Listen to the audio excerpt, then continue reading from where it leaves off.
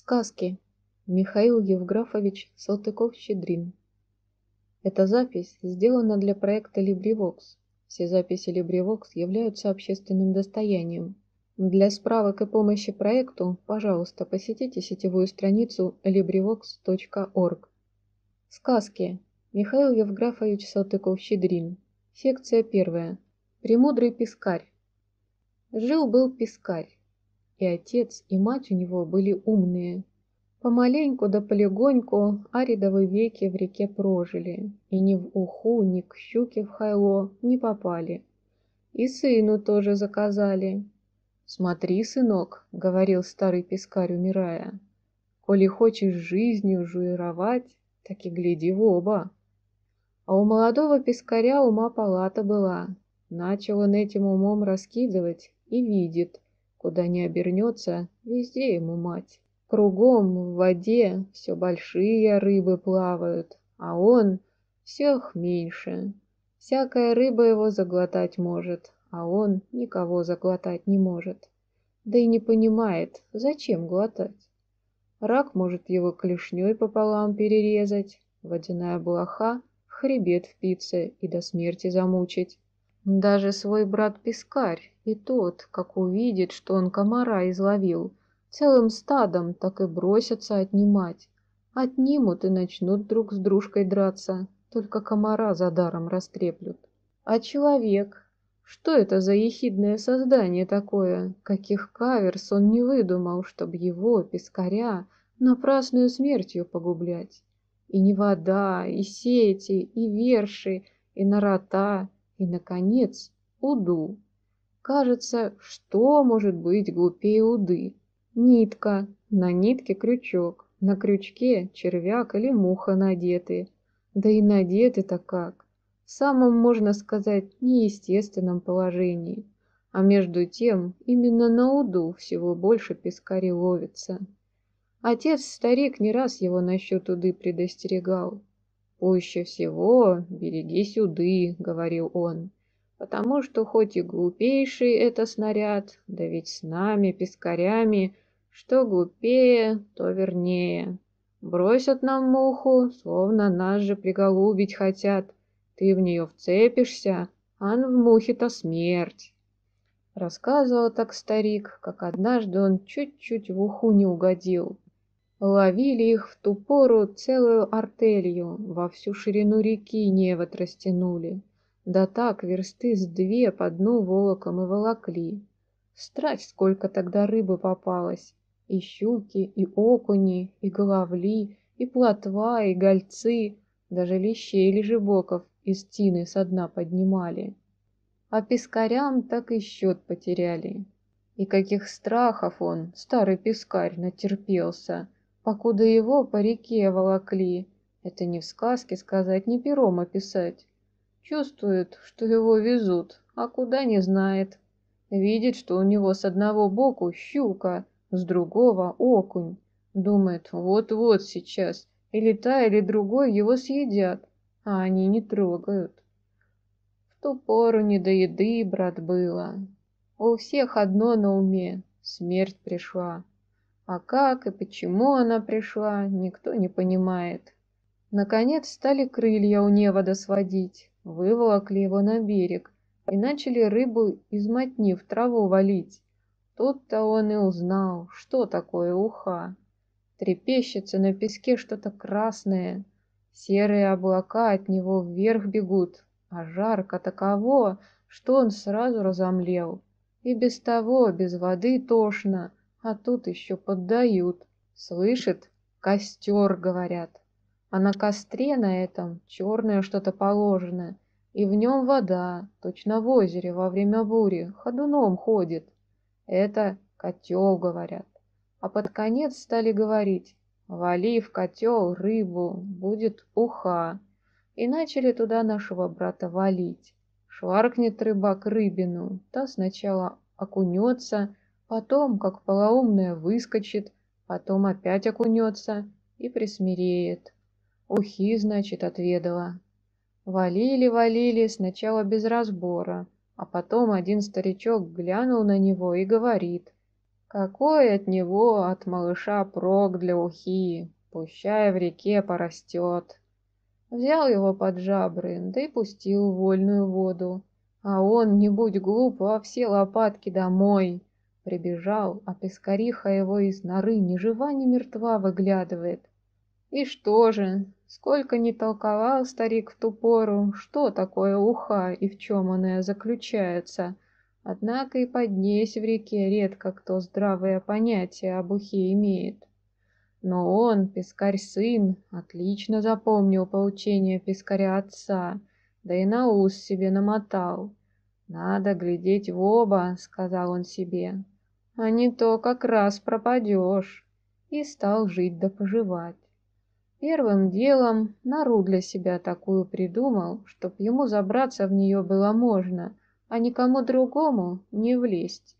Долбил он носом эту нору целый год, и сколько страху в это время принял, ночуя то в иле, то подводным лопухом, то в осоке. Наконец, однако, выдолбил на славу. Чисто, аккуратно, именно только одному поместиться в пору. Вторым делом насчет житья своего решил так. Ночью, когда люди, звери, птицы и рыбы спят, он будет мацион делать, а днем станет в норе сидеть и дрожать. Но так как пить есть все-таки нужно, а жалования он не получает и прислуги не держит, то будет он выбегать из норы около полдень, когда вся рыба уже сыта, и Бог даст, может быть, козявку другую и промыслит. А ежели не промыслит, так и голодный в норе заляжет и будет опять дрожать. Ибо лучше не есть, не пить, нежели с сытым желудком жизни лишиться. Так он и поступал. Ночью мацион делал, в лунном свете купался, а днем забирался в нору и дрожал. Только в полдне выбежит кое-чего похватать, да что в полдень промыслишь? В это время и комар под лист от жары прячется, и букашка под кору хоронится. Поглотает воды и шабаш. Лежит он день-деньской в норе, ночей не досыпает, куска не доедает, и все-то думает. Кажется, что я жив, ах, что-то завтра будет. Задремлет грешным делом, а во сне ему снится, что у него выигрышный билет, и он на него двести тысяч выиграл. Не помня себя от восторга, перевернется на другой бок, глядь, а на него целых полрыла из норы высунулось. Что, если бы в это время щуренок поблизости был, ведь он бы его из норы-то вытащил. Однажды проснулся он и видит, прямо против его норы стоит рак. Стоит неподвижно, словно околдованный, вытаращил на него костяные глаза, только усы по течению воды пошевеливаются. Вот когда он страху набрался. И целых полдня, покуда совсем не стемнело, этот рак его поджидал, а он тем временем все дрожал, все дрожал. В другой раз, только что успел он перед Зорькой в нору воротиться, только что сладко зевнул в предвкушении сна. Глядит, откуда ни возьмись, у самой норы щука стоит и зубами хлопает. И тоже целый день его стерегла, словно видом его одним сыта была. А он и щуку надул, не вышел из норы, да и шабаш. И не раз, и не два это с ним случалось, а почесть, что каждый день. И каждый день он, дрожа, победы и одоления одерживал. Каждый день восклицал «Слава тебе, Господи, жив!» Но этого мало. Он не женился и детей не имел, хотя у отца его была большая семья. Он рассуждал так. Отцу, шутя, можно было прожить. То время и щуки были добрее, и окуни на нас мелюзгу не зарились. А хотя однажды он и попал было в уху, так и тут нашелся старичок, который его вызволил. А нынче, как рыба-то в реках повывелась, и пескари в честь попали, так уже тут не до семьи, а как бы только самому прожить. И прожил премудрый пескарь таким родом слишком сто лет. Все дрожал, все дрожал, ни друзей у него, ни родных, Ни он к кому, ни к нему кто. В карты не играет, вина не пьет, табаку не курит, за красными девушками не гоняется. Только дрожит, да одну думу думает. Слава богу, кажется, жив. Даже щуки под конец и те стали его хвалить. Вот кабы все так жили, то-то бы в реках тихо было. Да только они это нарочно говорили. Думали, он на похвалу-то отрекомендуется. Вот, мол, я. Тут его и хлоп. Но он и на эту штуку не поддался, и еще раз своей мудростью козни врагов победил. Сколько прошло годов после ста лет, неизвестно. Только стал премудрый пескарь помирать. Лежит в норе и думает. Слава Богу, я своею смертью помираю, так же, как умерли мать и отец. И вспомнились ему тут щучьи слова. Вот кабы все так жили, как этот премудрый пескарь живет. А ну-ка в самом деле, что бы тогда было? Стал он раскидывать умом, которого у него была палата, и вдруг ему словно кто шепнул. Ведь эдак, пожалуй, весь пескарий род давно перевелся бы, потому что для продолжения пескарьего рода прежде всего нужна семья, а у него ея нет. Но этого мало. Для того, чтобы пескарья семья укреплялась и процветала – чтобы члены ее были здоровы и бодры, нужно, чтобы они воспитывались в родной стихии, а не в норе, где он почти ослеп от вечных сумерек. Необходимо, чтобы пескари достаточное питание получали, чтоб не чуждались общественности, друг с другом хлеб-соль выводили и друг от друга добродетелями и другими отличными качествами заимствовались ибо только такая жизнь может совершенствовать пескарью породу и не дозволить ей измельчать и выродиться в снетка. Неправильно полагают те, кои думают, что лишь те пескари могут считаться достойными гражданами, кои, обезумев от страха, сидят в норах и дрожат. Нет, это не граждане, а по меньшей мере бесполезные пескари. Никому от них ни тепло, ни холодно, никому ни чести, ни бесчестия, ни славы, ни бесславия.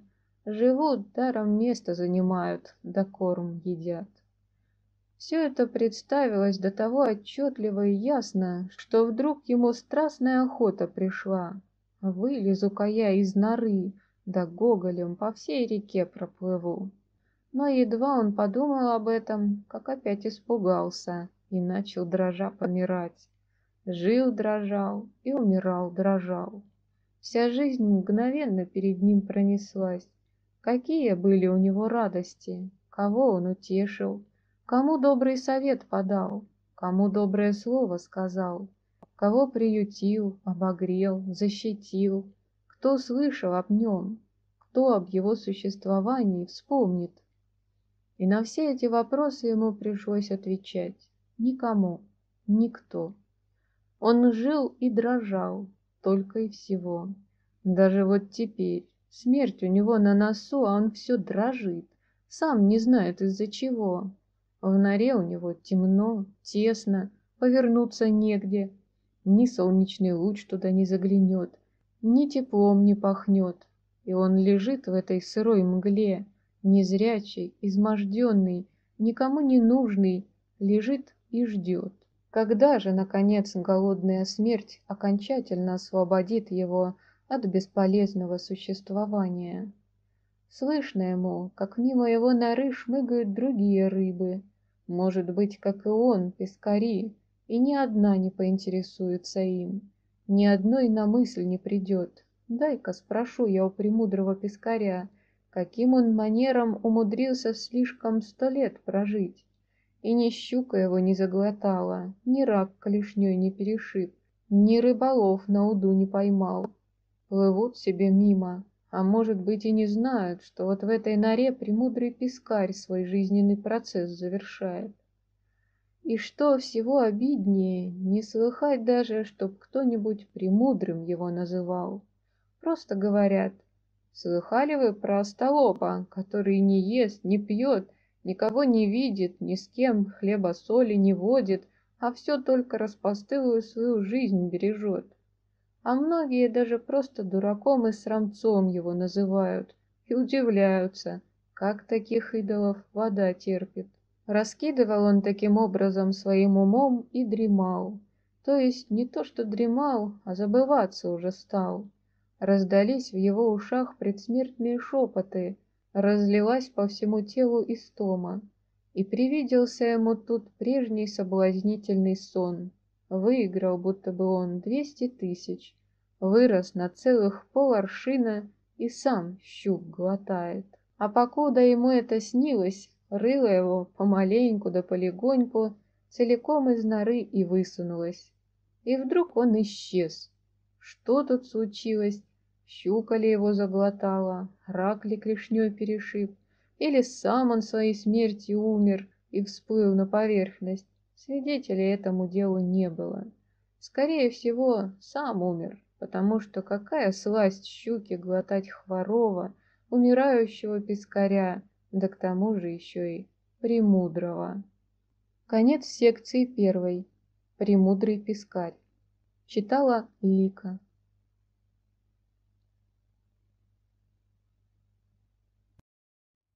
Сказки. Михаил Евграфович Салтыков-Щедрин. Эта запись LibriVox является общественным достоянием. Секция вторая. Самоотверженный заяц.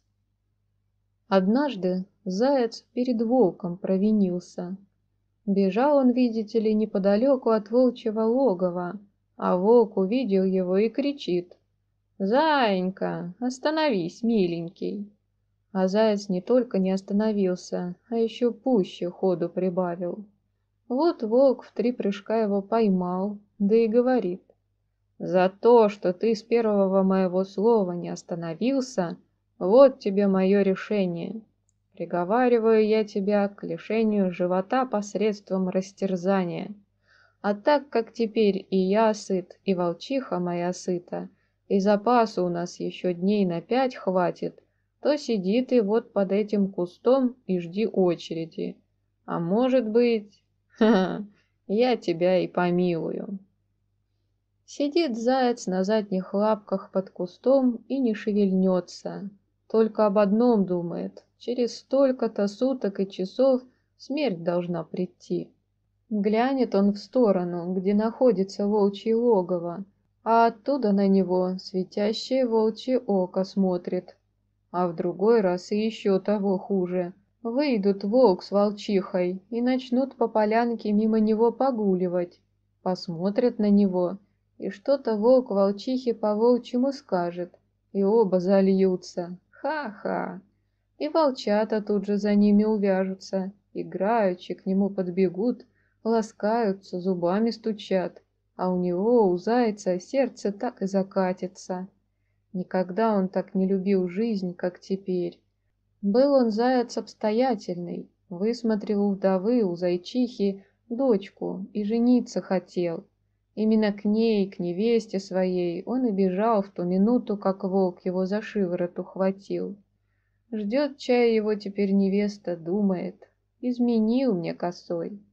А может быть, подождала-подождала, да с другим слюбилась.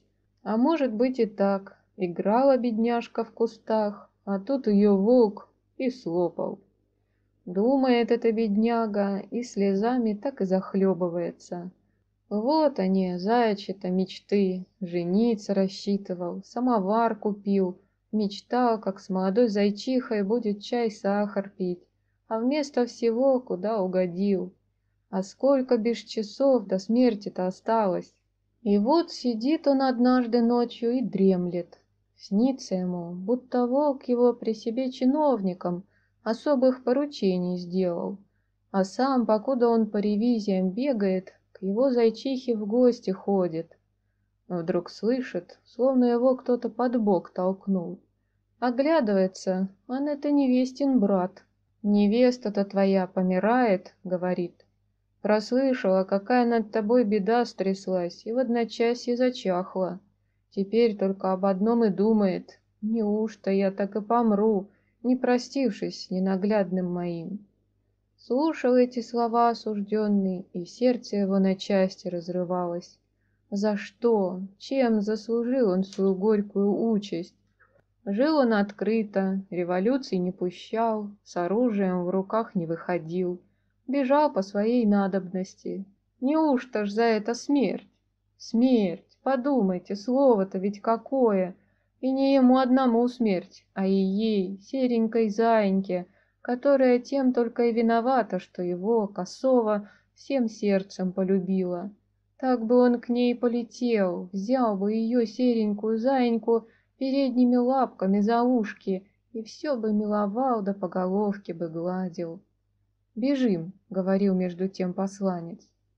Услышав это слово, осужденный на минуту словно преобразился. Совсем уж в комок собрался и уши на спину заложил. Вот-вот прянет, и след простыл.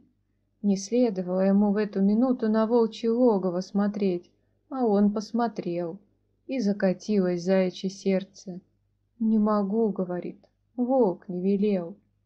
А волк, между тем, все видит и слышит, и потихоньку, по волчьи, с волчихой перешептывается. Должно быть, зайца за благородство хвалят. «Бежим!» — опять говорит посланец. «Не могу», — повторяет осужденный.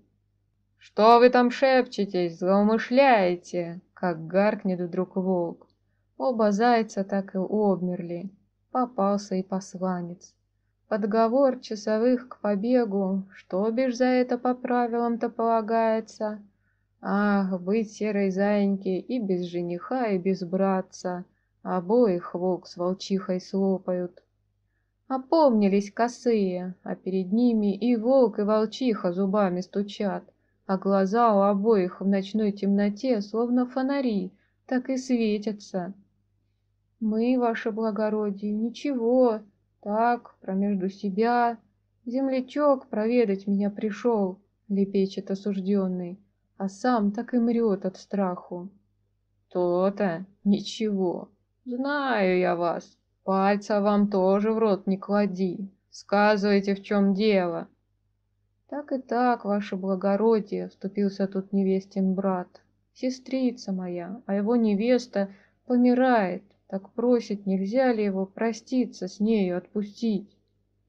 «Хм, это хорошо, что невеста жениха любит», — говорит волчиха. «Это значит, что зайчат у них много будет, корму волкам прибавится. И мы с волком любимся, и у нас волчат много, Сколько по воле ходят, а четверо и теперь при нас живут. Волк, а волк, отпустить, что ли, жениха к невесте проститься? Да ведь его на послезавтра есть назначено. Я, ваше благородие, прибегу, я мигом обрачу, у меня это, вот как бог свят прибегу, заспешил осужденный.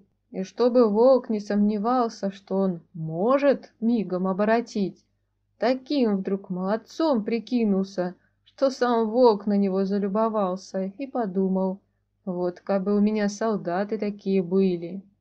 А волчиха пригорюнилась и молвила, вот поди ж ты, заяц, а как свою зайчиху любит. Делать нечего, согласился волк отпустить косого в побывку, но с тем, чтобы как раз к сроку оборотил а невестина брата Аманатом у себя оставил. «Коли не воротишься через двое суток к шести часам утра, — сказал он, — я его вместо тебя съем, а коли воротишься, обоих съем, а может быть, ха-ха, и помилую». Пустился косой, как из лука стрела, бежит, земля дрожит. Гора на пути встретится, он ее на уру возьмет. Река он и броду не ищет, прямо вплавь так и чешет. Болото он с патой кочки на десятую перепрыгивает. Шутка ли, в тридевятое царство поспеть надо, да в баню сходить, да жениться. Непременно женюсь, ежеминутно твердил он себе. Да обратно, чтоб к волку на завтрак поспеть. Даже птицы быстроте его удивлялись, говорили — Вон, в московских ведомостях пишут, будто у зайцев не душа, а пар, а вон он как улепетывает. Прибежал, наконец. Сколько тут радостей было, этого ни в сказке не сказать, ни пером описать. Серенькая заинька, как увидела своего ненаглядного, так и про хворь позабыла. Встала на задние лапки, надела на себя барабан и ну лапками кавалерийскую рысь выбивать. Это она сюрприз жениху приготовила. А вдова зайчиха так просто засовалась совсем, не знает, куда усадить нареченного зятюшку, чем накормить. Прибежали тут тетки со всех сторон, да кумы, да сестрицы, всем лестно на жениха посмотреть, а может быть и лакомого кусочка в гостях отведать. Один жених словно не в себе сидит, не успел с невестой намиловаться, как уже затвердил. Мне бы в баню сходить, да жениться поскорее. Что больно к спеху занадобилось, подшучивает над ним зайчиха мать. Обратно бежать надо, только на одни сутки волк и отпустил. Рассказал он тут как и что, рассказывает, а сам горькими слезами разливается. И воротиться-то ему не хочется, и не воротиться нельзя. Слово виждал, а заяц своему слову господин. Судили тут тетки и сестрицы, и те в один голос сказали. Правду ты косой молвил, не давши слова, крепись, а давши, держись.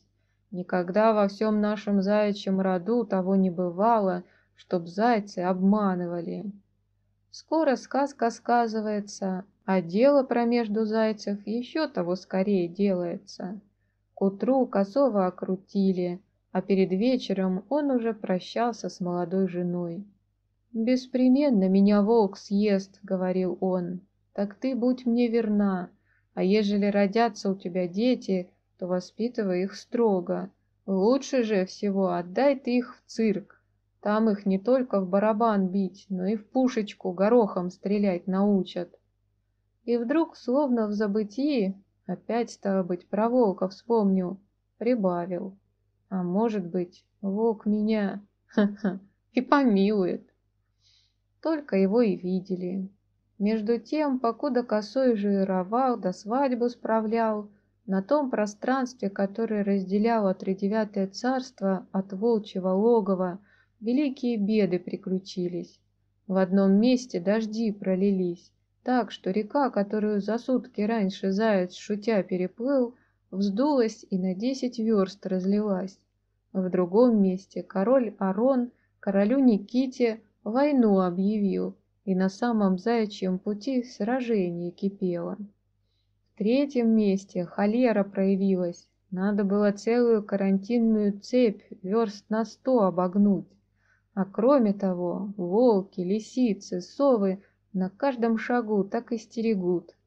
Умен был косой, зараньше так рассчитал, чтоб три часа у него в запасе оставалось.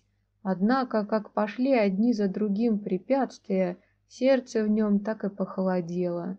Бежит он вечер, бежит полночи, ноги у него камнями иссечены, на боках от колючих ветвей шерсть клочьями висит, глаза помутились, у рта кровавая пена сочится, а ему вон еще сколько бежать осталось.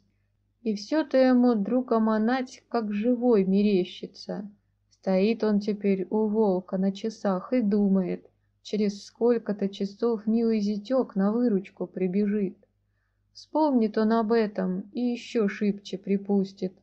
Ни горы, ни долы, ни леса, ни болота — все ему нипочем. Сколько раз сердце в нем разорваться хотело, так он и над сердцем власть взял, чтобы бесплодные волнения его от главной цели не отвлекали. Ни до горя теперь, ни до слез, пускай все чувства умолкнут, лишь бы друга из волчьей пасти вырвать. Вот уж и день заниматься стал. Совы, сычи, летучие мыши на ночлег потянули. В воздухе холодком пахнуло, и вдруг все кругом затихло, словно повымерло. А косой все бежит и все одну думу думает. Неужто ж я друга не выручу? Заолел восток. Сперва на дальнем горизонте слегка на облака огнем брызнуло, потом пуще и пуще, и вдруг пламя. Роса на траве загорелась, проснулись птицы денные, поползли муравьи, черви, козявки, дымком откуда-то потянуло. Во ржи и во всах словно шепот пошел, слышнее, слышнее, а косой ничего не видит, не слышит, только одно твердит — погубил я друга своего, погубил. Но вот, наконец, гора, за этой горой болото, и в нем волчье логово. Опоздал косой, опоздал. Последние силы напрягает он, чтобы вскочить на вершину горы. Вскочил, но он уже не может бежать, он падает от изнеможения. Неужто ж он так и не добежит? Волчье логово перед ним, как на блюдечке. Где-то вдали на колокольне бьет шесть часов и каждый удар колокола словно молотом бьет в сердце измученного зверюги. Последним ударом волк поднялся с логова, потянулся и хвостом от удовольствия замахал. Вот он подошел к аманату, сгреб его в лапу и запустил когти в живот, чтобы разодрать его на две половины, одну для себя, другую для волчихи. И волчата тут обсели кругом отца-матери, щелкают зубами, учатся. «Здесь я! Здесь!» — крикнул косой, как сто тысяч зайцев вместе, и кубарем скатился с горы в болото. И волк его похвалил. «Вижу», — сказал он, — «что зайцам верить можно. И вот вам моя резолюция. Сидите до поры до времени, оба под этим кустом, а впоследствии я вас Помилую. Конец секции 2. Самоотверженный заяц. Читала Лика.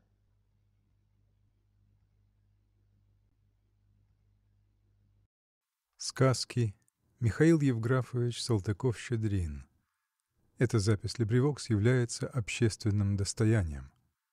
Запись сделал товарищ. Секция 3. Бедный волк. Другой зверь, наверное, тронулся бы самоотверженностью зайца, не ограничился бы обещанием, а сейчас бы помиловал. Но из всех хищников, водящихся в умеренном и северном климатах, волк всего менее доступен великодушию. Однако ж не по своей воле он так жесток, а потому что комплекция у него каверзная, ничего он, кроме мясного, есть не может. А чтобы достать мясную пищу, он не может иначе поступать, как живое существо жизни лишить. Одним словом, обязывается учинить злодейство, разбой. Нелегко ему пропитание его достается. Смерть-то ведь никому не сладка, а он именно только со смертью ко всякому лезет. Поэтому, кто посильнее, сам от него обороняется, а иного, который сам защититься не может, другие обороняют. Частенько таки волк голодный ходит, да еще с помятыми боками вдобавок. Сядет он в ту пору, поднимет рыло кверху и так пронзительно воет, что на версту кругом у всякой живой твари от страху да от тоски душа в пятки уходит. А волчиха его еще тоскливее подвывает, потому что у нее волчата, а накормить их нечем. Нет того зверя на свете, который не ненавидел бы волка, не проклинал бы его. Стоном стонет весь лес при его появлении. «Проклятый волк! Убийца! Душегуб!» И бежит он вперед да вперед, голову повернуть не смеет, а вдогонку ему «Разбойник! Живорез!» Уволок волк с месяц тому назад у бабы овцу — Баба-то и осю пору слез не осушала. Проклятый волк душегуб! А у него с тех пор маковой росинки в пасти не было. Овцу-то сожрал, а другую зарезать не пришлось.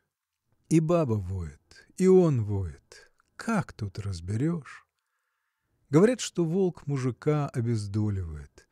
Да ведь и мужик тоже, как обозлится, куда лют бывает.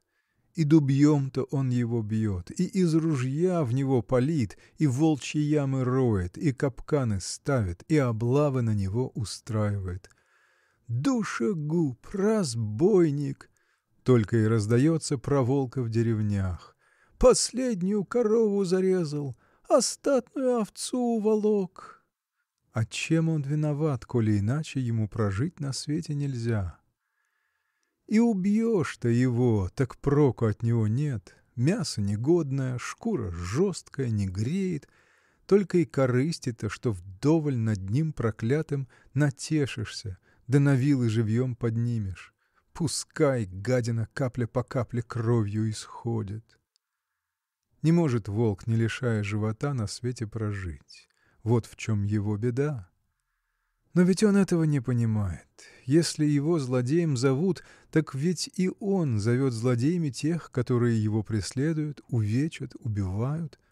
Разве он понимает, что своею жизнью другим жизням вред наносит? Он думает, что живет только и всего. Лошадь тяжести возит, корова дает молоко, овца волну, а он разбойничает, убивает. И лошадь, и корова, и овца, и волк — все живут, каждый по-своему. И вот нашелся, однако ж, между волками один, который долгие веки все убивал да разбойничал и вдруг под старость догадываться начал, что есть в его жизни что-то неладное. Жил этот волк с молоду очень шибко и был одним из немногих хищников, который почти никогда не голодал. И день и ночь он разбойничал, и все ему с рук сходило. У пастухов из-под носу баранов утаскивал, во дворы по деревням забирался, коров резал, лесника однажды до смерти загрыз, мальчика маленького у всех на глазах с улицы в лес унес. Слыхал он, что его за эти дела все ненавидят и клянут, да только лютей и лютей от этих покоров становился. «Послушали бы, что в лесу-то делается!» — говорил он. «Нет той минуты, чтоб там убийства не было, чтоб какая-нибудь зверюга не верещала, с жизнью расставаясь. Так неужто ж на это смотреть?» И дожил он таким родом, промежду разбоев, до тех лет, когда волк уж матером называется. Отяжелел маленько, но разбои все-таки не оставил, напротив, словно бы даже полютел. Только и попадись он нечаянно в лапы к медведю. А медведи волков не любят, потому что и на них волки шайками нападают, и частенько таки слухи по лесу ходят, что там-то и там-то Михайло Иванович оплошал, в клочки серые вороги шубу ему разорвали. Держит медведь волка в лапах и думает — что мне с ним, с подлецом делать? Ежели съесть, с души сопрет. Ежели так, задавить да бросить, только лес запахом его падали заразишь. Дай посмотрю, может быть, у него совесть есть. Коли есть совесть, да поклянется он вперед не разбойничать, я его отпущу. — Волк, а волк, — молвит Топтыгин, — неужто у тебя совести нет? — Ах, что вы, ваше степенство! — ответил волк. — Разве можно хоть один день на свете без совести прожить? — Стало быть, можно, коли ты живешь. Подумай, каждый божий день только и вестей про тебя, что ты или шкуру содрал, или зарезал. Разве это на совесть похоже? Ваше степенство, позвольте вам доложить. Должен ли я пить есть, волчиху свою накормить, волчат воспитать?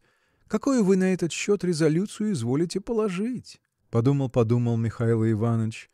Видит, коли положено волку на свете быть, стало быть, и прокормить он себя право имеет. «Должен», — говорит, — «а ведь я, кроме мясного, ни-ни. Вот хоть бы ваше степенство, к примеру, взять, вы и малинкой полакомитесь, и метком от пчел позаимствуетесь, и овсеца пососете, а для меня ничего этого хоть бы не было. Да опять же и другая вольгота у вашего степенства есть зимой, как заляжете вы в берлогу, ничего вам, кроме собственной лапы, не требуется, а я и зиму, и лето нет той минуты, чтоб я о пище не думал. И все об мясце. Так каким же родом я эту пищу добуду, коли прежде не зарежу или не задушу? Задумался медведь над этими волчьими словами, однако все еще попытать хочет. Да ты бы, говорит, хоть полегче, что ли. Я и то, ваше степенство, сколько могу облегчаю. Лисица, та зудит, рванет раз и отскочит, потом опять рванет и опять отскочит. А я прямо за горло хватаю, шабаш! Еще пуще задумался медведь. Видит, что волк ему правду матку режет, а отпустить его все еще опасается. Сейчас он опять за разбойные дела примется. «Раскайся, волк!» — говорит. «Не в чем мне, ваше степенство, каяться. Никто своей жизни не ворог, и я в том числе. Так в чем же тут моя вина? Да ты хоть пообещай!» «И обещать, ваше степенство, не могу. Вот лиса, та вам что хотите обещает, а я не могу». Что делать? Подумал, подумал медведь, да наконец и решил. «Пренесчастнейший ты есть зверь, вот что я тебе скажу», — молвил он волку. «Не могу я тебя судить, хоть и знаю, что много беру на душу греха, отпуская тебя. Одно могу прибавить. На твоем месте я не только бы жизнью не дорожил, а за благо бы смерть для себя почитал. И ты над этими моими словами подумай». И отпустил волка на все четыре стороны. Освободился волк из медвежьих лап и сейчас опять за старое ремесло принялся. Стонет от него лес, да и шабаш. Повадился в одну и ту же деревню. В две, в три ночи целое стадо зря перерезал, и ничто ему. Заляжет с сытым брюхом в болоте, потягивается да глаза жмурит. Даже на медведя, своего благодетеля, войной пошел — да тот, по счастью, вовремя спохватился, да только лапой ему издали погрозил. Долго ли, коротко ли он так буйствовал, однако и к нему, наконец, старость пришла. Силы убавились, проворство пропало, да вдобавок мужичок ему спинной хребет поленом перешиб. Хоть и отлежался он, а все-таки уж на прежнего удальца-живореза не похож стал кинется вдогонку за зайцем, а ног-то уж нет. Подойдет к лесной опушке, овечку из стада попробует унести, а собаки так и скачут, заливаются. Подожмет он хвост, да и бежит с пустом. «Никак я уж и собак бояться стал», — спрашивает он себя. Воротится в логово и начнет выть. Сова в лесу рыдает, да он в болоте воет. Страсти Господни, какой поднимется в деревне переполох! Только промыслил он однажды ягненочка и волочет его за шиворот в лес. А ягненочек-то самый еще несмысленочек был. Волочет его волк, а он не понимает. Только одно твердит. Что такое, что такое? — А я вот покажу тебе, что такое мерзавец! — остервенился волк. — Дяденька, я в лес гулять не хочу, я к маме хочу. Не буду я, дяденька, не буду! Вдруг догадался ягненочек и не то заблеял, не то зарыдал. «Ах, пастушок, пастушок, ах, собачки, собачки!» Остановился волк и прислушивается. Много он на своем веку овец перерезал — а все они какие-то равнодушные были. Не успеет ее волк ухватить, а она уж и глаза зажмурила, лежит не шелохнется, словно натуральную повинность исправляет. А вот и малыш, а поди как плачет, хочется ему жить. Ах, видно, и всем эта распостылая жизнь сладка. Вот и он, волк, стар-стар, а все бы годков еще сотенку пожил. И припомнились ему тут слова Топтыгина «На твоем бы месте я не жизнь, а смерть за благо для себя почитал». Отчего так? Почему для всех других земных тварей жизнь благо, а для него она проклятие и позор? И, не дождавшись ответа, выпустил из пасти ягненка, а сам побрел, опустив хвост, в логово, чтоб там на досуге умом раскинуть. Но ничего ему этот ум не выяснил, кроме того, что он уж давно знал, а именно, что никак ему, волку, иначе прожить нельзя, как убийством и разбоем. Лег он плашмя на землю и никак улежать не может. Ум одно говорит, а нутро чем-то другим загорается. Недуги, что ли, его ослабили? Старость ли вразор разорила? Голод ли измучил? Только не может он прежней власти над собой взять. Так и гремит у него в ушах Проклятый, душегуб, живорез! Что ж в том, что он за собой вольной вины не знает? Ведь проклятий-то все-таки не заглушишь. Ох, видно, правду сказал медведь, только и остается, что руки на себя наложить. Так ведь и тут опять горе. Зверь ведь он, даже рук на себя наложить не умеет.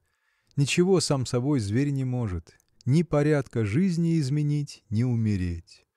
Живет он словно во сне и умрет, словно во сне же. Может быть, его псы растерзают или мужик подстрелит, так и тут он только захрапит, да корча его на мгновение сведет, и дух вон. А откуда и как пришла смерть, он и не догадается. Вот разве голодом он себя изведет? Нынче он уж и за зайцами гоняться перестал, только около птиц ходит. Поймает молодую ворону или витютня, только этим и сыт. Тогда же и тут прочие витютни хором кричат «Проклятый! Проклятый! Проклятый!» Именно проклятый. Ну как-таки только затем жить, чтобы убивать и разбойничать? Положим, несправедливо его проклинают, нерезонно. Не своей волей он разбойничает, но как не проклинать? Сколько он зверья на своем веку погубил, сколько баб, мужиков обездолил, на всю жизнь несчастными сделал. Много лет он в этих мыслях промучился, только одно слово в ушах его и гремело «Проклятый, проклятый, проклятый!» Да и сам себе он все чаще и чаще повторял Именно проклятый, проклятый и есть душегуб, живорез. И все-таки, мучимый голодом, шел на добычу, душил, рвал и терзал. И начал он звать смерть. Смерть, смерть, хоть бы ты освободила от меня зверей, мужиков и птиц, Хоть бы ты освободила меня от самого себя. День и ночь выл он на небо глядячи. А звери и мужики, слыша его вой, в страхе вопили «Душегуб! Душегуб! Душегуб!» Даже небу пожаловаться он не мог без того, чтоб проклятия на него со всех сторон не сыпались. Наконец смерть сжалилась-таки над ним. Появились в той местности лукаши. Сноска. Лукаши – мужички из Великолудского уезда Псковской губернии, которые занимаются изучением привычек и нравов лесных зверей и потом предлагают охотникам свои услуги для облав. И соседние помещики воспользовались их прибытием, чтобы устроить на волка охоту. Лежит однажды волк в своем логове и слышит – зовут. Он встал и пошел – видит впереди путь вехами означен, а сзади и сбоку мужики за ним следят, но он уже не пытался прорваться, а шел, опустив голову навстречу смерти. И вдруг его ударило прямо между глаз. Вот она, смерть-избавительница. Конец секции 3. Бедный волк.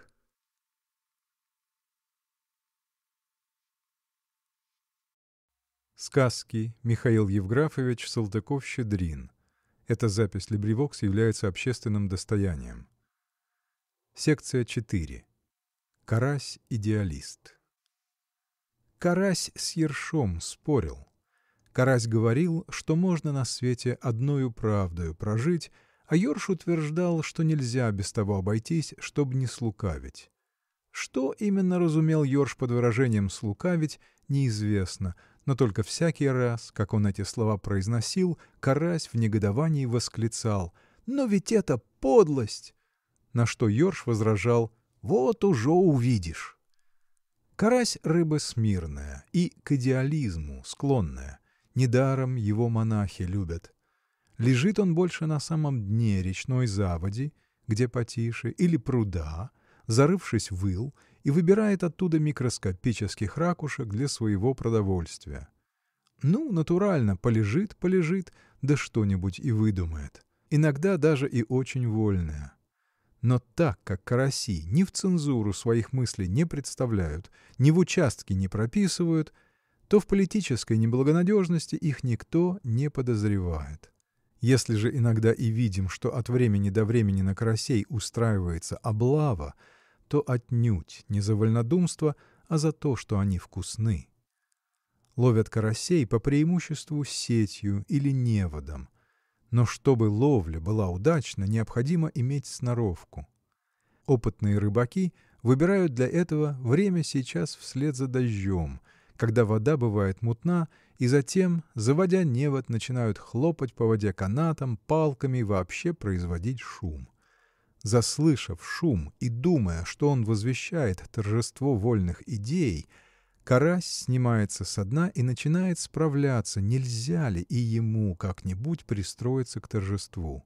Тут-то он и попадает во множестве в мотню, чтобы потом сделаться жертвою человеческого чревоугодия, ибо, повторяю, караси представляют такое лакомое блюдо, особенно изжаренные в сметане, что предводители дворянства охотно потчуют ими даже губернаторов.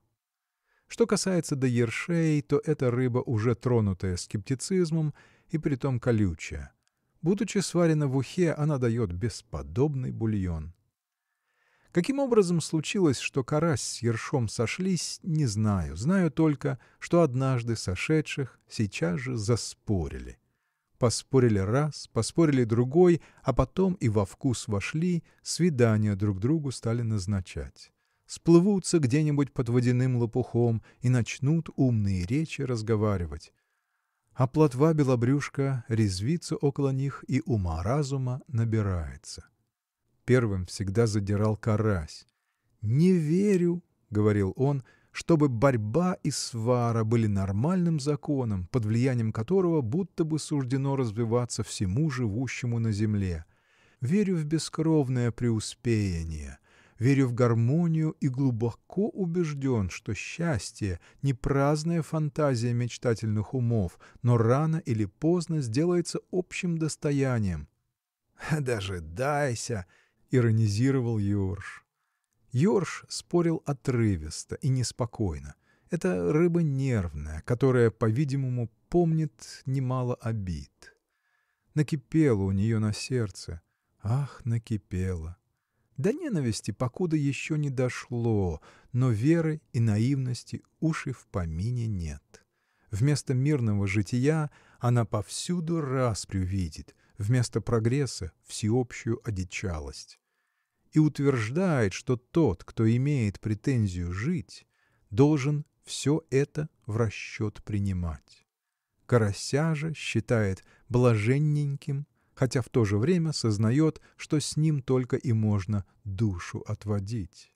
«И дождусь», — отзывался Карась, — «и не я один, все дождутся».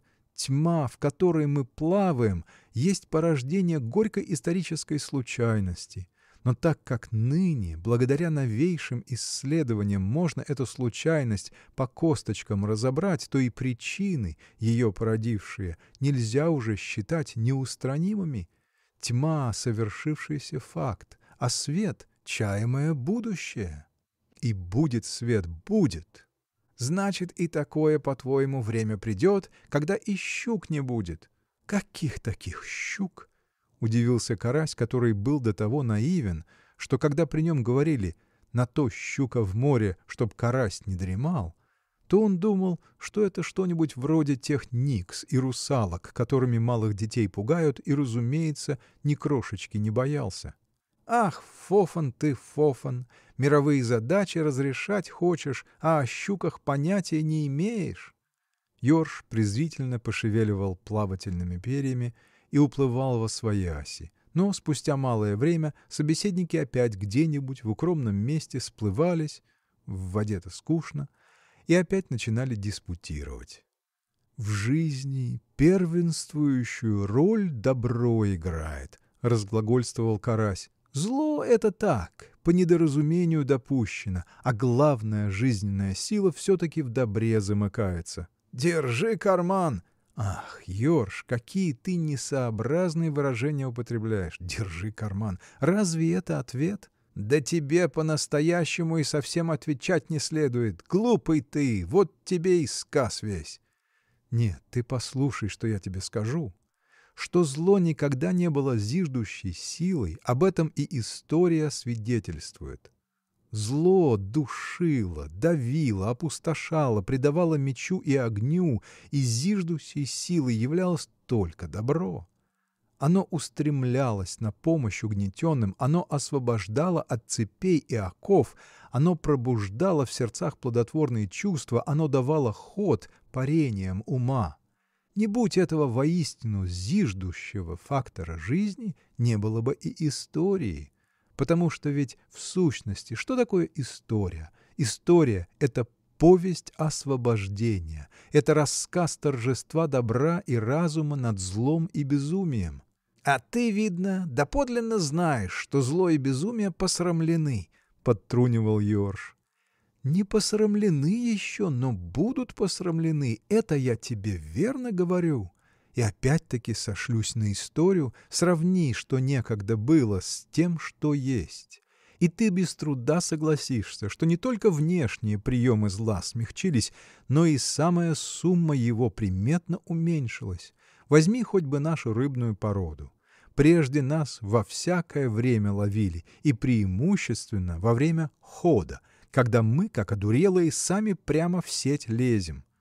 А нынче именно во время хода-то и признается вредным нас ловить. Прежде нас, можно сказать, самыми варварскими способами истребляли. В Урале, сказывают, во время багрения вода на многие версты от рыбьей крови красная стояла, а нынче шабаш. Неводы до верши до уды, больше чтоб ни ни. Да и об этом еще в комитетах рассуждают. Какие неводы? По какому случаю? На какой предмет? А тебе, видно, не все равно, каким способом в уху попасть. — В какую такую уху? — удивлялся Карась. — Ах, прах тебя побери! Карасем зовется, а об ухе не слыхал. Какое же ты после этого право со мной разговаривать имеешь? Ведь чтобы споры вести и мнение отстаивать, надо по малой мере с обстоятельствами дела наперед познакомиться. О чем же ты разговариваешь, коли даже такой простой истины не знаешь, что каждому карасю впереди уготована уха? Брысь, закалю! Ёрш ощетинивался, а карась быстро, насколько позволяла его неуклюжесть, опускался на дно. Но через сутки друзья-противники опять сплывались и новый разговор затевали. — На меднесть в нашу заводь щука заглядывала, — объявлял Ёрш. — Та самая, о которой ты на меднесть упоминал? — Она. Приплыла, заглянула, молвила, что это будто уж слишком здесь тихо, должно быть тут карасям, вот. И с этим уплыла. Что ж мне теперь еще делать? Изготовляться только и всего. Ужо, как приплывет она, да уставится в тебя глазищами, ты чешую-то до перья подбери поплотнее, да прямо и полезай ей в хайло. Зачем же я полезу? Кабы я был в чем-нибудь виноват?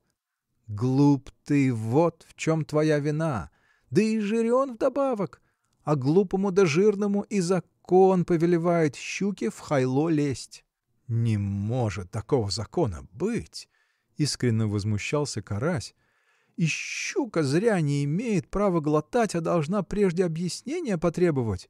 Вот я с ней объяснюсь, всю правду выложу. Правдой-то я ее до седьмого пота прошибу. Говорил я тебе, что ты фофан. И теперь то же самое повторяю. Фофан, фофан, фофан. Ёрш окончательно сердился и давал себе слово на будущее время воздерживаться от всякого общения с карасем. Но через несколько дней, смотришь, привычка опять взяла свое. «Вот кабы все рыбы между собой согласились!» — загадочно начинал карась. Но тут уж и самого ерша брала оторопь. О чем этот фофан речь заводит? — думалось ему. — Того, гляди, прорвется, а тут головель неподалеку похаживает. Ишь, и глаза в сторону, словно не его дело, скосил, а сам, знай, прислушивается. — А ты не всякое слово выговаривай, какое тебе на ум взбредет, — убеждал он карася. — Не для чего пасть-то разевать.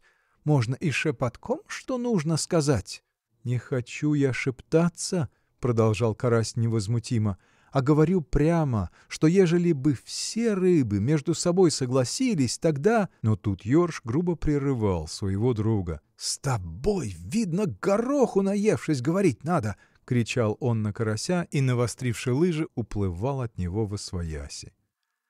И досадно ему, да и жалко карася было. Хоть и глуп он, а все-таки с ним одним по душе поговорить можно. Не разболтает он, не предаст. В ком нынче качества-то эти сыщешь? Слабое нынче время, такое время, что на отца с матерью надеяться нельзя. Вот плотва, хоть и нельзя о ней прямо что-нибудь худое сказать, а все-таки того и гляди, не понимающий, сболтнет. А об головлях, езях, линях и прочей челяди и говорить нечего.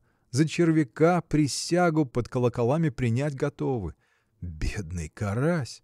Ни за грош он между ними пропадет. — Посмотри ты на себя, — говорил он карасю, — ну какую ты не ровен час оборону из себя представить можешь? Брюхо у тебя большое, голова малая, на выдумки гораздо, рот чутошный.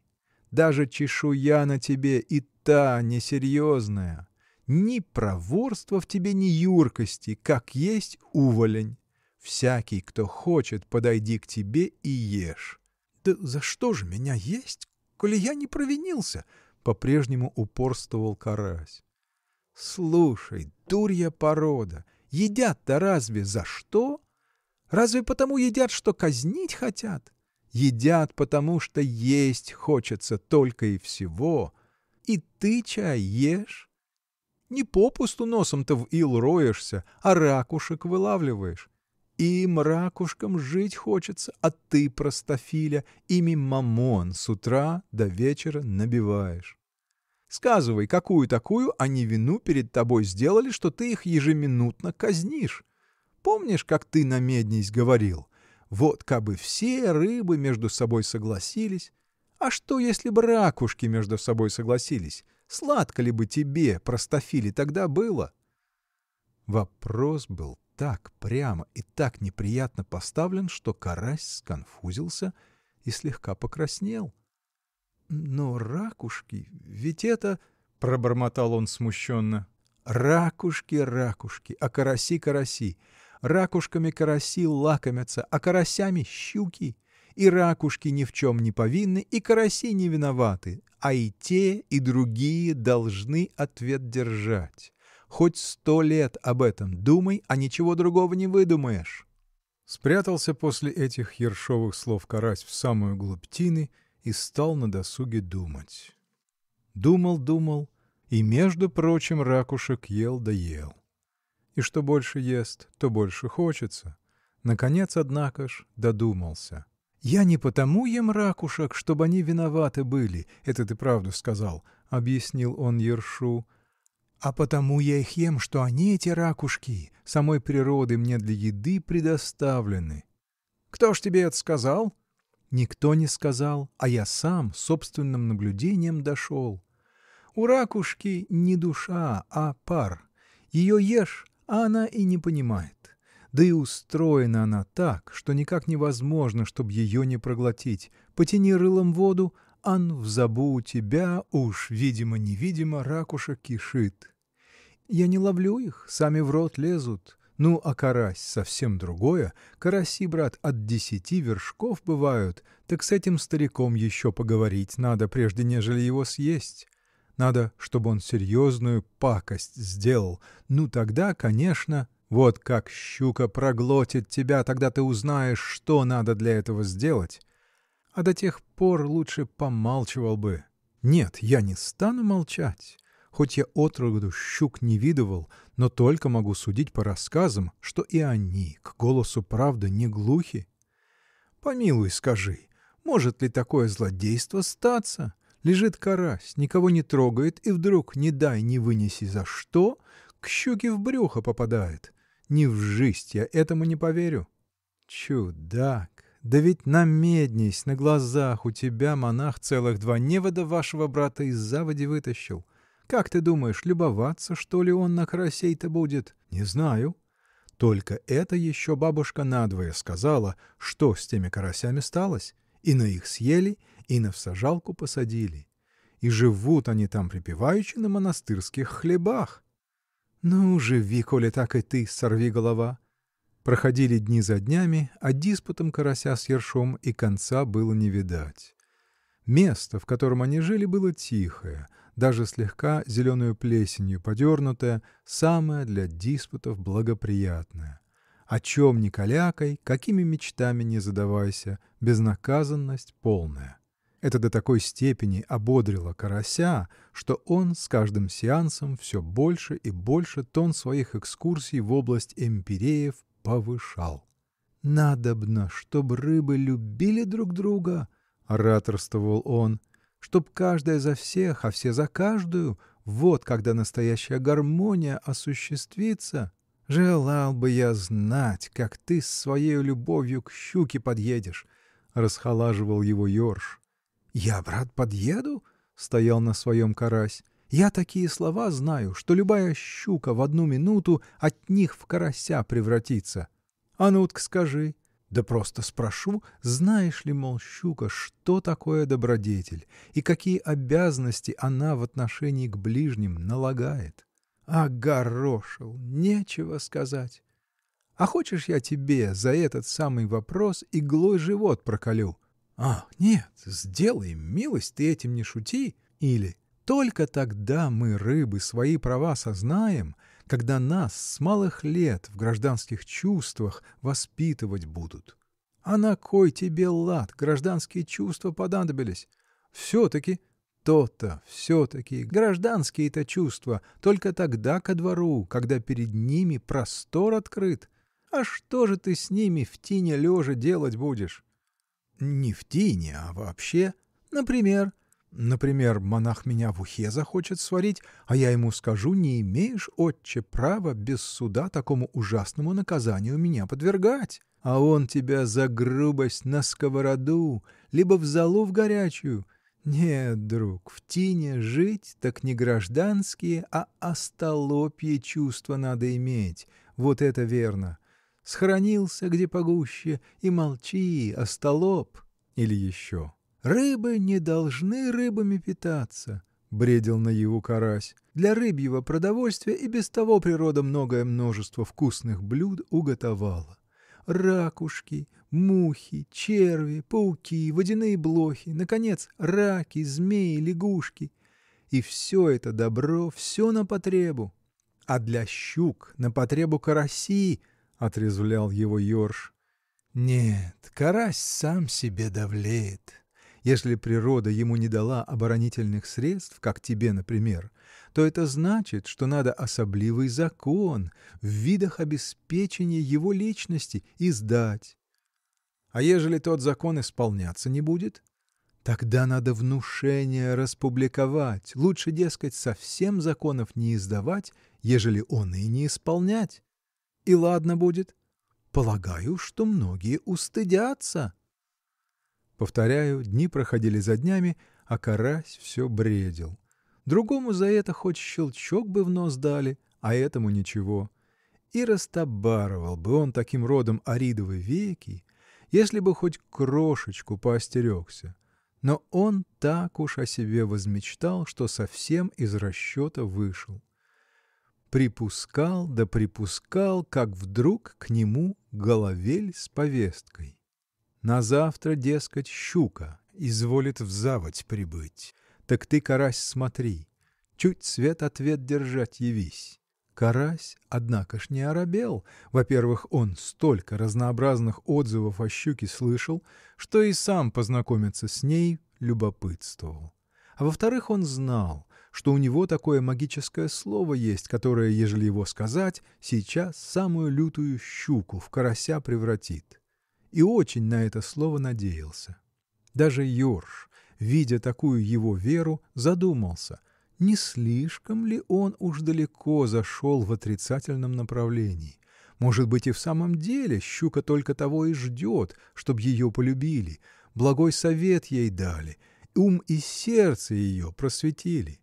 Может быть, она добрая?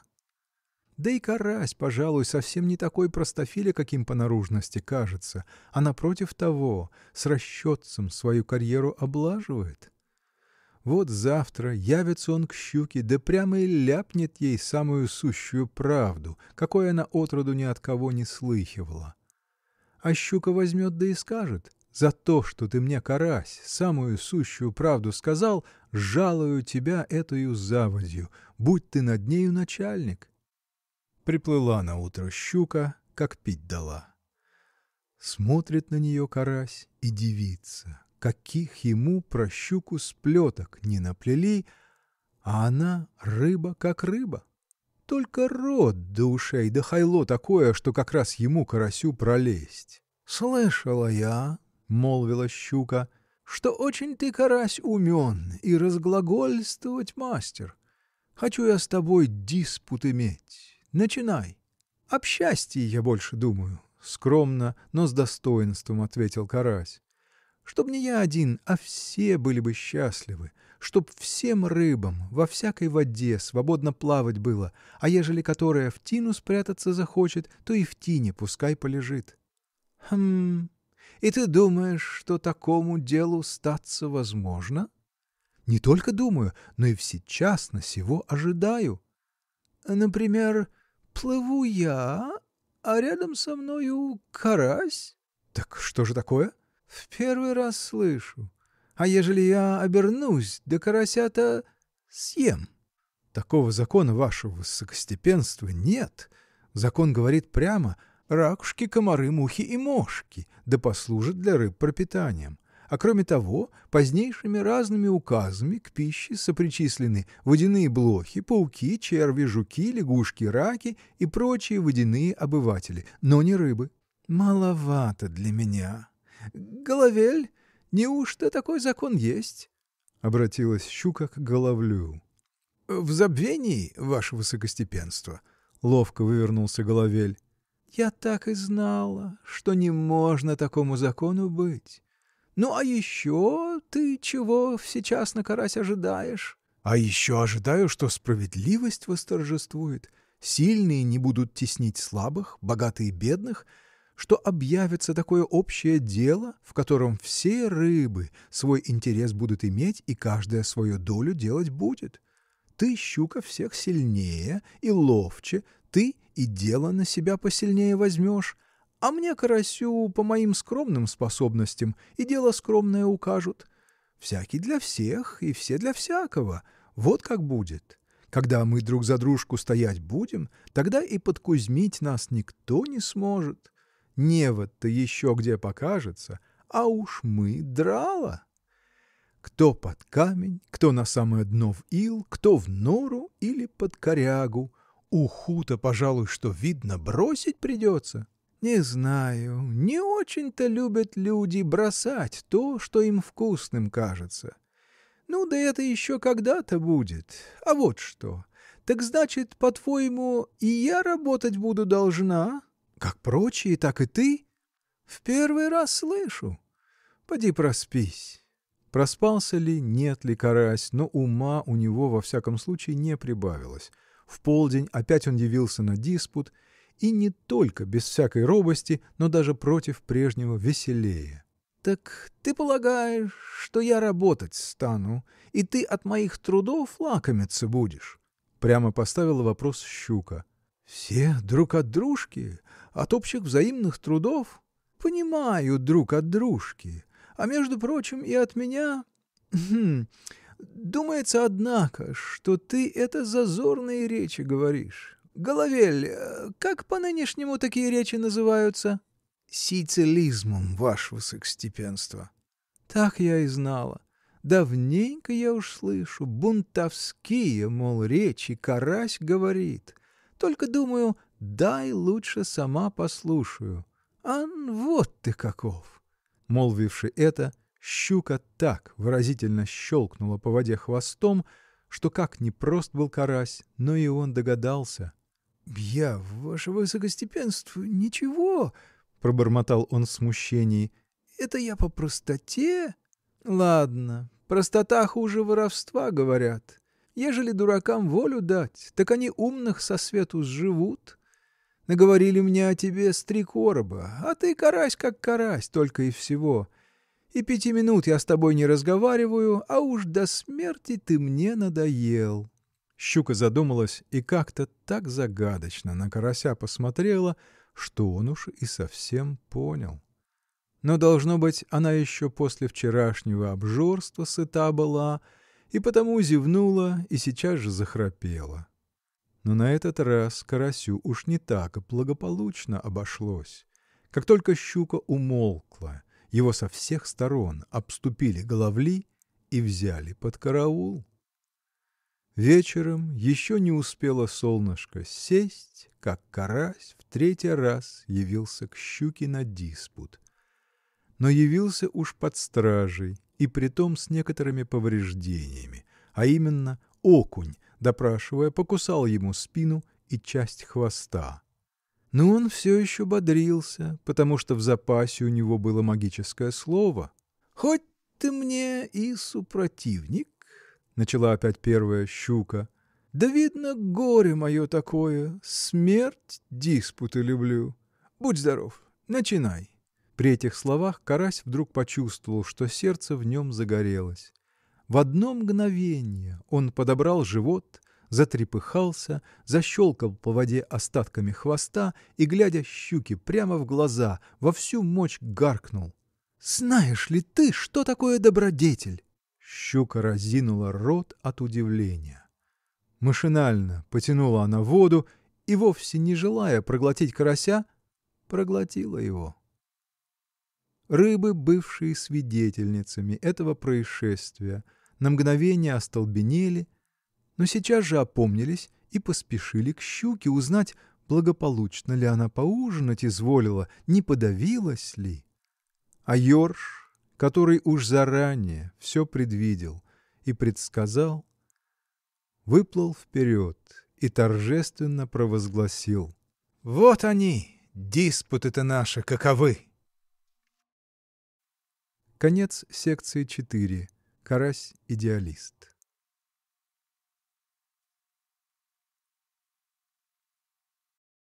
Сказки. Михаил Евграфович Салтыков-Щедрин.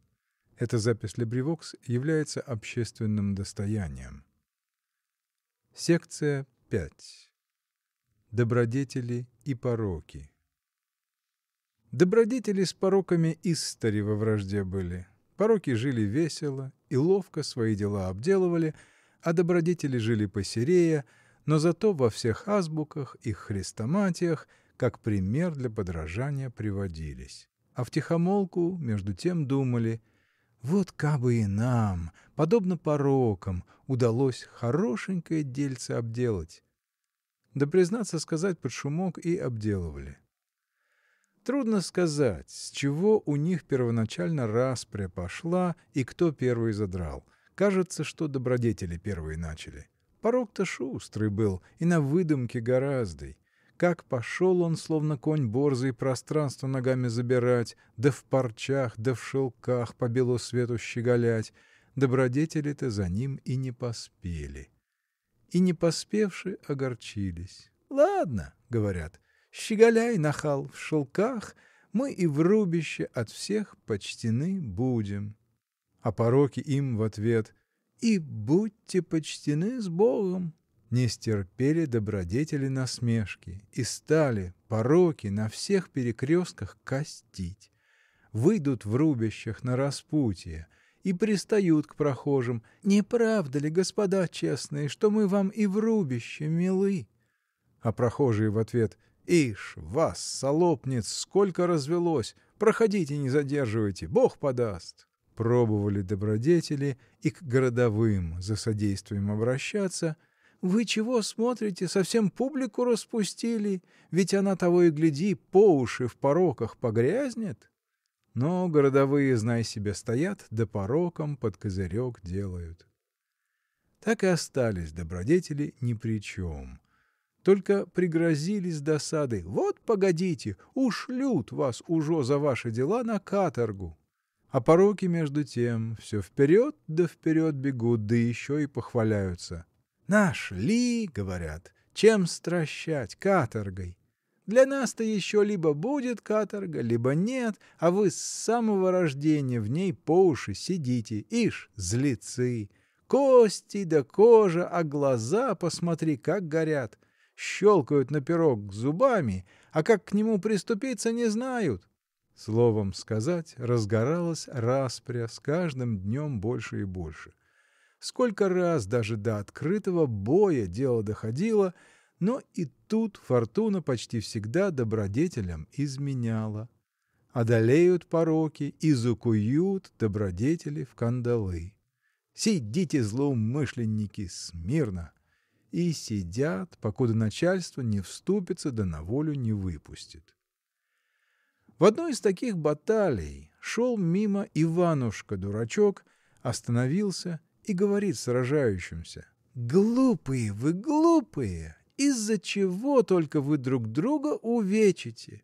Ведь первоначально-то вы все одинаково свойствами были, а это уж потом, от безалаберности да от каверзы людской, добродетели да пороки пошли. Одни свойства понажали, другим вольный ход дали, колесики-то в машине и поиспортились. И воцарились на свете смута, свара, скорбь. А вы вот что сделайте. Обратитесь к первоначальному источнику, может быть, на чем-нибудь и сойдетесь. Сказал это и пошел путем дорогой в казначейство подать вносить. Подействовали ли на сражающихся Иванушкины слова или пороху для продолжения битвы не достало, только вложили бойцы мечи в ножны и задумались. Думали, впрочем, больше добродетели, потому что у них с голоду животы подвело, а пороки, как протрубили трубы отбой, так сейчас же по своим прежним канальским делам разбрелись и опять на славу зажили. Хорошо ему про свойства говорить, — первая молвила смиренно мудрее. Мы и сами не его эти свойства знаем. Да вот одни свойства в бархате щеголяют и на золоте едят, а другие в затрапезии ходят, да по целым дням не евшие сидят. Иванушки-то спала горя, он набил мамон мекиной и прав — а нас ведь на Микине не проведешь, мы знаем, где раки зимуют. — Да и что за свойства такие появились? — встревожилась благочиние. — Нет ли тут порухи какой? Всегда были добродетели и были пороки. Сотни тысяч лет это дело ведется, и сотни тысяч томов об этом написано, а он, Натка, сразу решил свойства. Нет, ты попробуй, приступись-ка, к этим сотням тысяч томов, так и увидишь, какая от них пыль столбом полетит. Судили, рядили и, наконец, рассудили. Благочиние правду сказала. Сколько тысяч веков добродетелей числились добродетелями, а пороки пороками. Сколько тысяч книг об этом написано, какая масса бумаги и чернил изведена. Добродетели всегда одесную стояли, пороки ошую, и вдруг по дурацкому Иванушкину слову от всего откажись и назовись какими-то свойствами. Ведь это почти то же, что от прав состояния отказаться и человеком назваться. Просто-то оно, конечно, просто, да ведь иная простота хуже воровства. Поди-ка спроста-то коснись, ан с первого же шага в такое несметное множество капканов попадешь, что и голову там, пожалуй, оставишь. Нет, о свойствах думать нечего, а вот компромисс какой-нибудь сыскать, или, как по-русски зовется, фортель. Это, пожалуй, дельно будет. Такой фортель, который и добродетели бы возвеселил, да и порокам бы по нраву пришелся. Потому что ведь и порокам подчас жутко приходится. Вот намеднись любострастие с поличным в бане поймали, протокол составили, да в ту же ночь прелюбодеяния в одном белье с лестницы спустили. Вольномыслие это давно ли пышным цветом цвело, а теперь его с корнем вырвали? Стало быть, и порокам на фортель пойти не безвыгодно. Милостивые государи, милостивые государи, не угодно ли кому предложить, у кого на примете средствица есть? На вызов этот прежде всех выступил древний старичок, опытом называемый. Есть два опыта, один порочный, а другой добродетельный. Так этот добродетельный был. И предложил он штуку. «Отыщите, — говорит, — такое сокровище, которое и добродетели бы уважило, да и от пороков было бы не прочь, и пошлите его парламентером во вражеский лагерь». Стали искать, и, разумеется, нашли. Нашли двух бобылок — умеренность и аккуратность. Обе на задворках в добродетельских селениях жили, сиротский надел держали, но торговали корчемным вином и потихоньку пороки у себя принимали. Однако первый блин вышел комом. Бобылки были и мало представительны, и слишком податливы, чтобы выполнить возложенную на них задачу. Едва появились они в лагере пороков, едва начали канитель разводить, помаленьку-то покойнее, а потихоньку вернее, как пороки всем скопищем загалдели. Слыхали мы-то прибаутки-то эти, давно вы с ними около нас похаживаете, да не в коня, а корм. Уходите с богом бобылки, не проедайтесь. И как бы для того, чтобы доказать добродетелям, что их на кривой не объедешь, на всю ночь закатились в трактир Самарканд, а под утро, расходясь оттуда, поймали воздержание и непрелюбы сотворения и поступили с ними до такой степени низко, что даже татары из Самарканда дивились, хорошие господа, а что делают? Поняли тогда добродетели, что дело это серьезное, и надо за него настоящим манером взяться. Произросло между ними в ту пору существо среднего рода, ни рак, ни рыба, ни курица, ни птица, ни дама, ни кавалер, а всего помаленьку. Произросло, выровнялось и расцвело, и было этому межеумку имя тоже среднего рода — лицемерие. Все в этом существе было загадкою, начиная с происхождения. Сказывали старожилы, что однажды смирение с любострастием в темном коридоре спознались, и от этого произошел плод. Плод этот добродетели сообща выкормили и выпоили, а потом и в пансион к француженке Комильфо отдали. Догадку эту подтверждал и наружный вид лицемерия, потому что, хотя оно ходило не иначе, как с опущенными долу глазами, но прозорливцы не раз примечали, что по лицу его частенько пробегают любострастные тени, а поясница при случае даже очень нехорошо вздрагивает. Несомненно, что в этом наружном двоегласии в значительной мере был виноват пансион Камильфо. Там лицемерие всем главным наукам выучилось, и как по струнке ходить, и как водой не замутить, и как без мыла в душу влезть. Словом сказать, всему, что добродетельное житие обеспечивает. Но в то же время оно не избегло и влияния канкана, которым и стены, и воздух пансиона были пропитаны. Но кроме того, мадам Камильфо еще и тем подгадила, что сообщила лицемерию подробности об его родителях.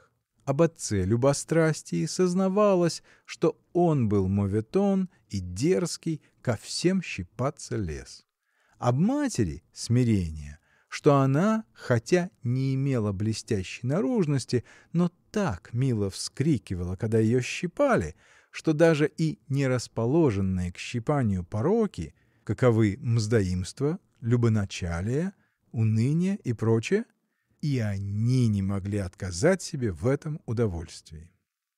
Вот это-то среднее существо, глаза долу опускающее, но из-под закрытых век блудливо окрест высматривающее, и выбрали добродетели, чтобы войти в переговоры с пороками. И такой общий модус вивенди изобрести, при котором и тем, и другим было бы жить вольготно. Да ты по-нашему-то умеешь ли? Вздумала было предварительно проэкзаменовать его галантерейное обращение. «Я-то?» — изумилось лицемерие. «Да я вот как!»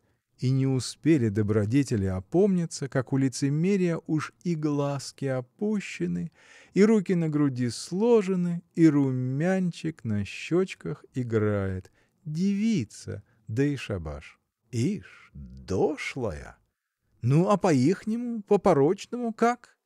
Но лицемерие даже не ответило на этот вопрос. В один момент оно учинило нечто ни для кого явственно невидимое, но до такой степени достоверное, что прозорливство только сплюнуло. Тьфу! И затем все одинаково решили написать у нотариуса Безяева общую доверенность для хождения по всем добродетельским делам и вручить ее лицемерию. Взялся за гуш, не говори, что не дюш. Как ни горько, а пришлось у пороков пардону просить. Идет лицемерие в ихний подлый вертеп и от стыда не знает, куда глаза девать. «Везде-то нынче это паскудство развелось», — жалуется оно вслух, а мысленно прибавляет. «Ах, хорошо пороки живут!» И точно. Не успело лицемерие с версту от добродетельской резиденции отойти, как уж со всех сторон на него разливанным морем пахнуло. Смехи, да пляски, да игры, стон от веселья стоит. И город, какой отменный пороки для себя выстроили, просторный, светлый, с улицами и переулками, с площадями и бульварами. Вот улица лжесвидетельства, вот площадь предательства, а вот и срамной бульвар. Сам отец лжи тут сидел и из лавочки клеветой распивочно и на вынос торговал. Но как невесело жили пороки, как неопытны они были во всяких канальских делах, а увидевши лицемерие, и они ахнули. С виду не дать не взять сущая девица. Ну точно ли сущая, этого и сам черт не разберет. Даже отец лжи, который думал, что нет в мире той подлости, которой бы он не произошел, и тот глаза вытаращил. «Ну, — говорит, — это я об себе напрасно мечтал, будто вреднее меня на свете никого нет. Я что? Вот он, настоящий-то яд где! Я больше нахалом норовлю, оттого меня хоть и не часто, а все-таки от времени до времени с лестницы в три шеи спускают, а это сокровище, коли прильнет, от него уж не отвертишься. Так тебя опутает, так окружит, что покуда все соки не вызудит, не выпустит. Тем не менее, как невелик был энтузиазм, возбужденный лицемерием, однако и тут без розни не обошлось. Пороки солидные, аборигены, паче всего дорожившие преданиями старины, как, например, суемудрие, пустомыслие, гордость, человеконенавистничество и прочее, не только сами не пошли навстречу лицемерию, но и других остерегали. «Истинный порок не нуждается в прикрытии», — говорили они, — «но сам свое знамя высоко и грозно держит». Что существенно нового может открыть нам лицемерие, чего бы мы от начала веков не знали и не практиковали? Положительно ничего. Напротив, оно научит нас опасным изворотам и заставит нас, ежели не прямо стыдиться самих себя, то во всяком случае показывать вид, что мы стыдимся. Caviant consules. До сих пор у нас было достаточно твердых и верных последователей, но ведь они, видя наши извороты, могут сказать, должно быть и впрямь пороком туго пришлось, коль скоро они сами от себя отрицаться должны. И отвернуться от нас. Вот увидите, отвернуться! Так говорили заматерелые пороки Катона, не признававшие ни новых влияний, ни обольщений, ни обстановок. Родившись в навозе, они предпочитали задохнуться в нем, лишь бы не отступить от староотеческих преданий. За ними шла другая категория пороков, которые тоже не выказывали особенного энтузиазма при встрече с лицемерием, но не потому, однако, чтобы последнее претило им, а потому, что они уже и без посредства лицемерия состояли в секретных отношениях с добродетелями. Сюда принадлежали измена, вероломство, предательство, наушничество, ябеда и прочее. Они не разразились кликами торжества, не рукоплескали, не предлагали здравец, а только подмигнули глазом. «Милости просим». Как бы то ни было, но торжество лицемерия было обеспечено. Молодежь в лице прелюбодеяния, пьянства, объедения, распутства, мордобития и прочее сразу созвала сходку и встретила парламентера такими овациями, что суемудрие тут же нашлось вынужденным прекратить свою воркотню навсегда. «Вы только мутите всех, старые пакостники!» — кричала старикам и молодежь.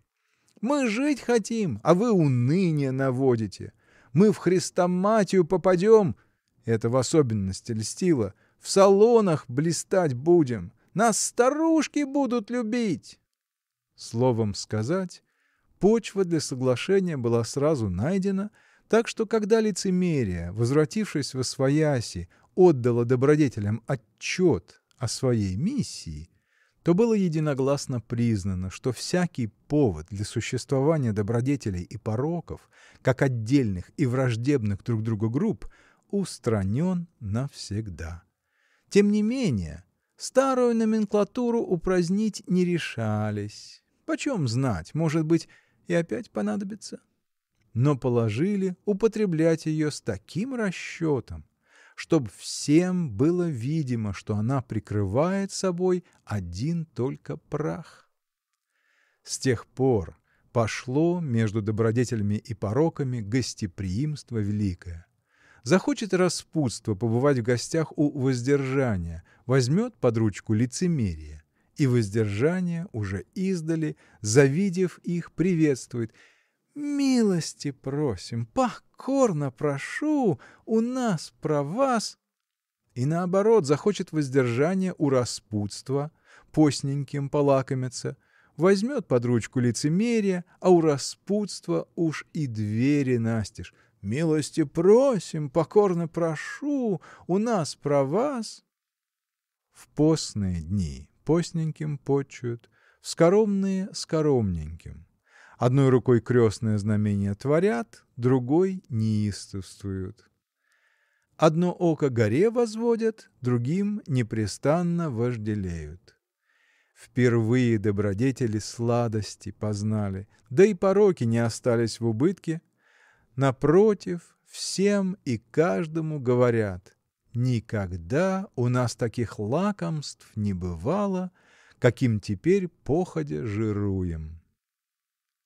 А Иванушка-дурачок и о сю пору не может понять, отчего добродетели и пороки так охотно помирились на лицемерии, тогда как гораздо естественнее было бы сойтись на том, что и те, и другие суть свойства, только и всего. Конец секции 5. Добродетели и пороки.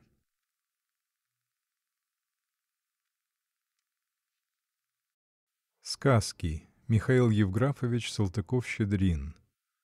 Эта запись LibriVox является общественным достоянием. Секция 6. Обманщик-газетчик и легковерный читатель. Жил-был газетчик, и жил-был читатель. Газетчик был обманщик, все обманывал, а читатель был легковерный, всему верил. Так уж истори повелось на свете. Обманщики обманывают, а легковерные верят. Сум квинкве. Сидит газетчик в своей берлоге и, знай себе, обманывает да обманывает. «Берегитесь», — говорит, — «дифтерит обывателей косит».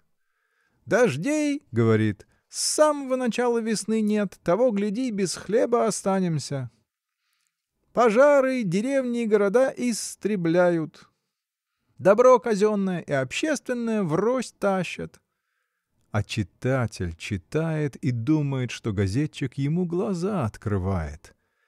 «Такая, — говорит, — уж у нас свобода книгопечатания, куда ни взгляни, везде либо дифтерит, либо пожар, либо неурожай». Дальше больше. Смекнул газетчик, что его обманы по сердцу читателю пришлись — начал еще пуще поддавать. «Никакой, — говорит, — у нас обеспеченности нет. Не выходи, — говорит, — читатель на улицу, как раз в кутузку попадешь». А легковерный читатель идет гоголем по улице и приговаривает «Ах, как верно газетчик про нашу необеспеченность выразился!» Мало того, другого легковерного читателя встретит и того спросит а читали вы, как прекрасно сегодня насчет нашей необеспеченности газетчик продернул? — Как не читал? — ответит другой легковерный читатель. — Бесподобно!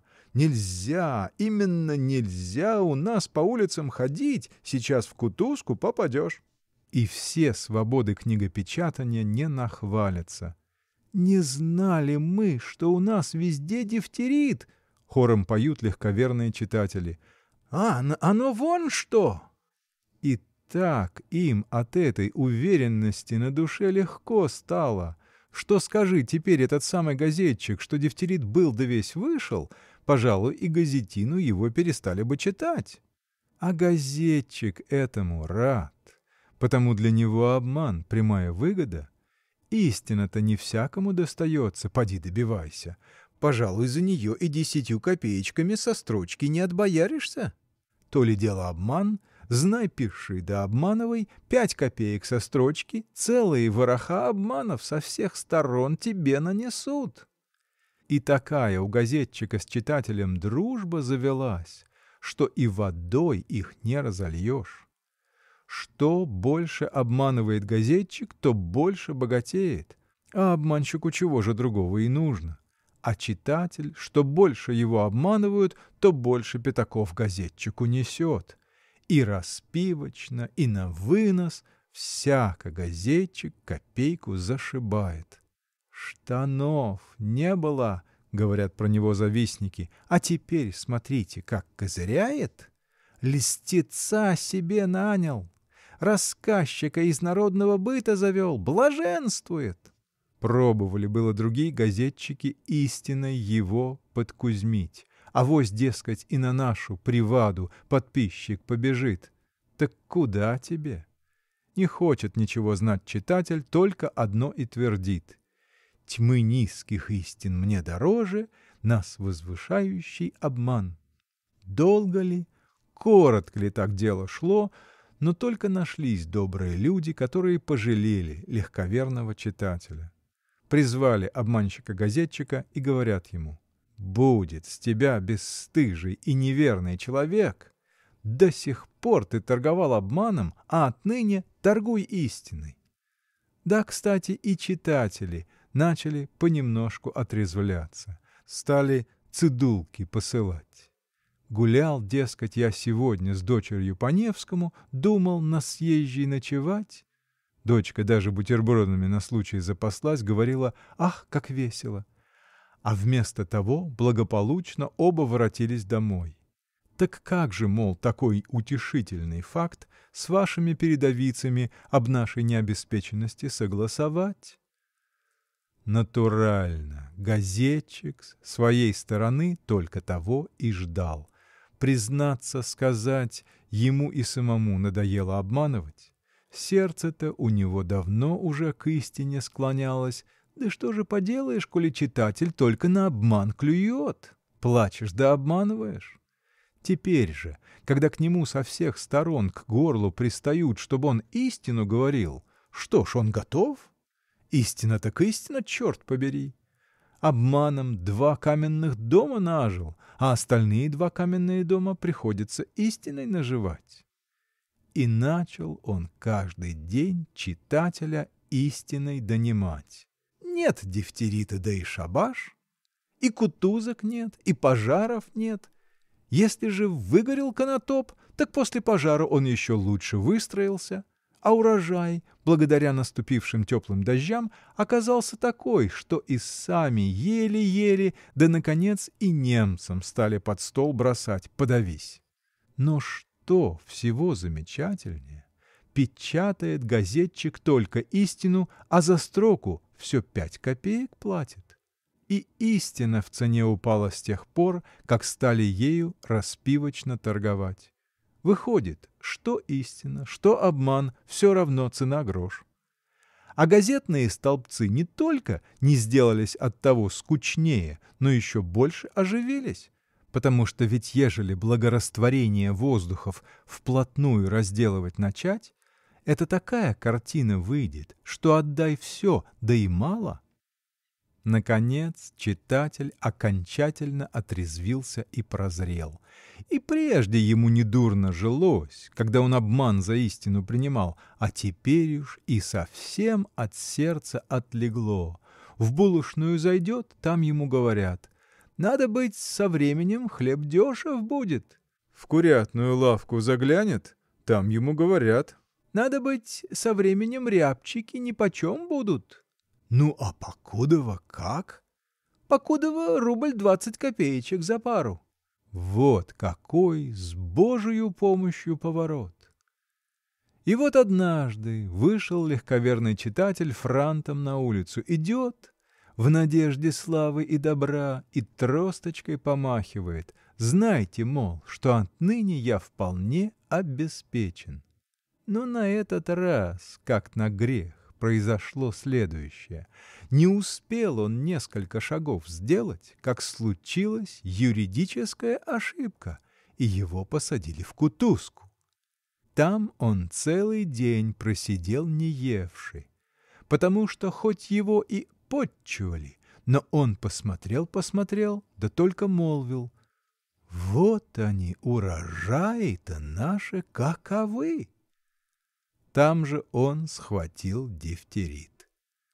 Разумеется, на другой день юридическая ошибка объяснилась, и его выпустили на поруки, не равен случай и опять понадобится. Он возвратился домой и умер. А газетчик-обманщик и сейчас жив. Четвертый каменный дом под крышу подводит и с утра до вечера об одном думает. Чем ему на предки легковерного читателя ловчее обманывать, обманом или истиною? Конец секции 6. Обманщик-газетчик и легковерный читатель.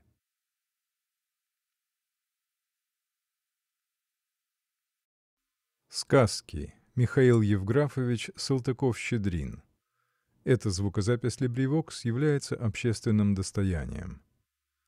Секция 7. Игрушечного дела людишки. Часть первая. В 1840 году я жил в одной из северных губерний России. Жил, то есть состоял на службе, как это само собой разумелось в то время. И при этом всякие дела делал. Возлежал на лоне у начальника края, танцевал котильон с губернаторшей, разговаривал с жандарским штаб-офицером о величии России и совместно с управляющим палатой государственных имуществ плакал горючими слезами, когда последний удостоверял, что будущее принадлежит окружным начальникам. И что всего важнее, ужасно сердился, когда при мне называли окружных начальников эмиссарами Пугачева. Одним словом, проводил время не весьма полезно. В то время вблизи губернского города процветал, а может быть и теперь процветает, уездный городок Любезнов, куда я частенько-таки езжал, во-первых, потому что праздного времени было пропасть, а во-вторых, потому что там служил в качестве городничего мой приятель, штабс-капитан Вальяжный, а у него жила экономка Аннушка. Эта Аннушка была примилая особа, и, признаюсь, когда мне случалось пить у Вальяжного чай или кофе, то очень приятно было думать, что предлагаемый напиток разливала девица благоутробная, а не какая-нибудь пряничная форма. Но, впрочем, только и всего. Хотя же и был на меня донос, будто бы я езжу в Любезнов для лакомства — но ввиду моей беспорочной службы это представляло так мало вероятия, что сам его превосходительство собственноручно на доносе написал «Не верю, пусть ездит». Подобно тому, как у любого отца семейства всегда бывает особенно надежное чадо, о котором родители говорят «этот не выдаст», Подобно сему и у каждого губернатора бывает свой излюбленный город, который его превосходительство называет своею гвардией, и относительно которого сердце его не знает никаких тревог. О таких городах ни в губернаторской канцелярии, ни в губернском правлении иногда по целым месяцам слыхом не слыхать. Исправники в них не пьющие, Городничие, такие, что две рюмки вставшие, да три перед обедом, да три перед ужином, и сами говорят «баста».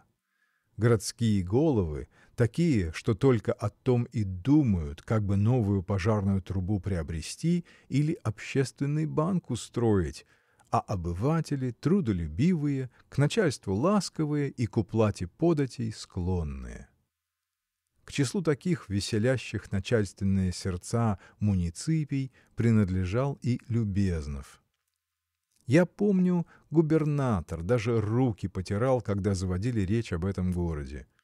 «За Любезнов я спокоен, любезновцы меня не выдадут», — восклицал его превосходительство, и все губернское правление в полном составе вторило да, за Любезнов мы спокойны, любезновцы нас не выдадут. Зато бывало, как только придет из Петербурга циркуляр о принятии пожертвований на памятник Феофану Прокоповичу или на стипендию имени генерал-майора Мордария Отчаянного, так тотчас же первая мысль — поскорее дать знать любезновцам. И точно — не успеет начальство и оглянуться, как исправник Миловзоров уже шлет пятьдесят копеек, а городничий Вальяжный целых семьдесят пять копеек.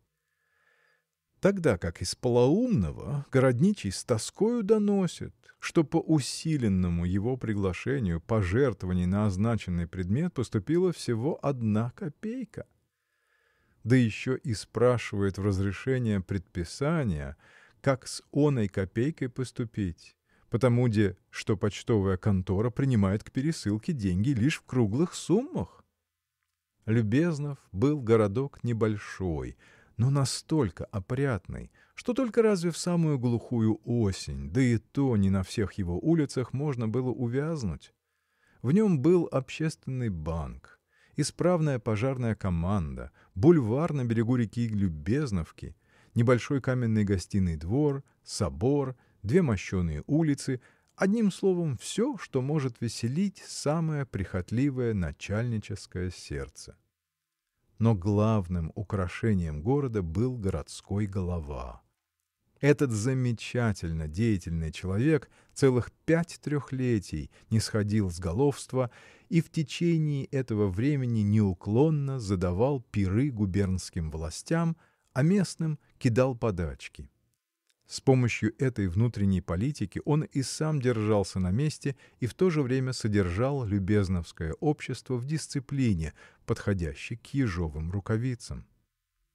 И вот, быть может, благодаря этим последним в Любезнове процвели разнообразнейшие мастерства, которые сделали имя этого города известным не только в губернии, но и за пределами ее. Этот блестящий результат был, однако ж, достигнут не без труда. Есть предание, что Любезнов некогда назывался Буяновым, и что кличка эта была ему дана именно за крайнюю необузданность его обывателей. Было будто бы такое время, когда любезновцы проводили время в гульбе и праздности, и все деньги, какие попадали им в руки, крамольным обычаем пропивали и проедали. Когда они не токмо не оказывали начальству должных знаков почитания, но одного из своих градоначальников продали в рабство в соседний город — Смотри «Северное народоправство», сочинение Н.И. Костомарова. Даже и до днесь наиболее распространенные в городе фамильные прозвища свидетельствуют о крамольническом их происхождении. Таковы, например, Изуверовы, Идоловы, Строптивцевы, Вольницыны, Непроименовы и так далее. Так что несколько странно видеть какого-нибудь Идолова которого предок когда-то градоначальника в рабство продал, а ныне потомок постепенными мерами до того доведен, что готов для увеселения начальства сам себя в рабство за даром отдать. К счастью для Буянова, случилось сряду четыре удачных и продолжительных головства, которые и положили конец этой неурядице. Первый из этих удачных градских голов – дал городу раны, второй — скорпионы, третий согнул в бараний рог, а четвертый познакомил с ежовыми рукавицами. И независимо от этого все четверо прибегали и к мерам кротости, неослабно внушая приведенным в изумление гражданам, что человек рожден для трех целей. Во-первых, дабы пребывать в непрерывном труде, во-вторых, дабы снимать перед начальством шапку, и, в-третьих, лить слезы. Повторяю, результат оказался блестящий. Изуверовы, вместо того, чтобы заниматься противодействиями, занялись изобретением перпетуум мобиле и в ожидании, покуда это дело выгорит, работали самокаты и делали какие-то особенные игрушки, которые чуть не говорят. Идоловы — прекратив филантропии, избрали специальностью сборку деревянных часов, которые в сутки показывали двое суток, но и за всем тем, как образчик русской смекалки, могли служить поводом для размышлений о величии России. Строптивцевы, бросив революции, изобрели такие шкатулки, до которых нельзя было дотронуться, чтобы по всему дому не пошел гвалт и звон. А один из Непроименовых занявшийся торговлей муравьиными яйцами для кормления соловьев, до того осмелился, что написал даже диссертацию о сравнительной плотности муравьиных яиц и, отослав оную в надлежащее ученое общество вместе с удостоверением, что недоимок за ним не состоит, получил за сие диплом название члена соревнователя. И вот когда город совсем очистился от крамолы и все старые недоимки уплатил, когда самый последний из мещан настолько углубился в свою специальность, что буйствовать стало уж некогда, а впору было платить дани и шапки снимать, случилось нечто торжественное и чудное. Обыватели, созванные на вече, это было последнее вече, после которого вечевой колокол был потоплен в реке, городским головой Вольницыным – принесли публичное покаяние, а затем в порыве чувств единогласно постановили просить высшее начальство, дабы имя Буянова из географии Арсеньева исключить, а город ихний возродить к новой жизни под именем Любезного. Нужно ли прибавлять, что ходатайство сие было уважено? Повторяю, в 1840 году Любезнов ни о каких народоправствах уже не думал, а просто принадлежал к числу городов осужденных радовать губернаторские сердца. А так как времена были тогда патриархальные то члены губернского синклита частенько-таки туда езжали во-первых чтобы порадоваться на трудолюбивых и ласковых мещан а во-вторых чтобы попить и поесть у гостеприимного головы. Следуя общему настроению умов ездил туда и я. Однажды приезжаю прямо к другу моему вальяжному и уже на лестнице слышу что в городнической квартире происходит что-то не совсем обычное. Отворяю дверь и вижу картину. Городничий стоит посреди передней, издавая звуки и простирая длани, с рукоприкладством или Безонова заверить не могу, а против него стоит, прижавшись в угол, довольно пожилой мужчина в синем кафтане тонкого сукна, с виду степенный, но бледный и как бы измученный с лица. Очевидно, это был один из любезновских граждан, который до того уж проштрафился, что даже голова нашел находящиеся в его руках меры кротости недостаточными и припроводил виновного на воздействие придержащей власти. Степан Степаныч, голубчик! – воскликнул я, приветствуя дорогого хозяина. А мы-то в губернии думаем, что в Любезнове даже самое слово расправа упразднено. Да вот, сконфузился было вальяжный, но тотчас же поправился и, обращаясь к стоявшим тут десятникам, присовокупил. Эй, бегите в лавку за Твердолобовым, да судья, чтобы... в бастончик, — обратился он ко мне. — С удовольствием. — Отлично. Милости просим. А я вот только кончу. И покуда я разоблачался, дело было зимой, он продолжал суд. — Говори, почему ты не хочешь с женой жить? Вальяжный остановился на минуту и укоризненно покачал головой. Подсудимый молчал. — И баба-то какая! Давеча пришла. Печь печью, да с этакой бабой! Конца краю этакой бабе нет. А ты? Ах ты! Ах! Но подсудимый продолжал молчать. Да ты знаешь ли, что даже в книгах сказано «Муж и же жены своей...» Хотел было поучить от писания вальяжный, но запнулся и опять произнес «Ах, ах, ах!» Мещанин продолжал переминаться с ноги на ногу, но на лице его постепенно выступало какое-то бесконечно тоскливое выражение. — Говори! Что ж ты не говоришь? — Что же я, ваше скородие, скажу? Будешь ли жить с женой как следует, как закон велит? Говори! Подсудимый несколько секунд молчал и, наконец, вдруг заметался. — Ваше скородие! Мне не токмо что говорить, а даже думать. Увольте меня, ваше скородие. А коли так, марш в холодную. И завтра, чтобы без разговоров. А будешь разговаривать, так вспрысну, что до новых веников не забудешь. Марш! И, помахав, чтоб крепче было, у подсудимого под носом указательным перстом, вальяжный приказал его увести и затем, обратившись ко мне, протянул обе руки и воскликнул. «Ну вот, вы и к нам! Очень рад, очень рад! Аннушка, чаю!» До Бастона я с полчаса спорил с Вальяжным. Он говорил, что есть в законах. Я говорил, что нет в законах. Послали за письмоводителем, тот ответил надвое. Сам не видал, а должно быть где-нибудь да есть.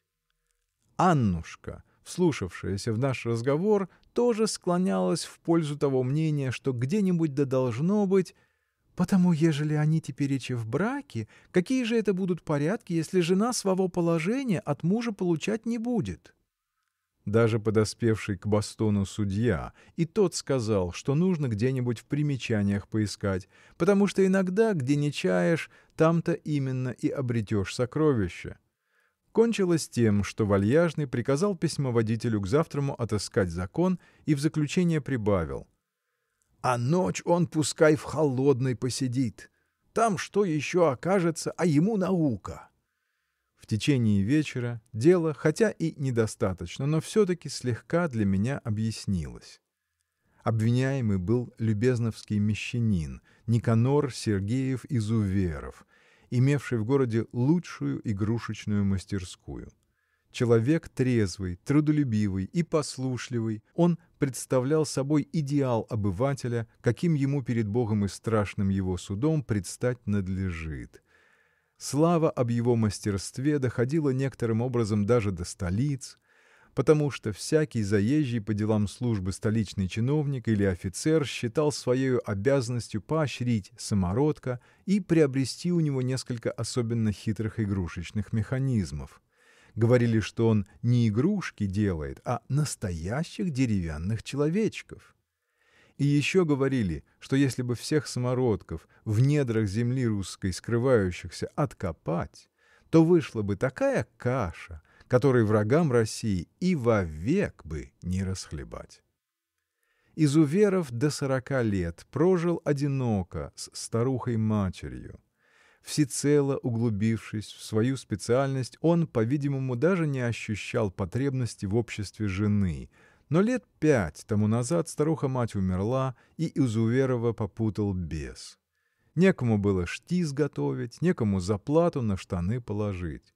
Он затасковал и начал было даже попивать.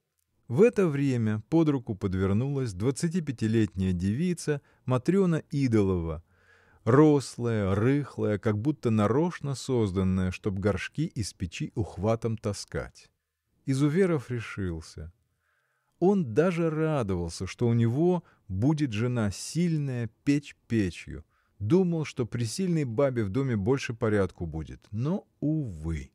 Матрена с первых же шагов заявила наклонность не столько к тасканию горшков из печи, сколько к тому, чтобы муж вел себя относительно ее как дамский кавалер. И так как Никанор Сергеев, по-видимому, в роли дамского угодника чувствовал призвание очень слабое, то немедленно же обнаружилась полнейшая семейная неурядица, а под конец дело дошло и до разбирательства полиции. Разумеется, на другой день письмоводитель доложил, что в законах нет. Но кроме того оказалось и еще кое-что, а именно, что даже вспрыснуть из Уверова нельзя, так как закон на этот раз гласил прямо, что мещане, яко образованные, от телесных воздействий освобождаются. Поэтому Изуверова тогда же выпустили, а жене его вальяжный объявил кратко «Закона нет». Результат этот я отчасти приписываю себе. Конечно, я был тут орудием случайным и даже страдательным, но все-таки в качестве чиновника из губернии в известной мере олицетворял авторитет. Я убежден, что не наткнись я на сцену и не возбуди вопроса о том, есть ли в законе или нет, никто, из всех меньше сам Изуверов, и не подумал бы об этом. Никанор Сергеев не только высидел бы в холодной свое положенное, но, наверное, был бы и вспрыснут. Много-много, если бы Вальяжный перед вспрыснутием сказал бы «А ну, образованный, ложись». Это был бы единственный компромисс, который он допустил бы в свидетельство, что в городническом правлении действительно имеется шкаф, в котором в качестве узника заключен закон. К стыду моему я должен сознаться, что очень часто, слыша о необыкновенных способностях Изуверова, я до сих пор еще ни разу не полюбопытствовал познакомиться с произведениями его мастерства. Поэтому теперь, когда помимо его репутации меня заинтересовала самая личность самородка-механика, я счел уже своей обязанностью посетить его и его заведение. Домик, в котором жил Изуверов, стоял в одной из пригородных слобод и почти ничем не отличался от соседних домов. Такой же чистенький, словно подскобленный, также о трех окнах и с таким же маломерным двором. Вообще мастерские и ремесленные слободы Любезного были распланированы и обстроены с изумительным однообразием, так что сами граждане в шутку говаривали «Точно у нас каторга!» В домиках с утра до ночи шла неусыпающая деятельность. Все работали, и взрослые, и подростки, и малолетки, и мужеск, и женск, пол. Зато улицы стояли пустынные и безмолвные. Я застал хозяина в мастерской одного. Изуверов принял меня с каким-то робким радушием и показался мне чрезвычайно симпатичным. Лицо его, изжелто-бледное и слегка изнуренное, было очень привлекательно, а в особенности приятно смотрели большие серые глаза, в которых от времени до времени проблескивало глубоко-тоскливое чувство.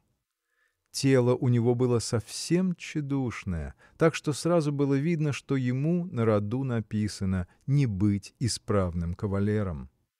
Плечи узкие, грудь впалая, руки худые, безволосые, явно непривычные к тяжелой работе.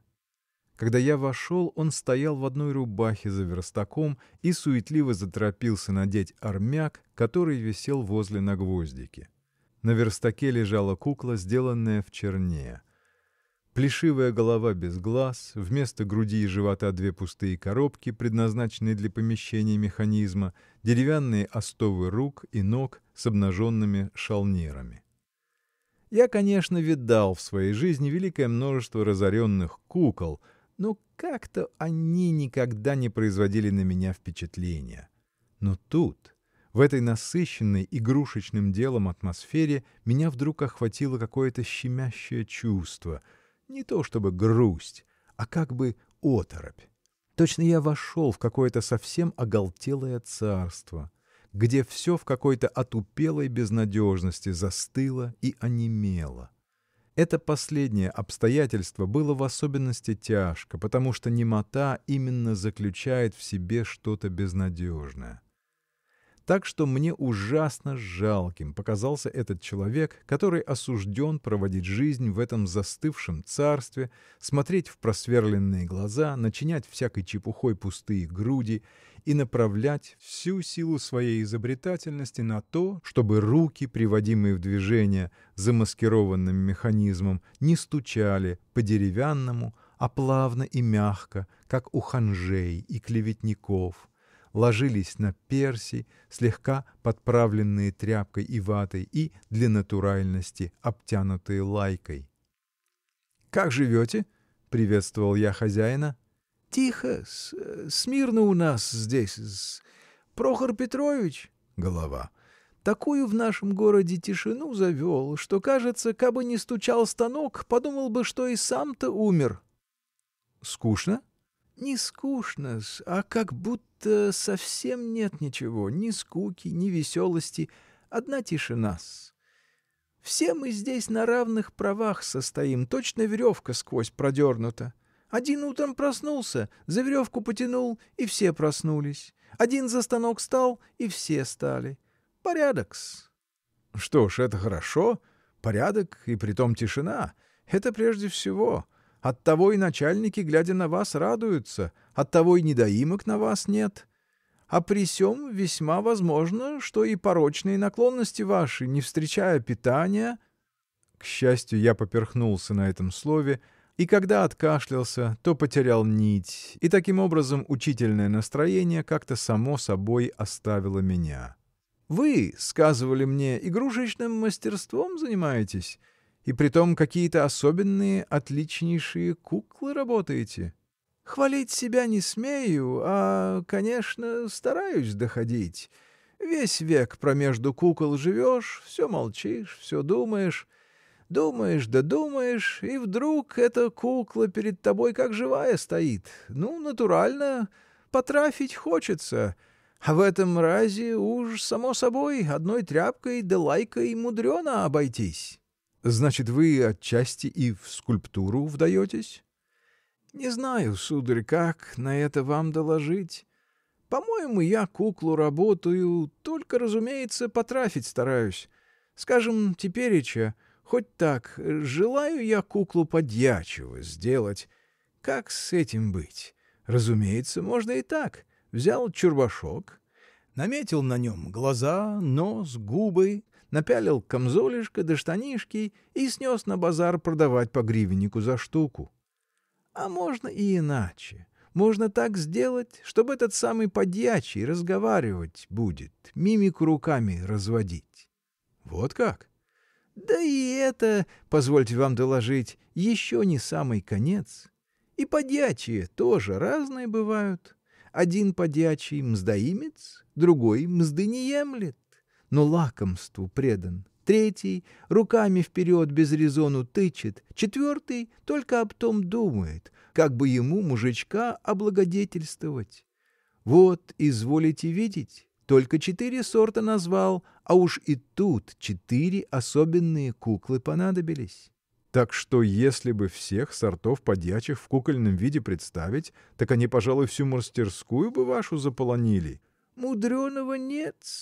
Или, например, женский род. Сколько тут для кукольного дела материалу сыщется. Одних щеголих десятками не сосчитаешь, а сколько бесстыжих, закоснелых, оглашенных, сколько таких, которые всю жизнь зря мотаются и ни к какому безделью пристроить себя не могут. Да вон о нас, извольте присмотреть, — воскликнул он, указывая в окошко. Это соседка наша, госпожа Строптивцева, по улице Мостовой идет. Муж у нее часовым мастерством занимается. Так она за него, вишь, устала погулять вышла. Извольте взглянуть, чем не куклас? Действительно, по другой стороне улицы проходила молодая женщина несколько странного, как бы забвенного вида. Идет, руками машет, головой болтает, ногами переплетает. Не то чего-то ищет, не то припоминает. Чего бишь я ищу? Вот этакую-то куклу. Да ежели ейный секрет как следует уследить, стоит ли за ней посидеть, спрошу вас, или нет? А многие ли, позвольте спросить, из нашего брата-игрушечников понимают это? Большая часть так думает. Насовал тряпки, лайкой обтянул да платьем прикрыл, и готов женский пол. Да вот позвольтесь, у меня и образчик отличнейший в этом роде найдется, не угодно ли полюбопытствовать? Он подошел к стеклянному шкафу и вынул оттуда довольно большую и ценную куклу. Кукла представляла собой богато убранную новобрачную, в кринолине, в белом атласном платье, украшенном серебряным шитьем и кружевными тряпочками. Личико у нее было восковое, с нежным румянчиком на щеках. Глазки фарфоровые, волосы на голове желтенькие. С головы до полу спускался длинный тюлевый вуаль. Полковник здесь у набора был, — объяснил Изуверов. Так он заведение мое осматривал, а впоследствии мне эту куклу из Петербурга в презент прислал. Как, сударь, по-вашему, дорого эта кукла стоит? Да рублей двадцать, двадцать пять. Вот видитесь, мне этакой суммы и не выговорить, а, по-моему, вся ей цена этой кукле — грош. Что так? Пустая кукла, вот отчего-с. Что она есть, что нет ее, не жалко. Сейчас ты у нее голову разбил, и без головы хороша. Платье изорвал, другое сшить можно. Ишь, у нее глазки-то зря болтаются. Ни она с искоса взглянуть ими, ни кверху ими завести ничего не может. Пустая кукла только и всего. В самом деле, рассмотревши внимательно щегольскую петербургскую куклу, я и сам убедился, что это пустая кукла. Дадут ее ребенку в руки, сейчас же он у нее голову скусит и по делам. Однако ж я все-таки попытался хоть немного смягчить приговор Изуверова. «Послушайте, да ведь это новобрачная», — сказал я. «Чего ж вы хотите от нее?» Ежели, ваш скородие, насчет ума это изволите объяснять, так позвольте вам доложить, хоть и трудно от новобрачной настоящего ума ожидать, однако, ежели нет у нее ума, так хоть простота должна быть. А у этой куклы даже и простоты настоящей нет. Почему она новобрачная? На какой предмет и в каком градусе состоит? Какие ответы она на эти вопросы может дать? Что у Вальта у ней на голове? В знак непорочности положен? Так ведь его можно и снять. Что тогда она будет? Новобрачная? Или просто пологрудая баба, которая наготою своею глаза прохожим людям застелить хочет? Да разве можно от нее ответов требовать, коль скоро она новобрачная? Ведь она и сама, вероятно, о себе ничего сказать не сумеет. – Бывает с ними, конечно, и это-с. Бывают промежду ихней сестры такие, что об чем ты с ней не заговори, она все только целоваться лезет. Так ведь нужно, чтобы и это было сразу понятно, чтобы всякий, как только взглянул на нее, так и сказал «Вот так баба! Ах, ах, ах!» А то Надка нацепил уваль и думаешь, что дело сделал. Этакие-то куклы у нас на базаре по гривеннику штука продают. Вон их, чурбашков, сколько в углу навалено. Так вы, значит, и простую куклу работаете? Без простой куклы нам пропитаться бы нечем. А настоящую куклу я работаю, когда досуг есть. И это интересует вас? Известно, кабы не было занятно, так лучше бы чурбашки работать. По крайности, полтинников больше в кармане водилось бы. А от этих, от человечков, и пользы для дому не видишь, да не равен час, и от тоски, пожалуй, пропадешь с ними. Тоска-то с чего же? С того самого и тоска, что тебе вот дойти хочется, а дело показывает, что руки у тебя короткие. Хочется тебе, например, чтобы подьячий, ну, рассердился бы, что ли, а он заместо того только гневается. Хочется, чтобы он сегодня одно, а завтра другое, а он с утра до вечера все одну и ту же канитель твердит. Хочется, чтобы у человечков твоих поступки были, а они только руками машут. Еще бы вы чего захотели, чтобы у кукол поступки были. Знаю, сударь, что умного в этом хотенье мало — да ведь хотеть никому не заказано. Вот горе-то наше какое. Думаешь, сейчас взмахну и полечу, а человечек-то вцепился в тебя, да и не пускает. Как встал он на свою линию, так и не сходит с нее.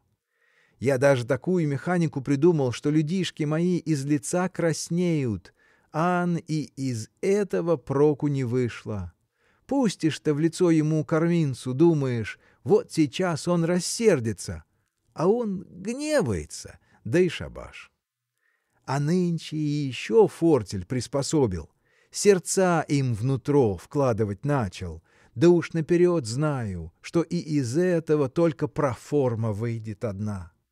И он показал мне целую связку крошечных кукольных сердец, из которых на каждом мелкими-мелкими буквами было вырезано «Цена сему сердцу одна копек». Так вот, как поживешь это с ними, ума у них нет, поступков нет, желаний нет, а на место всего одна видимость. Ну и возьмет тебя страх, того, гляди, зарежут. Сидишь посреди этой немоты и думаешь, Господи, да куда же настоящие-то люди попрятались? Ах, голубчик, да ведь и в заправской-то жизни разве много таких найдется, которых можно настоящими людьми назвать? Вот, сударь, вот. Это одно и смиряет. Взглянешь кругом, все-то куклы, везде-то куклы. Не есть конца этим куклам, мучат, тиранят, в отчаянность, в преступление вводят. Верите ли, иногда думается, Господи, кабы не куклы, ведь десятой бы доли злых дел не было против того, что теперь есть. Хм, отчасти это, пожалуй, и так. Вполне верно-с. Потому настоящий человек, он вперед глядит. Он и боль всякую знает, и огорчение понять может, и страх имеет. Осмотрительность в нем есть. А у куклы ни страху, ни боли, ничего. Живет, как забвенная, ни у ней горя, ни радости настоящей, живет, да душу изнимает, и шабаш. Вот хоть бы и эта самая госпожа Строптивцева, которую сейчас изволили видеть, Хоть распотроши ее, ничего в ней, окромя тряпки и прочего кукольного естества, найти нельзя. А сколько она с помощью этой тряпки злодеяниев наделает, так, кажется, всю жизнь ее судить, так еще и на целую такую же жизнь останется. Так вот, как рассудишь это порядком и смиришься-с. Лучше, мол, я к своим деревянным людишкам уйду, ничем с живыми куклами пропадать буду. С деревянными-то людишками, стало быть, поваднее? Как же возможно-с? С деревянным человечком я, какой хочу, такой разговор и поведу. А коли надоел, его и угомонить можно, ступай в коробку, лежи. А живую куклу как ты угомонишь? Она сама тебя изведет, сама твою душу вынет, всю жизнь тебе в сухоту обратит. Изуверов высказал это страстно, почти с ненавистью. Видно было, что он знал живую куклу, что она, пожалуй, и теперь, в эту самую минуту, невидимо изводила его, вынимала из него душу и скулила над самым его ухом. У нас, сударь, в здешнем земском суде хороший человек служит, — продолжал он, — так он, как ему чуточку в голову вступит, сейчас ко мне идет. Изуверов, говорит, исправник одолел, празднословит с утра до вечера смерть, сделай ты мне такую куклу, чтоб я мог с нею за место исправника разговаривать. А любопытно было бы исправника вашей работы видеть. Есть у вас? Материалу, покуда у нас, ваше скородие, еще не припасено, чтоб господ исправников в кукольном виде изображать. А, впрочем, и то сказать. Невелику бы забаву и господин секретарь получил, если бы я его каприз выполнил. Сегодня он позабавился, сердце себе утолил, а завтра ему и опять к той же живой кукле на расправу идти. Тяжело, сударь, очень даже тяжело промежду кукол на свете жить. Он помолчал с минуту, вздохнул и прибавил. Отец-дьякон соборный не однажды говаривал мне, «Прямой ты, изуверов, дурак» и от живых людишек на свете житья нет, а он еще деревянных плодит. Изуверов опять умолк и на этот раз, по-видимому, даже усомнился, правильно ли он поступил, сообщив разговору философическое направление. Он застенчиво ходил около верстака и полою армяка сметал с него опилки и стружки. Конец секции семь Игрушечного дела людишки. Часть первая.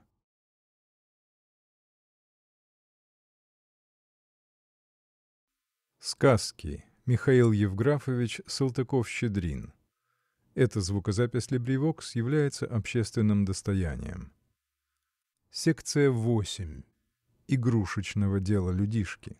Часть вторая. «А не покажете ли вы мне своих людишек?» — попросил я. Помилуйте, отчего же-с? — ответил он, — даже за честь почту-с.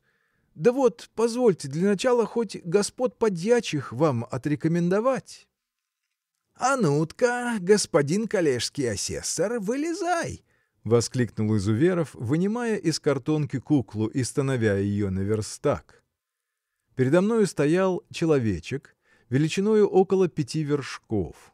Лицо и части тела его были удовлетворительно соразмерны, голова, руки и ноги свободно двигались.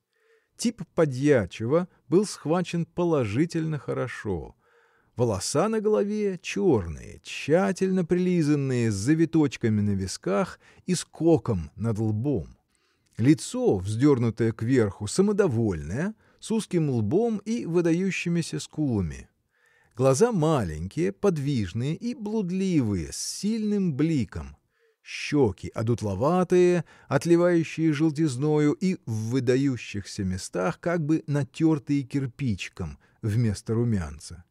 Губы пухлые, красные, масляные, точно сейчас после принятия жирной пищи. Подбородок бритый и порезанный, кое-где по лицу рассеяны прыщи одет в вицмундир серого казинета с красным казинетовым же воротником и притом несколько странного покроя с узенькими-узенькими фалдочками, падающими почти до земли. при вицмундире серенькие штанишки, коротенькие и отрепанные. Карманы везде глубокие, способные вместить содержание суммы нищего, возвращающегося домой после удачного сбора кусков. В петлице висит серебряной фольги медаль с надписью «За спасение погибающих». Бедра крутые, женского типа, брюшко круглое, как комочек, и весело колеблющееся, как будто в нем еще продолжают трепыхаться только что заглотанные живьем куры и другая живность. Одну руку он утвердил фертом на бедре, другую засунул в карман брюк, как будто нечто вон и поспешно опуская. Ноги сложил ножницами. Вообще, всей своей фигурой он напоминал ножницы, опрокинутые острым концом вниз. И хотя я не мог доподлинно вспомнить, где именно я эту личность видел, но несомненно, что где-то она мне встречалась и даже нередко. — Мздоимец? — спросил я. — Он самый-с. Как на ваш взгляд -с? — Не дурен. Только, признаюсь, я не совсем понимаю, зачем вы его в серый вицмундир одели, да еще с красным воротником. Ведь такой формы, сколько мне известно, не существует. — Для цензуры-с. Ежели бы я в настоящий вицмундир его нарядил, куда бы я с ним сунулся-с? А теперь с меня взятки гладки-с. Там как хочешь разумей, а у меня один ответ — партикулярный, мол, человек, только и всего. — Ну, а зачем вы его коллежским асессором прозвали? — Тоже для цензуры-с приезжал ко мне, позвольте вам доложить, в мастерскую человек один. Он в Петербурге чиновником служит. Так он мне сказывал, что там свыше коллежского асессора представлять в кукольном виде не дозволяется, а до коллежского асессора будто бы можно. Вот я с тех пор и поставил себе за правило эту самую норму брать. — Правильно. Ну, так покажите мне теперь вашего коллежского асессора, как он действует. — Сейчас, ваше скородие. Мы ему сперва-наперво экзамен учиним. Сказывай, коллежский асессор, взятки любишь? Па, па, па. Вдруг совершенно отчетливо крикнул человечек. Я даже вздрогнул. Как-то удивительно неприятно поражал голос, которым были произнесены эти звуки. Точно попугай в соседней комнате крикнул, да еще в старозаветных помещичьих домах приживалки и попадьи таким голосом говаривали, когда желали веселить своих благодетелей. «Это значит люблюсь», — пояснил Изуверов. И, вновь обращаясь к коллежскому асессору, продолжал — Большую, поди, мзду любишь? Па-па-па. Такую, чтобы ограбить? Дотла, чтобы? Па-па, па-па, па-па. Троекратно произнося этот возглас, коллежский асессор выказывал чрезвычайное волнение, вращал глазами, кивал головой, колыхал животом и хлопал руками по бедрам точь-в точь, как бьет крыльями птица, которая неожиданно налетела на рассыпанный корм. Мне показалось, что даже было одно мгновение, когда он покраснел. — Вот вы говорили, что ваши человечки поступков не имеют, — сказал я, — а посмотрите, какой неподдельный восторг ваш коллежский асессор выказывает. — То-то и есть, что не вполне ваш скородие, — возразил Изуверов. И руками он хлопает, и глазами бегает, это действительно. А в лице все-таки настоящей алчности нету. Вот у нас в магистрате секретарь служит, так тот, как взятку-то увидит, даже из себя весь помертвеет. И взгляд у него помутится, и руки затрясутся, и слюна на губах. Ну, а мой до этого не дошел-с. Мне кажется, что вы чересчур уж скромны, Никанор Сергеевич. По моему мнению, и ваш подьячий мерзавец хоть куда. Нет, сударь, что уж.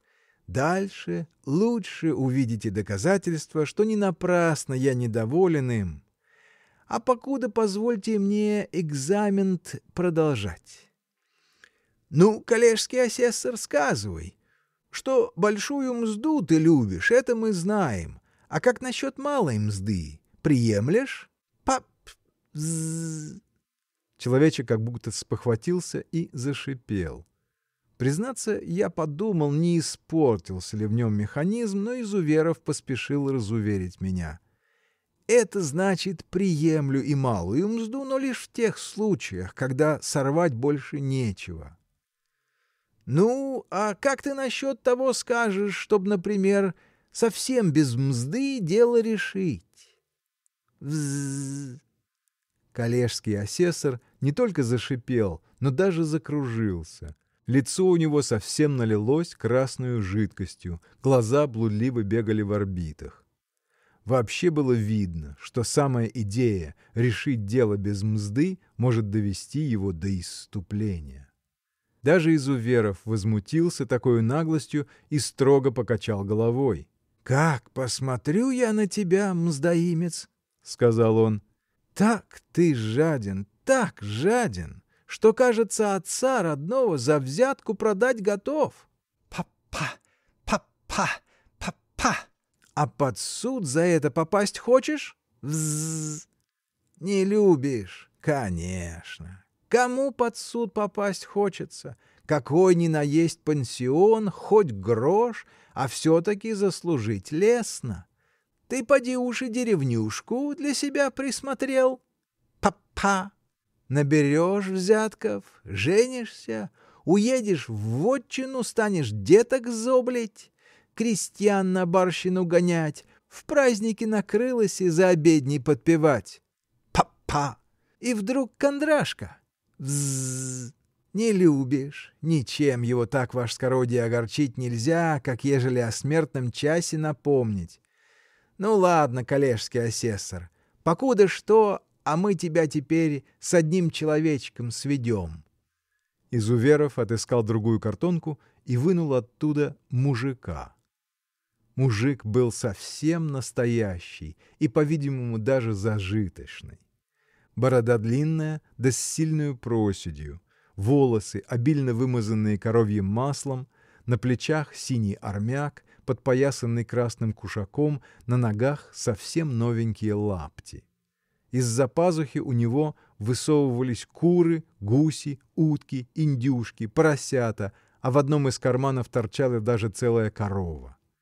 Изуверов поставил его сначала поотдаль от коллежского асессора. — Ну что, мужичок, виноват? — Му. — А коли виноват, становись, значит, на коленки. Он поставил мужика на колени и обратил лицом к коллежскому асессору. — Ползи. Мужик пополз и остановился перед мздоимцем. Коллежский асессор сначала отвернул голову в сторону, притворяясь, будто не видит просителя, но после несколько раз повторенных «му» постепенно начал взглядывать по направлению виноватого и, наконец, вдруг плотоядно и пронзительно взвизгнул «па-па» и тотчас же вырвал у мужика из-за пазухи гуся, которого тут же, при неистовом гоготании птицы, живьем и сожрал. — Кланяйся же, кланяйся, мужичок! — поощрял Изуверов. — Проси прощения, вот так. Виноват, мол, ваш воскородие. Не буду. — Му, му, му, — твердил мужичок. Поощренный этим, коллежский асессор словно остервенился — откинулся всем корпусом назад и некоторое время стоял в этой позе, как бы разглядывая свою жертву. Потом начал раскачиваться из стороны в сторону, наливаясь при этом кровью, и, наконец, со всех ног бросился на мужика и принялся его теребить и грабить. Все это было проделано до такой степени живо, что у меня даже волосы встали дыбом. Мздоимец повытаскал из-за пазухи мужика всех курят, выволок из кармана за рога корову, потом выворотил в другой карман и нашел там свинью, которая со страху сейчас же опоросилась десятью поросятами и при всякой находке восклицал «Па-па! Па-па! Па-па!». Мужик же в умилении вторил ему «Му!». Наконец мздоимец отцепился и мужик, думая, что вина ему уж прощена, тоже начал проворно становиться на ноги. Однако ж не тут-то было. Коллежский асессор опять что-то вспомнил, и, по-видимому, самое важное, и энергично замахал руками, указывая мужику на лапти. Мужик сконфузился, как будто его уличили в плутне, затем беспрекословно опустился на пол и стал разувать онучи и лапти. Все время, покуда происходил процесс разувания, мздоимец внимательно следил за виноватым и лукаво улыбался, как бы говоря «надуть хотел, негодяй». И точно, по мере того, как развертывались мужиковы онучи, из них во множестве сыпались беленькие и желтенькие кружочки. «Это крестовики и полуимпериальчики-с», — пояснил Изуверов. Коллежский асессор остервенился вновь. В одно мгновение ока бросился он на виноватого, обшарил с головы до ног, обрал деньги, снял с мужика армяк и даже отнял медный гребень, висевший у него на поясе. «Па-па! Па-па! Па-па!» — восклицал он в восхищении. «Му!» — вторил ему мужик. «Ну вот, теперь вставай!» — решил Изуверов, становя мужика на ноги. Мужик был сильно помят, но, по-видимому, немало не огорчен. Он понимал, что исполнил свой долг, и только потихоньку встряхивался. «Доволен?» — обратился к нему Изуверов. «Му!» «Ну, то-то!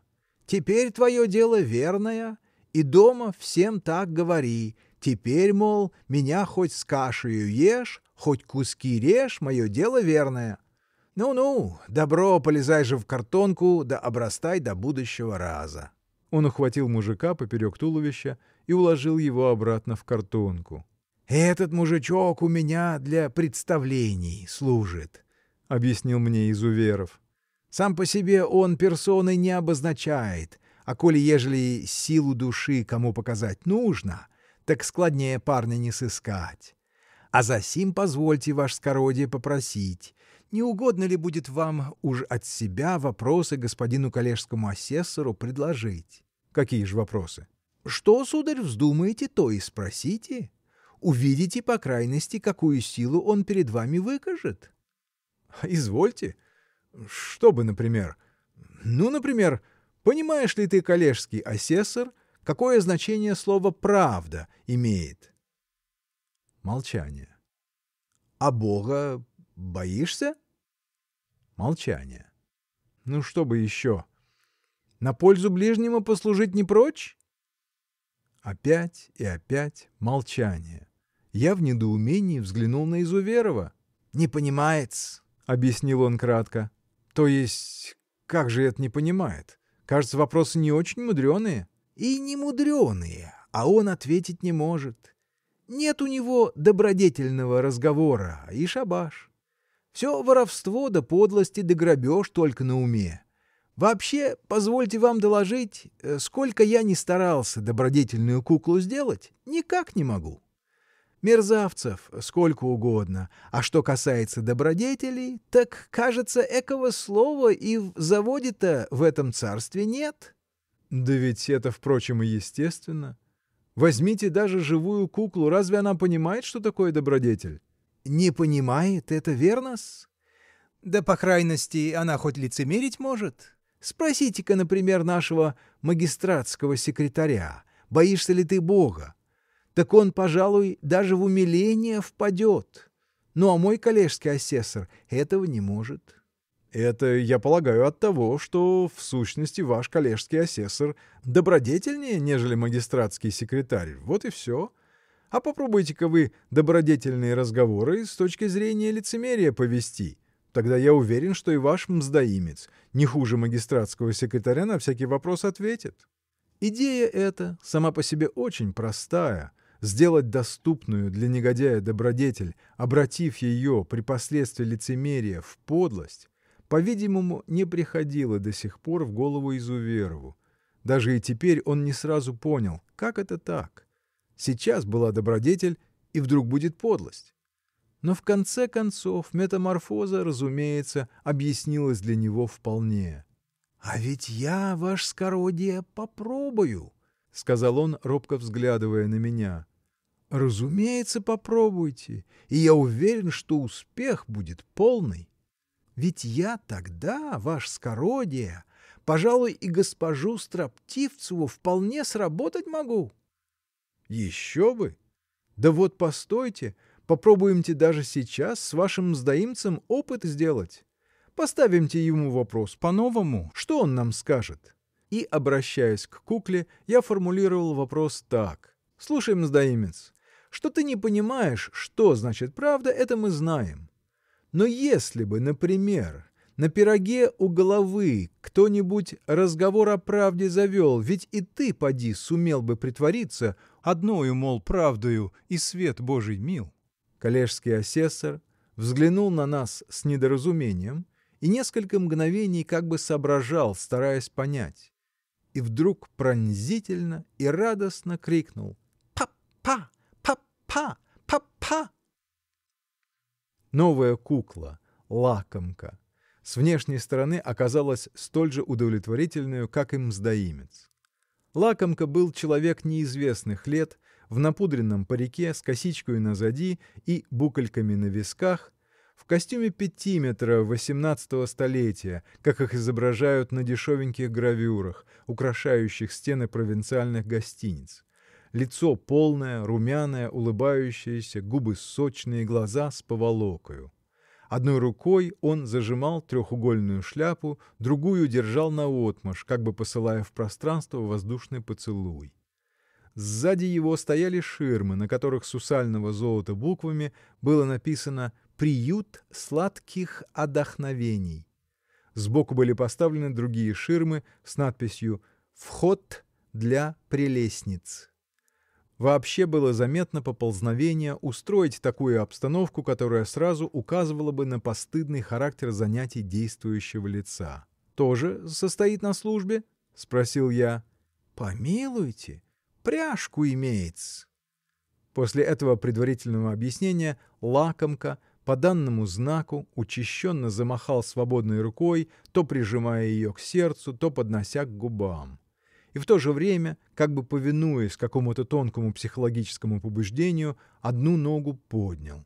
«Это он женский пол чует», — объяснил мне Никанор Сергеевич, покуда лакомка, что есть мочи, кричал «Мамочка! Мамочка! Мамочка!» Как бы в ответ на этот призыв занавеска, скрывающая вход для прелестниц, заколыхалась.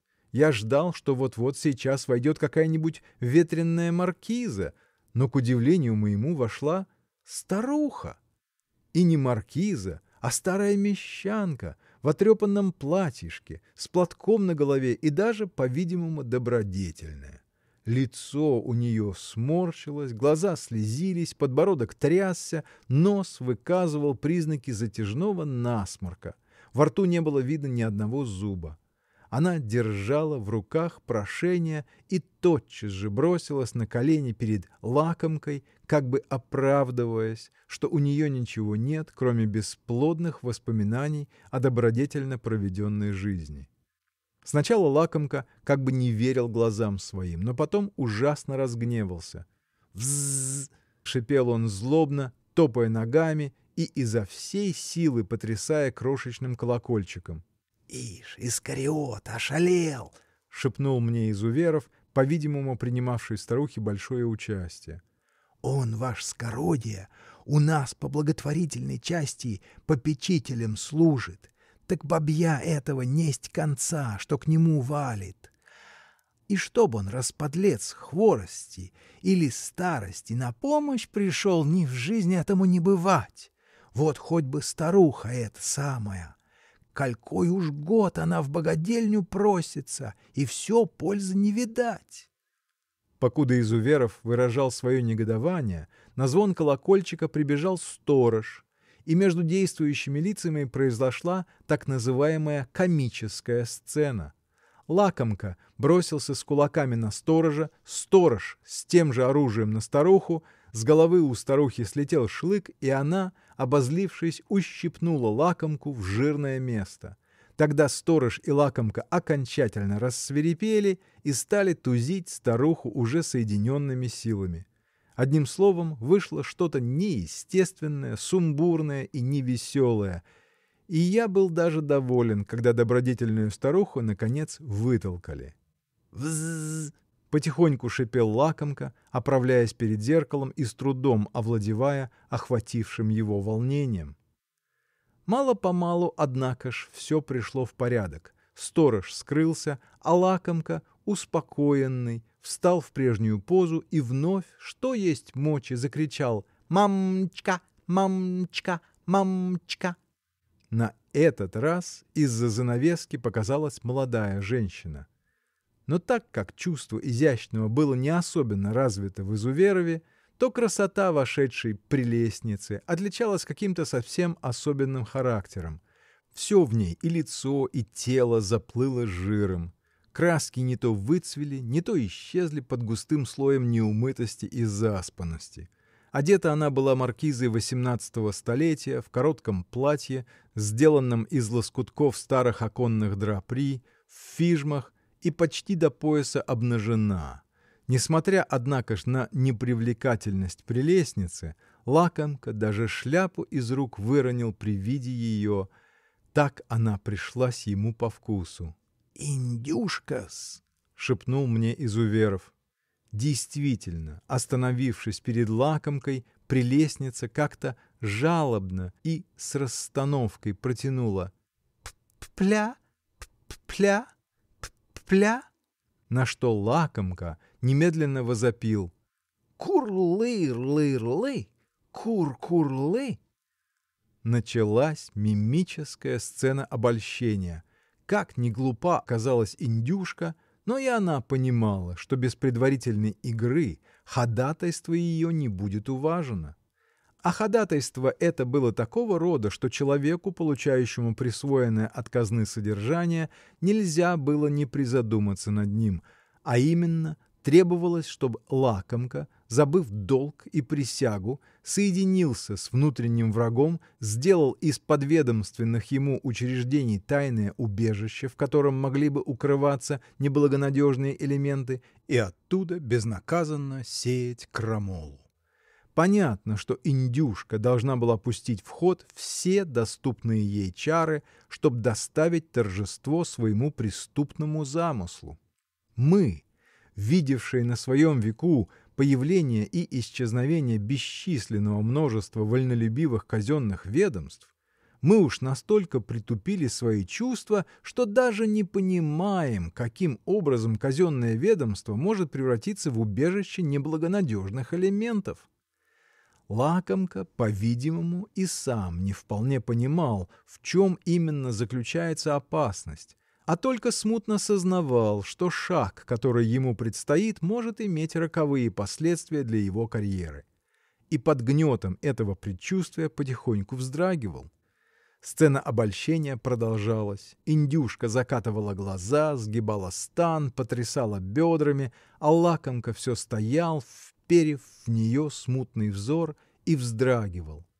Что происходило в это время в душе его? Понял ли он, наконец? Приходил ли в ужас от дерзости преступной незнакомки или наивно обдумывал сначала часок-другой приятно позабавлюсь, а потом и отошлю со сторожем в полицию на дальнейшее распоряжение? Как бы то ни было, но ввиду этих колебаний индюшка решилась на крайнюю меру. Начала всею горстью скрести себе бедра, томно при этом выкрикивая «Пля! Пля! Пля!» Тогда он не выдержал. Забыв долг службы, весь в мыле, он устремился к обольстительнице и ухватил ее поперек талии. Признаюсь, я ужасно сконфузился. Приют сладких отдохновений находился так близко, что я так и думал, вот-вот сейчас будет скандал. Но Изуверов угадал мои опасения и поспешил успокоить меня. — Не извольте опасаться, ваше скородие. Недолжного ничего не будет, — сказал он в ту минуту, когда, по-видимому, ничто уже не препятствовало осуществлению крамолы. И действительно, вдруг, откуда ни возьмись, мужик! Это был тот же самый мужчина, который за несколько минут перед тем фигурировал и у Мздоимса, но как он в короткое время оброс! Опять на нем был синий армяк, подпоясанный красным кушаком, опять из-за пазухи торчал целый запас кур, уток, гусей и прочее, а из кармана, ласково мыча, высовывала рогатую голову корова. Опять онучи его кипели млеком и медом, то есть серебром и златом. И опять он был виноват. Он вбежал, как угорелый, бросился на колени и замер. — Это он по ошибке-с, — объяснил Изуверов. Ему опять надлежало к мздоимцу отъявиться, а он этажом ошибся, да к лакомке попал. И рассказал при этом анекдот, как однажды сельский поп, приехав в губернский город, повез к серебрянику старое серебро на приданое дочери подновить, да тоже этажом ошибся, а вместо серебряника к секретарю консистории влопался. И таким родом воротился во свояси уже без серебра, — прибавил Изуверов в заключение. Первую минуту и лакомка, и индюшка стояли в оцепенении, точно сейчас проснулись. Но вслед за тем оба зашипели, бросились на мужика и начали его тузить. На шум прибежал, разумеется, сторож и тоже стал направо и налево тузить. Опять произошла довольно грубая комическая сцена, в продолжении которой действующие лица до того перемешались, что начали угощать тумаками без разбора всякого, кто под руку попадет. Мужика, конечно, вытолкали, но в общей свалке, к моему удовольствию, исчезла и индюшка. Лакомка остался один и задумчиво поправлял перед зеркалом слегка вывихнутую челюсть. Несмотря на принятые побои, он, однако ж, не унялся, и как только поврежденная челюсть была вправлена, так сейчас же и даже умильнее прежнего зазевал «Мамочка!» «Мамочка! Мамочка!» Впорхнула довольно миловидная субредка, тоже по рисункам XVIII столетия, скромно сделала Книксон и, подавая лакомке книжку, мимикой объяснила. Барышни приказали кланяться и благодарить, просят, нет ли другой такой же книжки почитать. Увы, к величайшему моему огорчению – я должен сказать, что на обертке присланной книжки было изображено сочинение Баркова «Москва» в университетской типографии, печатно с разрешения управы благочиния. Я так растерялся при этом открытии, что даже посовестился узнать фамилию барышни. Между тем лакомка, бережно положив принесенный том на стол, устремился к субредке и ущипнул ее. Произошла мимическая сцена — по выразительности своей не уступавшая таковым же устраиваемым на театре города Мариуполя Пятипа. «Еще ничего я от вас не видела», — говорила субредка, — «а вы уж щиплетесь».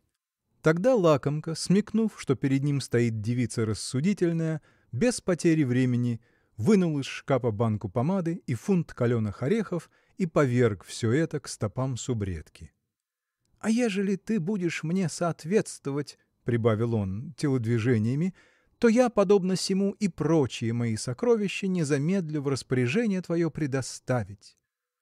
Субредка задумалась, некоторое время даже рассчитывала что-то по пальцам и, наконец, сказала.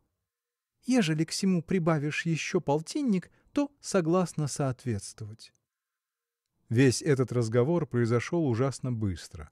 И так как не было причины предполагать, чтобы и развязка заставила себя ждать, я видел, как лакомка уже начал шарить у себя в карманах, отыскивая требуемую монету, то я со страхом помышлял, ну, уж теперь-то, наверное, скандала не миновать.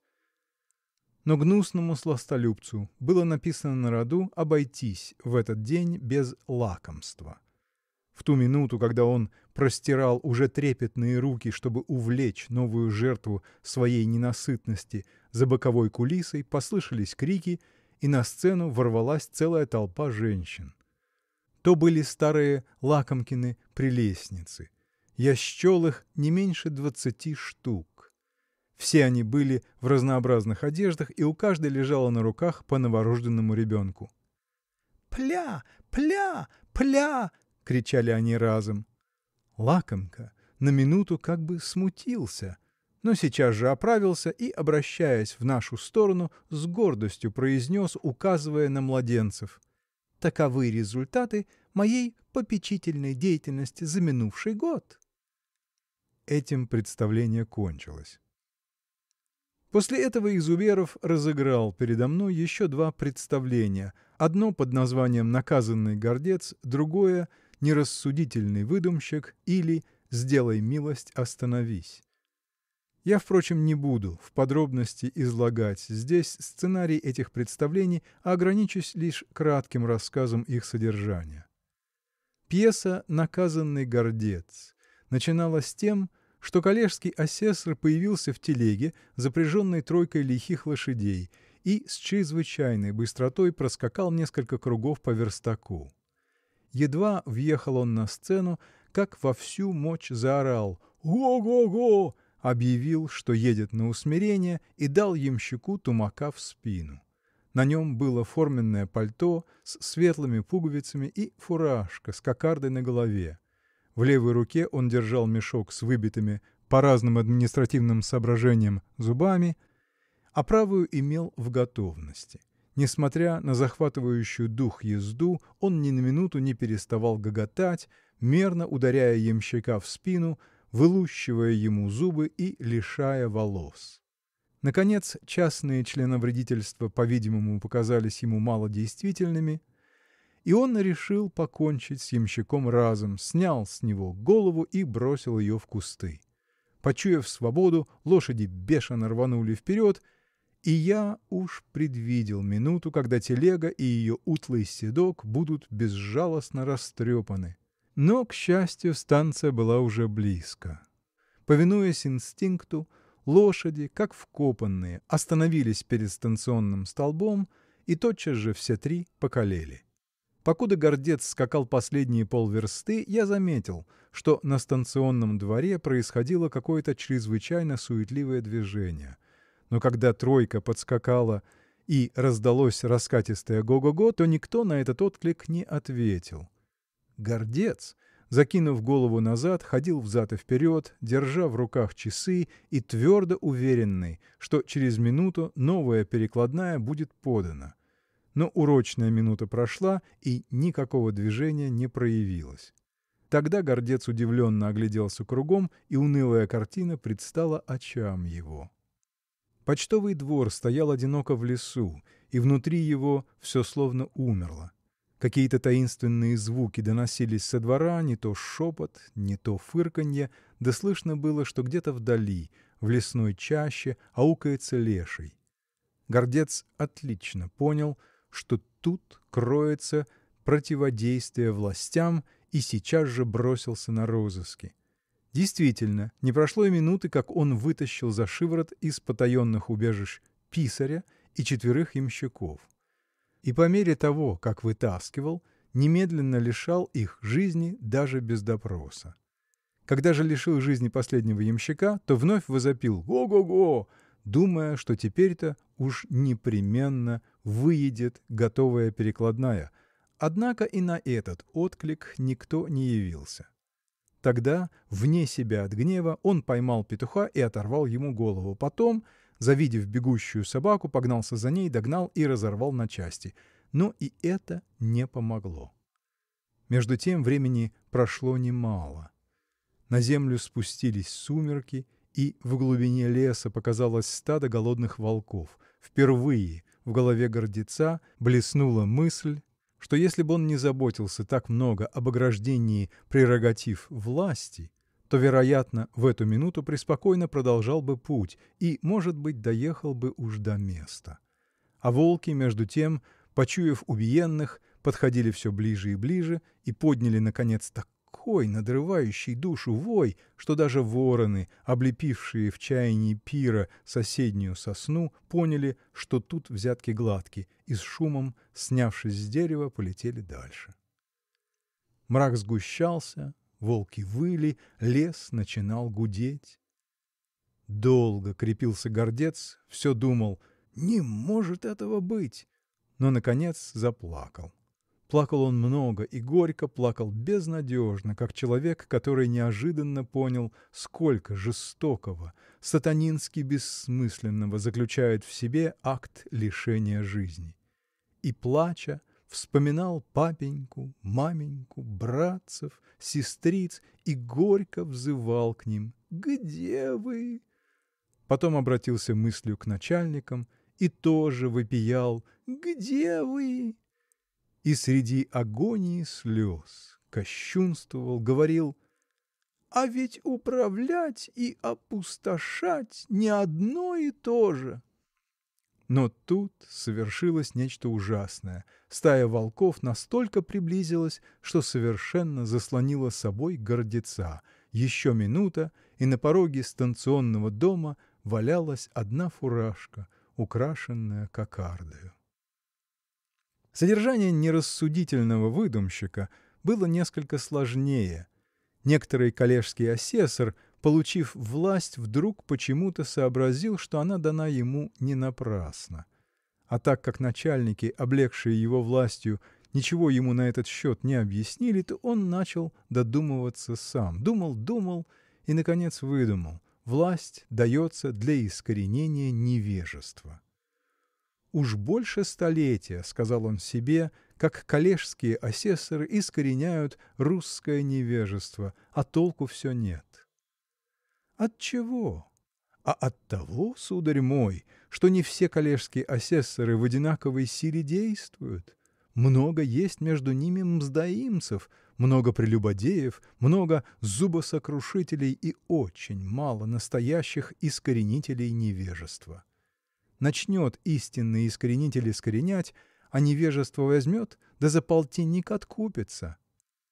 А надо так на невежество нажать, чтоб ему вздоху не было, чтоб куда оно ни сунулось, везде ему мать. И как только решил про себя выдумщик, какая ему задача предстоит, так сел за письменный стол, да с тех пор и не выходит оттуда. Не пьет, не ест, не спит — все нерассудительные выдумки выдумывает. Строчит с утра до вечера. Но так как он и сам не понимает, что строчит, то все выходит у него без связи, в разброд. То вдруг с большого ума покажется от того в России невежество, что община по рукам и по ногам мужика связывает, и вот готов проект общину упразднить то вдруг мелькнет от того царствует невежество, что в деревнях хороших племенных жеребцов нет. Немедленно таковых приобрести. Или вздумается, истинное основание русскому невежеству полагают кабаки. Сейчас резолюция кабаки закрыть, а вместо он их повсеместно открыть торговлю печатными пряниками. А, наконец, и еще. Куда были бы мы просвещеннее – если б мужики сеяли на полях вместо ржи персидскую ромашку, а на огородах вместо репы – морковь. И опять резолюция «дать знать, кому ведать надлежит» и так далее. Но беда в том, что невежество упорно, недостаточно сказать ему «в видах твоего искоренения необходимо упразднить общину». Надо, кроме того, еще сделать его способным к восприятию этой истины. Иначе, пожалуй, оно и того не поймет, с какой стати его невежеством зовут и зачем непременно понадобилось его искоренить. Каким же образом добиться, чтобы невежество сделалось способным к восприятию? Думал, думал коллежский асессор и, наконец, хоть и с болью в сердце, но пришел к заключению, что самое лучшее средство – это экзекуция. Конечно, рассудил он сам собою, это то же самое, что в древности называлось поранцами. но ведь одно другого дороже. Или церемониться, или достигать поронцы так поронцы. И вот сидит он да нерассудительность свою неуставаючи тешит а по дороге солдатики врага трубят а в рощице волосные начальники веники режут а на селе мужичок кричит Ваше-сгородие, не буду! Слышит эти крики выдумщик но некоторое время делает вид что не понимает. Однако ж наконец и он видит что притворяться непонимающим дольше нельзя.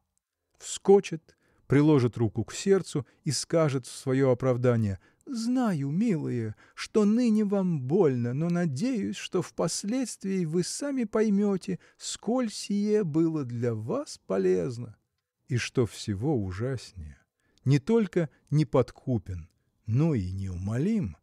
Сколько раз мужички всем миром ходили, хабару носили, на коленях просили. Не внемлет и не приемлет. Глупенькие, говорит, стерпится, слюбится, а после вы меня же благодарить будете. Так у них до сих пор колесом дело и идет. Он нерассудительные выдумки выдумывает, они вопиют «Ваше скородие не будем!» Ромашку персидскую посеяли, а клопы пуще прежнего одолели, о племенных жеребцах докучали, а начальство по недоразумению племенных поросят прислало. Кабаки закрыли, корчемщиков развели. Одна только община, а сю пору цела стоит. Видно, уж сам Бог ее бережет. Подьячие были исчерпаны. Только и додумался изуверов до этих четырех типов, да, может быть, и в самом деле, только их и было в тогдашнее несложное время. Я, впрочем, был очень этому рад. Несмотря на то, что мое посещение длилось не больше двух часов, я чувствовал какую-то чрезвычайную усталость. И не только физическую, но и нравственную. Как будто ощущение оголтения, о котором я говорил выше, мало-помалу заползло и в меня самого, и все внутри у меня онемело и оскудело. Я немало на своем веку встречал живых кукол и очень хорошо понимаю, какую отраву они вносят в человеческое существование, но на этот раз чувство немоты произвело на меня такое угнетающее впечатление, что я готов был вытерпеть бесчисленное множество живых кукол, лишь бы уйти из мира людишек. Даже госпожа Строптивцева, возвращавшаяся в это время по улице домой, и та показалась мне умницей. Мне кажется, разгадка этого чувства угнетенности заключается в том, что живых кукол мы встречаем в разнообразнейших комбинациях, которые не позволяют им всегда оставаться вполне цельными, верными своему кукольному естеству. А сверх того они живут хотя и скудную, но все-таки живою жизнью, в которой имеются некоторые общие людскому роду инстинкты и вожделения. Словом сказать, принимают участие в общей жизненной драме. Тогда как деревянные людишки представляются нам как-то наянливо сосредоточенными, до тупости последовательными и вполне изолированными от каких-либо осложнений, вызываемых наличностью живого инстинкта. Участвуя в общей жизненной драме вперемешку с другими такими же куклами, живая кукла уже потому одному действует не так вымогательно, что назойливость ее отчасти умеряется разными жизненными нечаянностями. Деревянные людишки и этого отпора не встречают. У них в запасе имеется только одна струна, но они бьют в эту струну с беспрепятственностью и регулярностью, доводящими мыслящего зрителя до отчаяния. Правда, Изуверов утверждает, что его людишек можно легко угомонить, тогда как живая кукла сама, дескать, вынет из тебя душу и заставит проклинать час твоего рождения. Положим, что это и так. но в таком случае стоит ли интересоваться этими людишками, стоит ли тратить на них свою жизнь? И не прав ли был соборный дьякон, укорявший Изуверова и от живых людишек отбою на свете нет, а ты еще деревянных плодишь? Но сверх того, ежели хорошенько вникнуть в дело, то Изуверов окажется неправ и в другом. Он слишком презрительно, свысока отозвался о присланной из Петербурга новобрачной, слишком поспешил назвать ее пустою куклой. Во-первых, чтобы сделать такую куклу, не нужно ни задумываться, ни изобретать, ни мнить себя гением, а достаточно обладать некоторым навыком, иметь под рукой достаточное количество тряпок и лайки и уметь со вкусом распорядиться наружными украшениями. А во-вторых, как новобрачная, эта кукла положительно не оставляет ничего желать. Изуверов спрашивает «На какой предмет? И в каком градусе?» Странные вопросы. Да на всякий предмет и во всяком градусе, вот и все. Природа благосклонна, люди злее. Природа не допускает строго последовательного пустоутробия. Люди, напротив, слишком охотно настаивают на этой последовательности. Если б природа хотела быть до конца жестокою, она награждала бы живых людишек тем же идиотским упорством побуждений и движений, каким награждает изуверов своих деревянных людишек. Вот тогда было бы ужасно, ужасно, ужасно в полном смысле этого слова. Не угомонить куклу, не уйти от нее нельзя. Сиди и ежемгновенно чувствуй, как она вынимает из тебя душу. И не шелохнись, потому что всякий протест, всякое движение вызывают новую жестокость, новую невыносимую боль. Но, может быть, жизнь уж и созидает таких людишек. Может быть, в тех бесчисленных, принудительных сферах, которые со всех сторон сторожат человека, совсем не в редкость те потрясающие кукольные комедии, в которых живая кукла попирает своей пятой живого человека.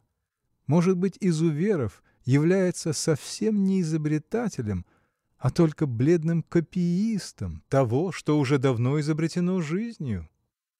Кто возьмет на себя смелость утверждать, что это не так? И кто не согласится, что из всех тайн, раскрытие которых наиболее интересует человеческое существование, тайна куклы есть самая существенная, самая захватывающая?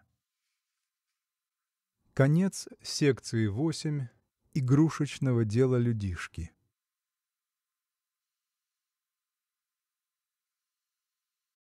Сказки.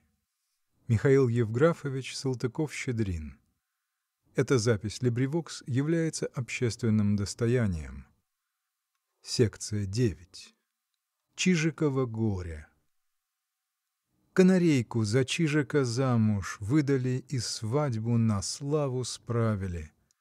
В магазине «Забава и дело» купили новенькую кирку, за пастора ученый снегирь был, скворцы величальные песни пели, а для наблюдения за порядком полицеймейстер отряд копчиков прислал. Чуть не со всего леса птицы слетелись на молодых поглазеть, да и почтенных гостей нашлось довольно. У чижа был шафером зяблик, у канарейки — соловей. Сам ястреб к невесте в посаженные отцы набивался, но родители под благовидным предлогом от этой чести уклонились и пригласили глухого Тетерева, того самого, который еще при царе Горохе во внимание к дряхлости и потере памяти в Сенате посажен был. И молодые, и родители, и поезжане – все были веселы. Чижик выступал гордо и предвкушал. Канарейка перебирала носиком перышки, родители думали, ну, слава богу, одну дочку сбыли. а поезжане мечтали о той горе конопляного семени маринованных комаров вареных в сахаре мух и прочего которую им предстояло уничтожить на новоселье у Чижика. Только ворона-вещунья без пути каркала. «Не будет проку от этого брака, не будет, не будет, не будет!» Хотя между людьми ворона и слывет глупою, однако птицы отлично знают, что ежели она каркает, то значит есть у нее на то основание. И точно, едва раздалось воронье карканье, как кукушка первая прокуковала «Ку-ку!» Как бы и в самом деле по вещуньиному не сбылось. А за нею следом в том же смысле свистнули синичка, горехвостка, пеночка. И все начали всматриваться в молодых, начали припоминать. Обратились к интимной истории этих двух существ, за минуту перед тем связавших друг друга неразрывными узами, вспомнили их наклонности, вкусы, привычки, и, как водится, в результате вышла картина. Чижик был малый простодушный и добрый, имел три характеристические особенности – неприхотливость, аккуратность и домовитость. Сверх того он был и не молод, хотя надежда, что в случае чего он еще может за себя постоять, не покидала его. Всю жизнь он служил в интендантском ведомстве, дослужился там до майорского чина и там же образовал свой ум и сердце. Взяток он не брал, царство хищения кончилось, Однако нелицеприятными действиями успел таки скопить капиталец. Однажды ему удалось приобрести, по случаю, хорошую партию канареечного семени.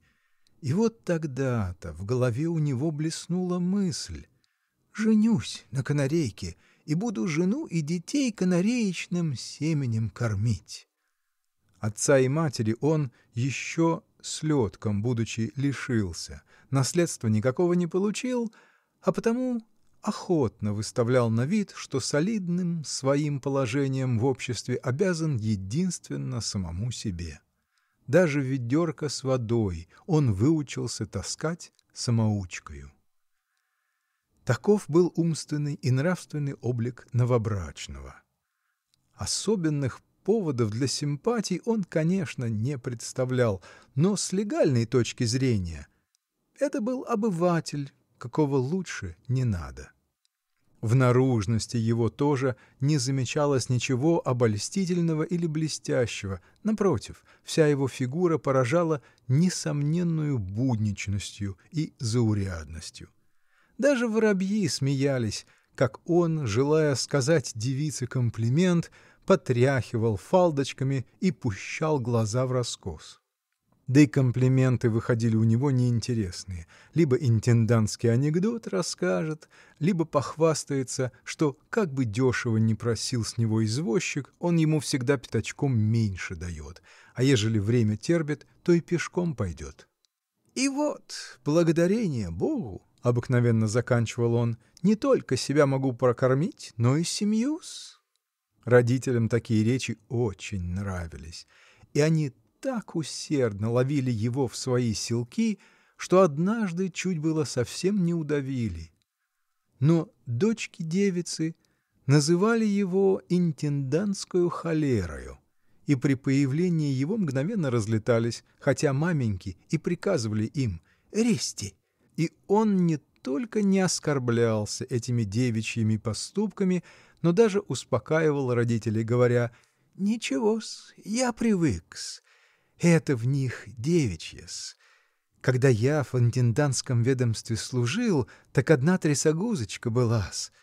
Ну, такая, доложу вам, отдай все, да и мало. И тоже на первых порах хи-хи да ха-ха. Я ей говорю, познакомимтесь, мамзель. А она, ах, нет, вы противный. Словом сказать, я за ней, она от меня. Туда-сюда, на стикс. И что же-с? Впоследствии даже хвалила. — Так вот вы, Иван Иванович, какой! — шутили родители. — Чего доброго, детей у вас на стороне нет ли? — Наверное, сказать не могу, но поручиться не смею-с. Природную слабость в свое время в совершенстве выполнил-с. Вообще я насчет этого так полагаю: излишеств допускать не следует, но в припорцию отчего же себе удовольствия не предоставить? Я и от водки не отказываюсь, пью-с, но не без просыпу-с, а, как в песне поется, по этой причине-с. В последнее время он службу оставил. Сыт-с. Прихоти у него были небольшие, да и капиталец, который ему бог на службе послал, он крепко зажал. Следовательно, одних казенных процентов ему за глаза довольно. А ежели он свой капитал взаймы под вторые закладные раздаст, так и деваться с деньгами будет некуда-с. «Одежа у меня даровая, богом предназначенная», — говорил он. «Ем я тоже не покупное, а богом предназначенное. А ежели удовольствие себе захочу доставить, так и это дорогого не стоит. Спою песню, вот и правс. Следственно, покуда есть на свете мухи, пауки, червяки и другая подобная снеть, и покуда я в силах ловить, я обеспечен-с. Ежели же силы меня оставят, тогда придется помереть. Что ж такое-с? И с прочими птицами завсегда так бывает -с. Но ежели и на службе он ни о чем с таким удовольствием не мечтал, как о семейном очаге, о самоваре, халате, двуспальной кровати и других идеалах семейного счастья, выработавшихся в интендантском ведомстве, «Что такое бессемейный чиж?» — рассуждал он. «Медицинские термины больше ничего-с». То по выходе в отставку эта мысль начала угнетать его с каждым днем все больше и больше. И вот, наметивши желтенькую канарейку, он надел мундир, прицепил шпоры — все это он при отставке в воздаяние получил — и отправился к родителям своей суженой рекомендоваться в качестве жениха. В первый раз в жизни Восторг овладел его сердцем. В первый раз в жизни он пропел «По улице мостовой» и не сфальшивил. Страсть к красавице-канарейке до такой степени овладела всеми его помыслами, что он, вопреки своей обычной осмотрительности, пренебрег даже справиться, что за птица была его невеста и есть ли за нею какое-нибудь преданное. А это было, пожалуй, не лишним, потому что невеста была барышня светская и образованная. Любила пожеманиться, принарядиться, пела «Si vous n'avez rien à me dire», играла на органчике «Le ruisseau» и скучала, ежели около нее кавалеров не было. Может быть, она и добрая была, да некогда ей было об этом подумать. То новые фасоны из магазина привезут, то юнкера к братцу в гости прилетят. Так, промеж дел, доброты своей и не рассмотрела. «Барышня, можно у вас ножку поцеловать?» — приставали к ней юнкера. «Ах, какие вы! Ну, целуйте!» Только и всего. И родители у нее были светские и тоже без гостей скучали. Папаша в канареечной губернии пять трехлетий предводителем прослужил, четыре наследства спустил, с год тому назад последнее выкупное свидетельство проел, а теперь жил финансовыми операциями и до того изловчился, что от извозчиков через проходные ворота улепетывал. Что касается до то она, как с молоду канарейкой была, так и под старость канарейкой осталась. Прыгала с жердочки на жердочку, высматривала, нет ли где кавалеров, и с благодарностью вспоминала, как она, будучи предводительшею, писанные пряники ела, а павлин-губернатор, завидев ее, хвост распускал. В этом же духе она и старшенькую дочь свою воспитала. — Я мою девочку на высшие курсы не посылаю, — сказала она Чижику, когда он посватался, — по-моему, умела бы девушка по-французски, да с жердочки на жердочку прыгать, да одеться к лицу, да гостей занять — вот и все, что для счастья женщины нужно. — И хорошо сделали, сударыня, что девицу вашу в страхе божием воспитали, — согласился Чижик. Мужескому полу действительно необходимо географию знать, потому что не равен час начальство приказывает лететь, а куда неизвестно. А девицу всякий кавалер с удовольствием проводит, лишь бы не заблудиться-с. Ах, нет, на этот счет вы можете быть покойны, майор. У меня такая дочка умница, что, ежели даже с уланом в дремучий лес попадет, то и тогда вот не с эстолько себя не повредит. Дай бог-с. Кроме этих трех личностей, в семье была еще младшая дочь и два сына. Младшая дочь скорее на новорожденного Галчонка, чем на канарейку, так ее и по имени звали Галочка, Галина, а старшую дочь звали Прозерпиночкой.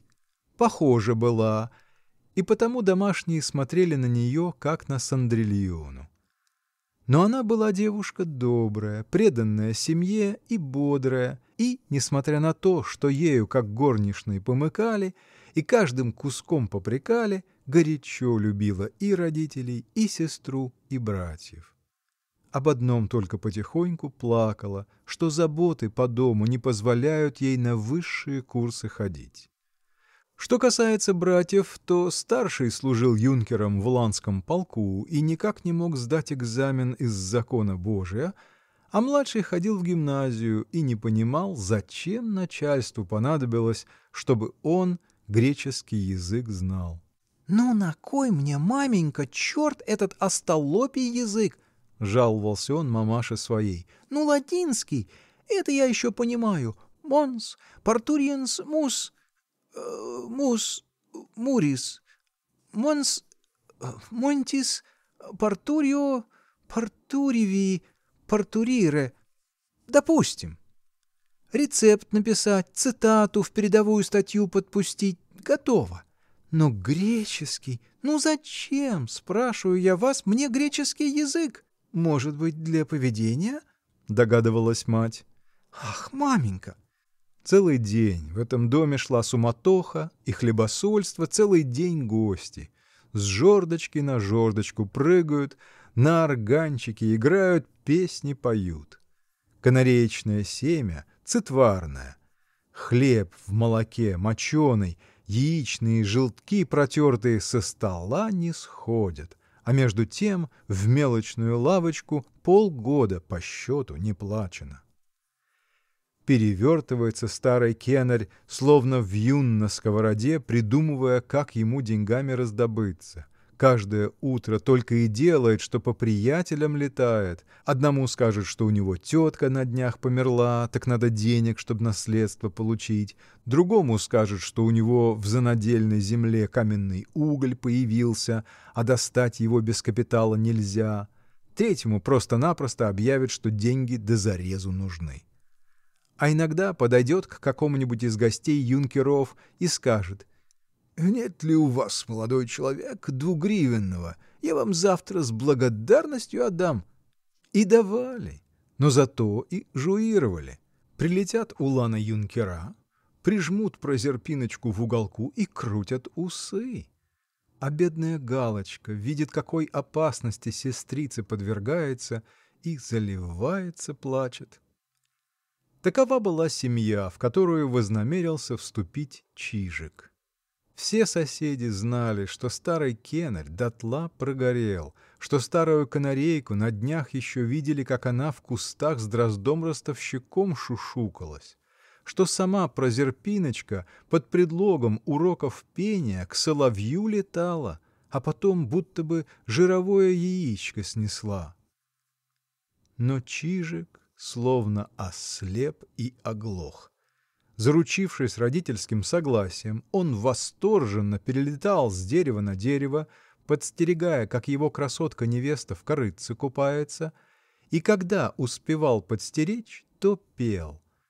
пел фальшиво и неистово, но, увы, это был единственно доступный для него способ возблагодарить Творца за оказанные ему всей жизни благодеяния. «Чувствую и знаю», — пел он, — «что не по чину мне милость сия, но подщусь заслужить оную в будущем». Впрочем, к чести Прозерпиночки надо сказать, что она, будучи невестой, нимало не скрывала от Чижика своего равнодушия. Когда родители объявили ей, что майор сделал ей честь и что они уже заранее изъявили согласие, она тут же залилась звонким смехом и сказала «Ах, мама, посмотрите, какой он уморительный!» И затем, когда родители с намерением оставили их вдвоем, чтобы они поближе друг друга узнали, у них вместо комплиментов завязался довольно-таки откровенный разговор. — Вы скупой? — спросила его Прозерпиночка. — Я не скуп, я бережливс, — ответил Чижик. — Я так полагаю. Зачем деньги зря бросать, коли можно своими средствами обойтись? Но для вас Чтоб вам удовольствие сделать, я и бережливость свою готов оставить-с.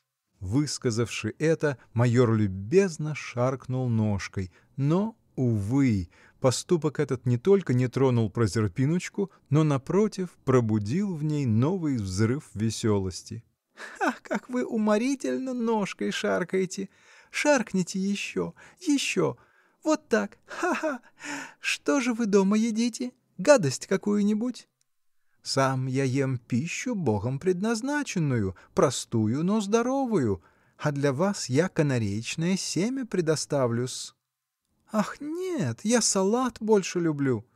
И салат сюда стать не диковинка-с. Слетаю утречком в огород и нащиплю по секрету-с. Другому бы это больших денег стоило, а я для вас и за даром спроворю. Ну, а какой же вы мне подарок сделаете? — Недавно вот из Парижа новые фасоны манжеток прислали. Подарите-ка, а? С превеликим моим удовольствием-с. Сегодня же пауку закажу, чтоб завтра чуть свет были готовы. Да, но ведь такие манжетки дороги. Не извольте беспокоиться-с. Придет ко мне уже паук за деньгами, а я его съем-с. Вот мы и будем квиты. Ха-ха, какой вы уморительный! Так и пошло у них. Нет, чтобы сказать жениху «миленький» или «душечка». Уморительный и больше ничего. И чем дальше, тем невеста делалась развязнее и развязнее. С женихом почти вовсе не занималась, а окружала себя юнкерами и гимназистами и самым бессовестным манером шушукалась с ними. — Знаете ли, майор, что мне про вас рассказывали, — говорила она ему в упор, — что вы в последнюю войну армию и флот гнилыми сухарями кормили. Он конфузился, но не опровергал, потому что хоть и не заведовал он сухарями, но все-таки был за ним грех, для лошадей сено со всячинкой заготовлял. А это, пожалуй, похуже гнилых сухарей будет, потому что солдат он пожаловаться может, а у лошади и слов-то для жалобы нет. Ах, нехорошо он тогда поступал! Иногда Прозерпиночка даже прямо всей компанией над ним насмехалась. Задумают, например, молодые люди в горелке играть, а он, постылый, тут же торчит. Вот и заставят его гореть, да глаза вдобавок завяжут «лови».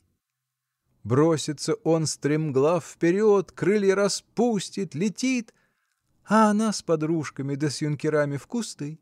Выглядывают оттуда и кричат «Лови, майор, лови!» покуда он с размаху о сосну грудью не треснется.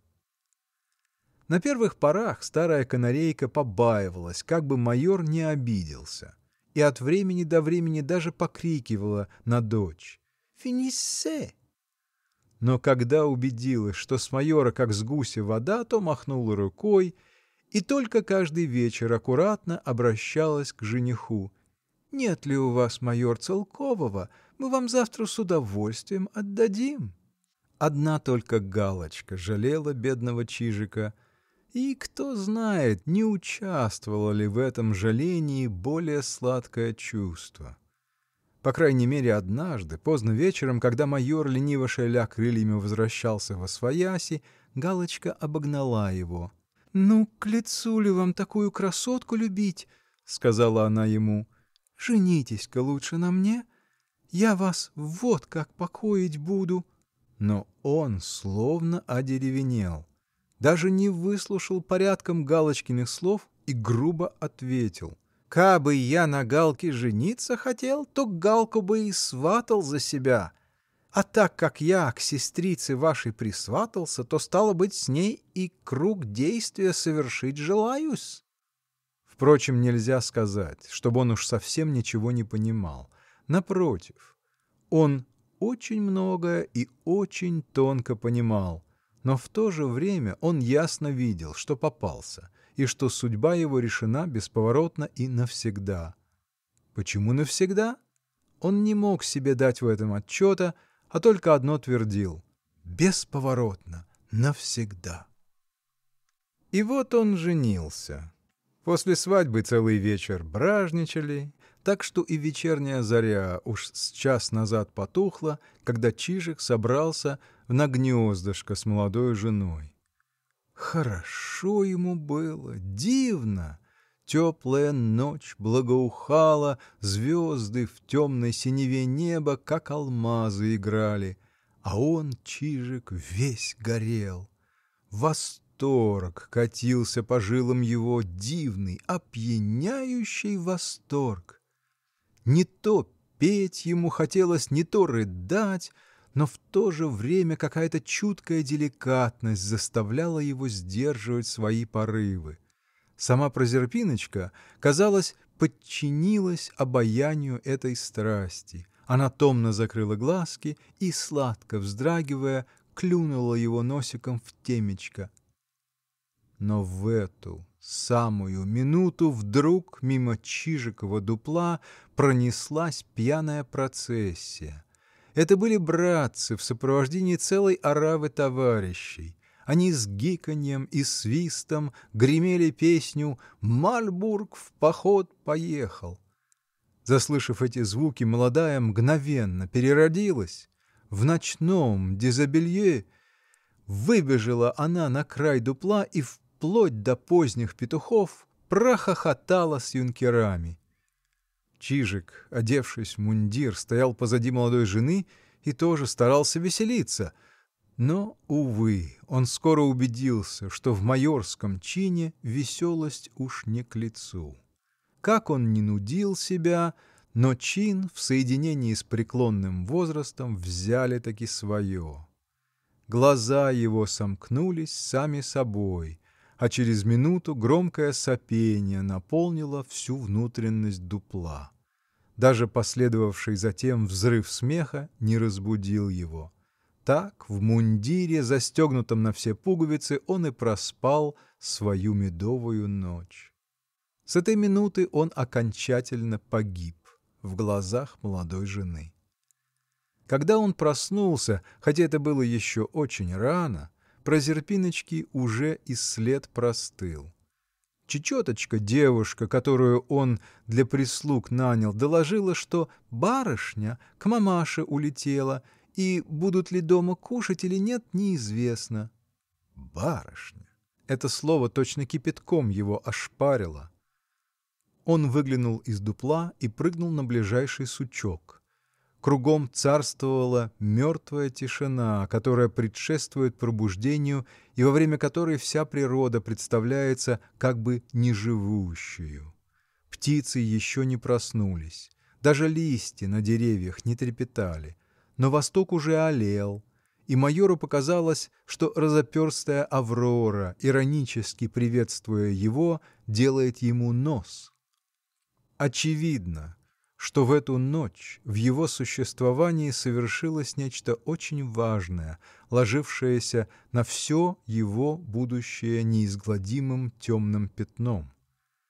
Что ему предстояло выполнить какой-то долг, весьма, впрочем, незатруднительный и всякому чижу свойственный, но он, как раб ленивый и лукавый, этот долг не осуществил. Приступив к всестороннему обсуждению своего положения он прежде всего слукавил или говоря словами науки начал рассматривать дело с точки зрения причин его породивших. По зависящим ли от него причинам он не осуществил своего долга или по независящим? «Кабы я был этому делу причинен, — говорил он себе, — ну тогда точно, хоть голову с меня снимите, ежели я виноват, слова не скажу. А то никакой с моей стороны причины нет, и надко что сделалось!» Но едва он придумал этот изворот, как тотчас же понял тщету его. Есть факты, относительно которых закон причинности не допускается. Они должны быть осуществлены неупустительно, и никакая логомахия не воссоздаст того, что должно было быть и чего не было. Нет для него оправданий, нет! Ни один молодой муж, ни одна любящая мать, ни один суд присяжных, ниже коронный суд никакого другого приговора ему не вынесут, кроме слов «срам, срам, срам». Он должен был отразить нападение пьяной ватаги, он должен был сделать свое гнездо неприступным, должен был грудью защищать свое право на осуществление долга, вступить во имя долга в кровавый бой. Кильмуру! Срамс! — повторил он автоматически и автоматически же, не снимая мундира, растрепанный, с тощим желудком, полетел туда. Старая канарейка уже проснулась и сидела злая-призлая. Кроме того, что с ее прозерпиночкой случился такой срам, ночью прилетела к ней в гости из-за тридевять земель канарейка-кузина и в конец растравила ее своими рассказами. Она тоже выдала свою милочку замуж за снегиря, но какая разница! Ах, какая разница! Так милочку муж любит, — говорит гостья, — так любит. C'est toute une poème. Представь себе! Гостья склонялась к уху кузины, шептала ей нечто и с радостным ужасом откидывалась назад, повторяя «Но представь себе удивление моей цыпочки!» А старая канарейка слушала и злобно скрипела носиком. «Ну, дай бог, милочки, дай бог!» — шептала она. «А вот мы... Кому счастье, а нам...» Твою милочку муж вон как обрадовал, а у нас... Кого другого, а прозерпиночку мою, кажется, уж обглотком назвать нельзя. И полненькая, и резвенькая, и щечки, и грудка, и что ж? Даже внимания мерзавец не обратил. «Et c'est possible!» И в эту самую минуту явился Чижик. И только что хотел принести оправдание, как огорченная теща, указывая на дверь, закричала «Сорте! Срам, сударь, срам, срам, срам!» А за нею, словно эхо, и кузина повторила «Срам, срам, срам!» Оглушенный, он хотел лететь, куда глаза глядят, но у него даже крылья как будто перешибло. Он пошел по дорожке, направляясь к своему дуплу и думая скрыть в нем свой срам, но птицы уже проснулись и все знали. И хотя ни одна ему ничего подходящего в глаза не говорила, а некоторые даже подлетали и поздравляли, но он совершенно ясно видел, что у всех в глазах было написано «Срам, срам, срам». К вечеру, однако же, Прозерпиночка воротилась, но, не сказавши бонжур, прямо пролетела в свое гнездышко. «Милая, миленькая, ангельчик!» — свистнул ей вслед майор и так жалобно, что чечеточка, хоть и из простого звания птичка, а прослезилась. Но Прозерпиночка не ответила ни одним звуком, и Чижик слышал только, как она лапками раздвигала в гнездышке пух, устраивая себе на ночь постельку. «Супруга, богом мне данная!» не свистнул, а как-то взвыл майор и залился слезами. Но и на этот призыв Прозерпиночка промолчала. Он подошел к ее постельке и склонился над нею, но она уже спала или, скорее всего, притворялась спящую. И эту ночь пришлось майору провести в одиночестве. Мундир, конечно, он снял, но брюки снять не решился, чтобы не сконфузить Прозерпиночку. А на другое утро, как ни рано он проснулся, Прозерпиночки уже не было, она улетела к родителям. Майорский мартиролог начался. В продолжении целого месяца молодая жена ни одним словом с ним не перемолвилась. Каждый вечер прилетала она в Чижиково дупло, укладывалась в гнездышке и каждое утро исчезала так таинственно и проворно, что майор никак не мог подстеречь. Раза четыре в течение этого времени прилетала она в сопровождении ватаги юнкеров и гимназистов, призывала чечеточку и заказывала ей богатый ужин. Но и она, и ее собутыльники самым наглым образом пили и ели на глазах у Чижика и ни разу даже спасибо ему не сказали, точно он был не хозяин своего дупла, а сторож при нем. В Женином семействе майора иначе не звали, как мерзавцем. — А мерзавец-то опять выигрышный билет купил, — сообщала старая канарейка загостившейся кузине. Или Скоро, кажется, мерзавец с ума сойдет. Задумываться начал. Один старый кенарь, тесть, от времени до времени посещал майора, утешал его и даже обещал высечь Прозерпиночку, но обещание не выполнил, а только выманил у зятя целую уйму двугривенных. Прошел и еще месяц. Отношения Прозерпиночки к майору несколько изменились, но не к лучшему. Канарейка постепенно вошла в свою роль, обнаглела.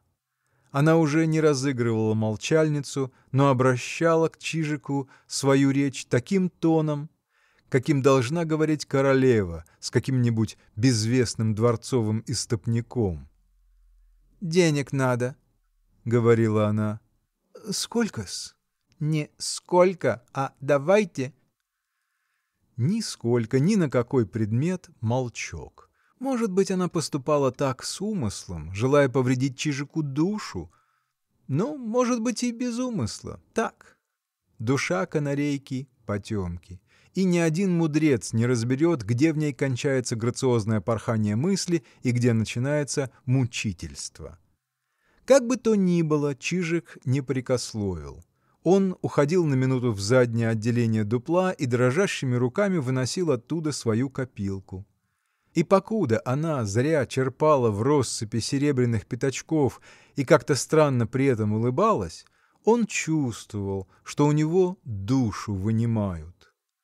Не потому, чтобы он был скуп, а потому, что от природы имел потребность во всякое время знать состояние своей кассы в точности.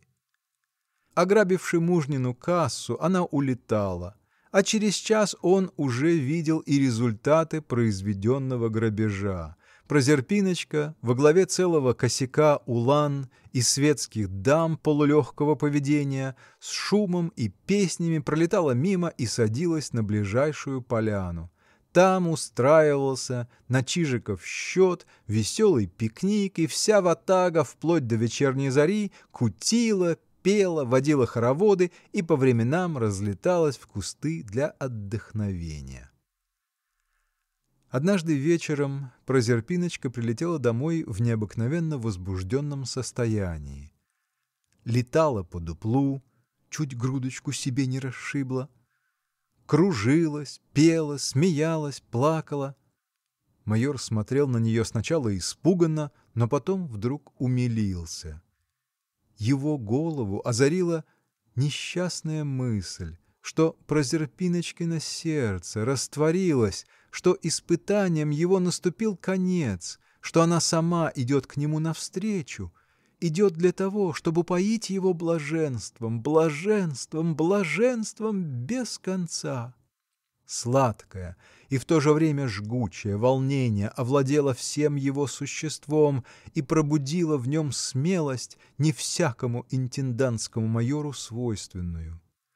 В чаду страсти он тихонько подкрался к Прозерпиночке в ту минуту, когда она, вперивши глаза в темное пространство, стояла у входа и тихонько стукнул ее носиком в темечко. «Дурак!» — крикнула она ему в упор и, уклонившись от его объятий, порхнула вон из дупла. Это был с ее стороны очень решительный шаг. До тех пор она улетала днем, теперь улетела ночью. На другое утро она, однако, вернулась, но целый день скучала, плакала, нигде места себе найти не могла. А вечером, едва майор засопел, опять улетела. Так продолжалось целых две недели. Ночью таинственное исчезновение, днем истерика, слезы. Майор весь истрадался, ходил за ней по пятам, держа в носике на случай дурноты ведерочко с водой и слезно убеждал. — Выкушай водицы, откройся мне. Ну, не как мужу, увы, я этого счастья не заслужил, как отцу, как брату. Кто тебя, мою печужечку, обидел? Дурак! Наконец она не возвратилась совсем. Ждал майор день, ждал другой и решился ждать без конца. Тяжкое время для него настало, время полного одиночества. Жена бросила, родственники, не предупредивши ни словом, скрылись. Должно быть, и впрямь старый кенарь после тетки наследство получил. А прочим птицам ему было совестно в глаза смотреть, потому что он все-таки не смыл своего позора, не оправдал себя. Даже девушка-чечеточка и та расчету потребовала, и где-то на чердаке с воробьем гнездо свела. До сих пор у него хоть страдания были, страдания жгучие, острые, которые давали ему возможность метаться от боли, проклинать и надеяться. Теперь страдания остались, но приняли тупую форму, которая сковывала его движения, парализовала волю и наполняла будущее безрассветным мраком. Между тем наступила осень. Птицы усиленно захлопотали около гнезд, он один ничего не предпринимал, не решаясь, лететь ли на теплые воды или остаться на родине. Полились дожди, задули холодные ветры, роща обнажилась и тоскливо шумела. Ночи сделались долгие, темные. А он целые ночи напролет голодный и холодный просиживал, не смыкаючи очей, у входа своего неухиченного дупла и ждал. Сколько раз хищная сова пролетала мимо, задевая крылом за его дупло, сколько раз заглядывал в дупло кровожадный бурундук. Но, по счастливой случайности, ни сова, ни бурундук не потревожили его. Очень возможно, что с точки зрения съедобности он представлял для хищников уже слишком ничтожную величину. Но возможно и то, что хищники знали — какой он был в свое время дельный интендантский офицер и, не желая лишать Отечество его услуг в будущем, щадили.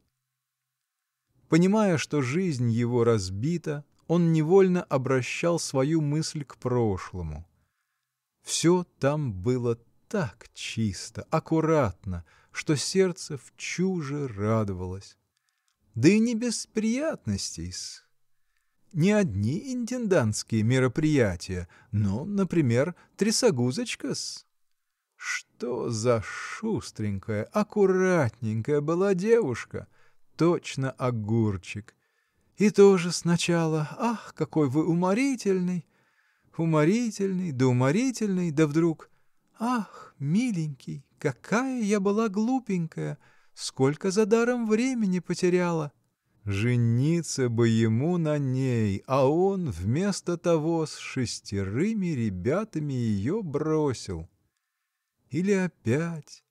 Заехал он раз к Перепелочке, вдове, которая постоялый двор при дороге держала, и просом да гречневой крупой поторговывала. Слово за слово, почем проса, крупа почем-с, чей скучно вам одним без мужа, сударыня. Смотрят, ан и огни везде потушили. И тут бы ему жениться следовало, а он пообещал и был таков. Хорошо было тогда, дивно. И чем бесчеловечнее он в ту пору с трясогузками и перепелками поступал, тем больше гордился, тем больше слышал себе похвал. Все интендантские писаря говорили о нем «У нас майор лихой, ишь ножками семенит, ишь похаживает, так им дуром и надо».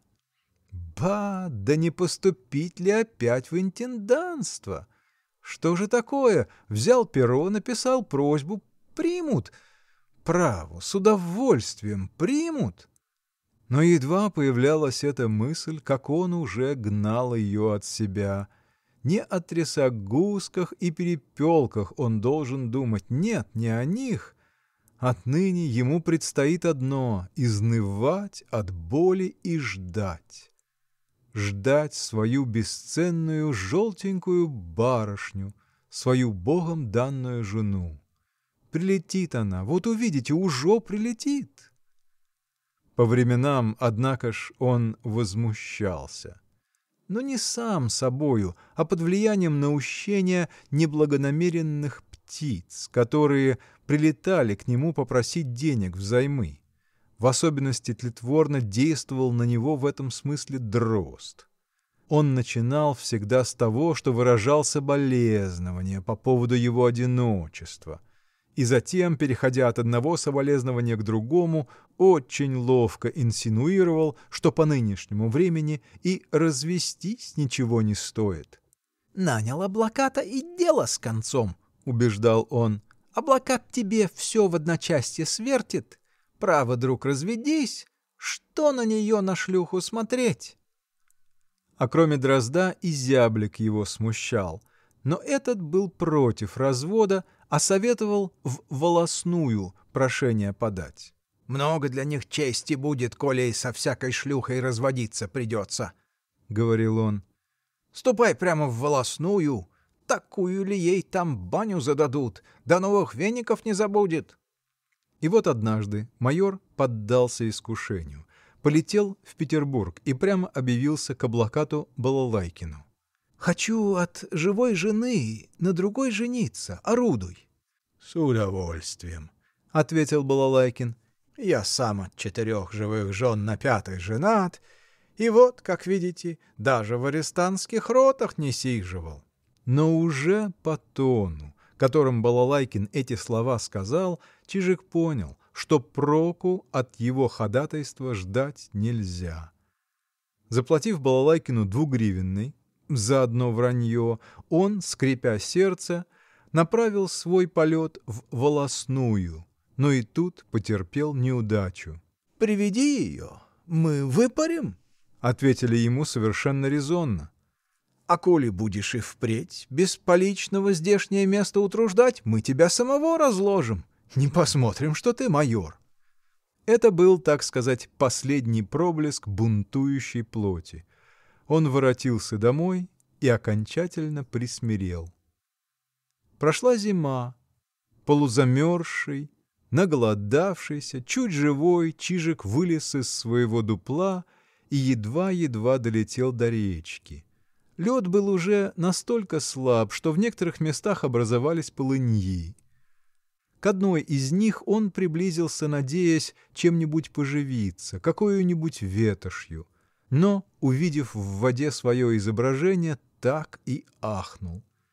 За зиму он до того похудел, осунулся, отощал, что мундир висел на нем, как на вешалке. От прежнего, аккуратно застегнутого, чистенького и сытенького чижика не осталось и следа, даже шпоры, и те неизвестно куда девались. С тоскою в сердце обернулся он в дупло и сразу утратил веру в более светлое будущее. Что пользы, ежели он и дождется ее? Какое он сделает ей приветствие? Какие представит доказательства супружеской любезно верной преданности? И вдруг, в один теплый майский вечер, она воротилась. Воротилась худая, больная, истрепанная и как будто не в себе. Хохолок на головке был выщипан, перышки на крыльях помяты, хвостик жиденький, даже желтенькое платьице выцвело и посерело. И вся дрожала не то от холода, не то от стыда. Насилу Чижик ее узнал. — Вот и я пришла, — сказала она. — Живи, — ответил ей Чижик. Только и разговору промеж них было. О прошлом — молчок, о будущем — ни гугу. -гу. И живут с тех пор друг подле друга в одном дупле, молчат и все о чем-то думают. Может быть, ждут чуда, которое растворит их сердца и наполнит их ликованиями прощения и любви. Но, может быть, сознают себя окончательно раздавленными и угрюмо ропщут. Он Ах, разбила ты мою жизнь, кукла бесчувственная! Она Ах, заел ты мою молодость, распостылый майор! Конец секции девятой. Чижикова горе.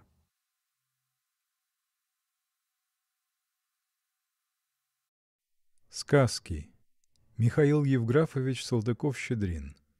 Эта запись LibriVox является общественным достоянием. Секция 10. Верный трезор. Служил Трезорка сторожем при лабазе московского второй гильдии купца Воротилова и недреманным оком хозяйское добро сторожил, никогда от конуры не отлучался. Даже живодерки, на которой лабаз стоял, настоящим образом не видал. С утра до вечера так на цепи и скачет, так и заливается. Кавиант консулес. И премудрый был, никогда на своих не лаял, а все на чужих.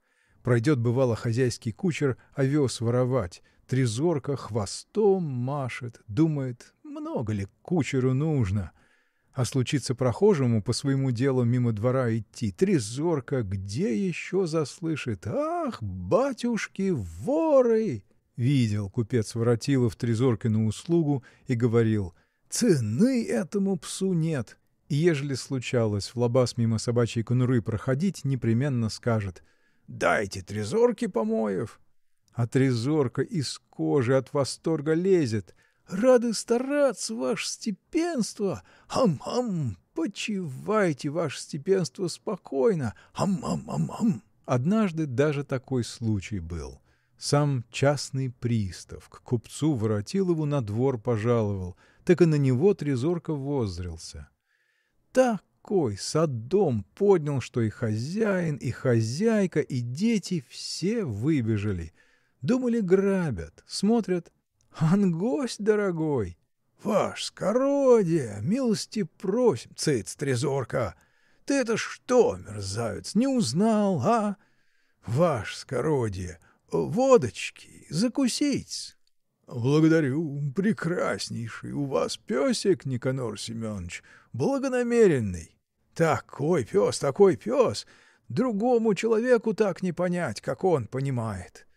Собственность, значит, признает, а это по нынешнему времени, ах, как приятно! И затем, обернувшись к трезорке, присовокупил.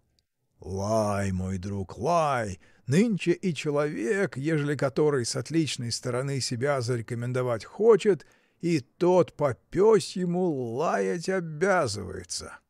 Три раза Воротилов трезорку искушал, прежде чем вполне свое имущество доверил ему.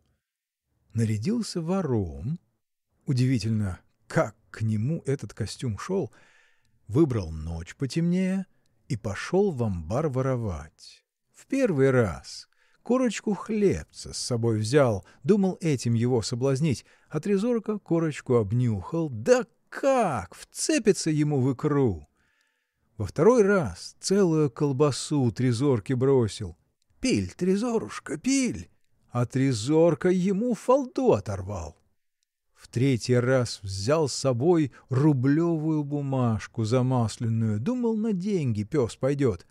А трезорка, не будь прост, такого трезвону поднял, что со всего квартала собаки сбежались, стоят да дивуются, с чего это хозяйский пес на своего хозяина заливается. Тогда купец Воротилов собрал домочадцев и при всех сказал трезорке — Перепоручаю тебе, Трезорка, все мои потроха, и жену, и детей, и имущество. Стереги. Принесите Трезорке помоев. Понял ли Трезорка хозяйскую похвалу? Или уж сам собой, в силу собачьей природы, лай из него, словно из пустой бочки, валил? Только совсем он с тех пор и собачился. Одним глазом спит — а другим глядит, не лезет ли кто в подворотню. Скакать устанет — ляжет, а цепью все-таки погромыхивает. Вот он я. Накормить его позабудут, он даже очень рад. Ежели, дескать, каждый-то день пса кормить, так он чего доброго в одну неделю разобсеет. Пинками его челядинцы наделят, он и в этом полезное предостережение видит, потому что, ежели пса не бить, он и хозяина того, гляди, позабудет. «Надо с нами, с псами, серьезно поступать», — рассуждал он. «И за дело бей, и без дела бей, вперед наука. Тогда только мы, псы, настоящими псами будем». Одним словом, был пес с принципами. И так высоко держал свое знамя, что прочие псы поглядят-поглядят, да и подожмут хвост. Куды тебе? Уж на что Трезорка детей любил, однако и на их искушение не сдавался. Подойдут к нему хозяйские дети. — Пойдем, Трезорушка, с нами гулять. — Не могу. — Не смеешь? — Не то, что не смею, а права не имею. — Пойдем, глупый, мы тебя потихоньку, никто и не увидит. — А совесть? Подожмет трезорка хвост и спрячется в конуру от соблазна подальше. Сколько раз и воры сговаривались «Поднесемте трезорке альбом с видами замоскворечья», но он и на это не польстился. «Не требуется мне никаких видов», — сказал он. «На этом дворе я родился, на нем же и старые кости сложу. Каких еще видов нужно? Уйдите до греха. Одна за трезоркой слабость была. Кутьку крепко любил, но и то не всегда, а временно. Кутька в том же дворе жила, и тоже была собака добрая, но только без принципов. Полает и перестанет, поэтому ее на цепи не держали, а жила она больше при хозяйской кухне и около хозяйских детей вертелась. Много она на своем веку сладких кусков съела и никогда с Трезоркой не поделилась. Но Трезорка немало за это на нее не претендовал. На то она и дама, чтобы сладенько поесть. Но когда Кутькино сердце начинало говорить, то она потихоньку взвизгивала и скреблась лапой в кухонную дверь. Заслышав эти тихие схлипывания, Трезорка с своей стороны поднимал такой неистовый и, так сказать, характерный вой, что хозяин, понимая его значение, сам спешил на выручку своего имущества. Трезорку спускали с цепи и на место его сажали дворника Никиту. А Трезорка с Кутькой, взволнованные, счастливые, убегали к Серпуховским воротам. В эти дни купец Воротилов делался зол, так что, когда Трезорка возвращался утром из экскурсии, то хозяин бил его арапником нещадно. И Трезорка, очевидно, сознавал свою вину, потому что не подбегал к хозяину гоголем, как это делают исполнившие свой долг чиновники, а униженно и поджавши хвост подползал к ногам его. И не выл от боли под ударами арапника, а потихоньку взвизгивал «Меа кулпа! Меа максима кулпа!» В сущности, он был слишком умен чтобы не понимать, что, поступая таким образом, хозяин упускал из вида некоторые смягчающие обстоятельства, но в то же время, рассуждая логически, он приходил к заключению, что ежели его в таких случаях не бить, непременно он разопсеет. Но что было особенно в трезорке дорого, так это совершенное отсутствие честолюбия. Неизвестно, имел ли он даже понятие о праздниках и о том, что к праздникам купцы имеют обыкновение дарить верных своих слуг. Никаноры ли, сам именинник, Анфисы ли, сама именинница, на дворе, он все равно, что в будни на цепи скачет. «Да замолчи ты, постылый!» — крикнет на него Анфиса Карповна — знаешь ли, какой сегодня день? — Ничего, пусть лает, — пошутит в ответ Никанор Семенович. — Это он с ангелом поздравляет. Лай, трезорушка, лай. Только раз в нем проснулось что-то вроде честолюбия. Это когда бодливой хозяйской корове Рохли по требованию городского пастуха колокол на шею привесили. Признаться сказать, позавидовал таки он — когда она пошла по двору звонить. — Вот тебе счастье какое! А за что? — сказал он Рохле с горечью. — Только твоей и заслуги, что молока полведра в день из тебя надоят. А по-настоящему какая же это заслуга? Молоко у тебя даровое, от тебя независящее. Хорошо тебя кормят, ты много молока даешь. Плохо кормят, и молоко перестанешь давать. Копыта об копыта ты не ударишь, чтоб хозяину заслужить, а вот тебя как награждают. А я вот сам от себя моту прорио, день и ночь маюсь, не доем, не досплю, инда осип от беспокойства. А мне хоть бы гремушку кинули. Вот, дескать, трезорка, знай, что услугу твою видят. — А цепь-то? — нашлась Рохля в ответ.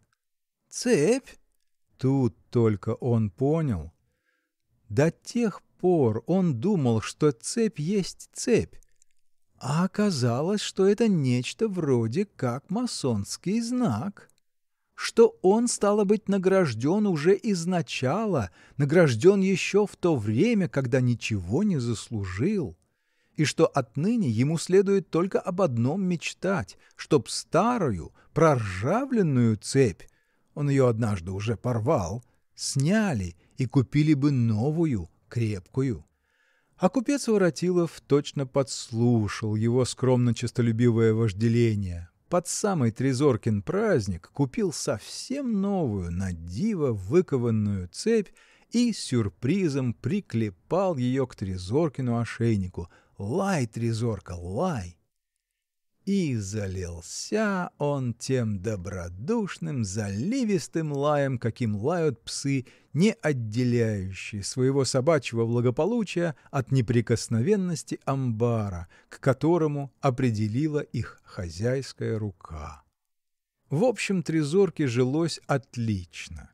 Хотя, конечно, от времени до времени не обходилось и без огорчений. В мире псов – Точно так же, как и в мире людей, лесть, пронырство и зависть нередко играют роль, вовсе им по праву не принадлежащую. Не раз приходилось и Трезорке испытывать уколы зависти. Но он был силен сознанием исполненного долга и ничего не боялся. И это вовсе не было с его стороны самомнением. Напротив, он первый готов был уступить честь и место любому новоявленному барбосу, который доказал бы свое первенство в деле непреоборимости. Нередко он даже с тревогою подумывал о том, кто заступит его место в ту минуту, когда старость или смерть положит предел его нестомчивости. Но, увы, во всей громадной стае измельчавших и излаявшихся псов, населявших живодерку, он, по совести, не находил ни одного, на которого мог бы с уверенностью указать «вот мой преемник». Так что, когда интрига задумала во что бы то ни стало уронить трезорку во мнении купца Воротилова, то она достигла только одного, и притом совершенно для нее нежелательного результата, а именно выказала повальное оскудение псовых талантов. Не раз завистливые барбосы и в одиночку, и небольшими стайками собирались во двор купца Воротилова, садились поодаль и вызывали трезорку на состязание поднимался несосветимый собачий стон, который наводил ужас на всех домочадцев, но к которому хозяин дома прислушивался с любопытством, потому что понимал, что близко время, когда и Трезору понадобится подручный. В этом неистовом хоре выдавались голоса недурные, но такого, от которого внезапно заболел бы живот со страху, не было и в помине. Иной барбос выказывал недюжинные способности, но непременно или перелает, или не долает. Во время таких состязаний Трезорка обыкновенно умолкал, как бы давая противникам возможность высказаться, но под конец не выдерживал и, к общему стону, каждая нота которого свидетельствовала об искусственном напряжении, присоединял свой собственный свободный и трезвенный лай. Этот лай сразу устранял все сомнения. Заслышав его, кухарка выбегала из стрепущей и ошпаривала коноводов интриги кипятком. От резорки приносила помоев. Тем не менее купец Воротилов был прав, утверждая, что ничто под луною не вечно. Однажды утром воротиловский приказчик, проходя мимо собачьей конуры в амбар, застал трезорку спящим. Никогда этого с ним не бывало. Спал ли он когда-нибудь? Вероятно, спал. Никто этого не знал, и во всяком случае никто его спящим не заставал.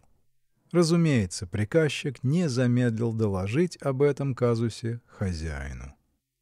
Купец Воротилов сам вышел к трезорке, взглянул на него и, видя, что он повинно шевелит хвостом, как бы говоря, «И сам не понимаю, как со мной грех случился», без гнева, полным участия голосом сказал — Что, старик, на кухню собрался?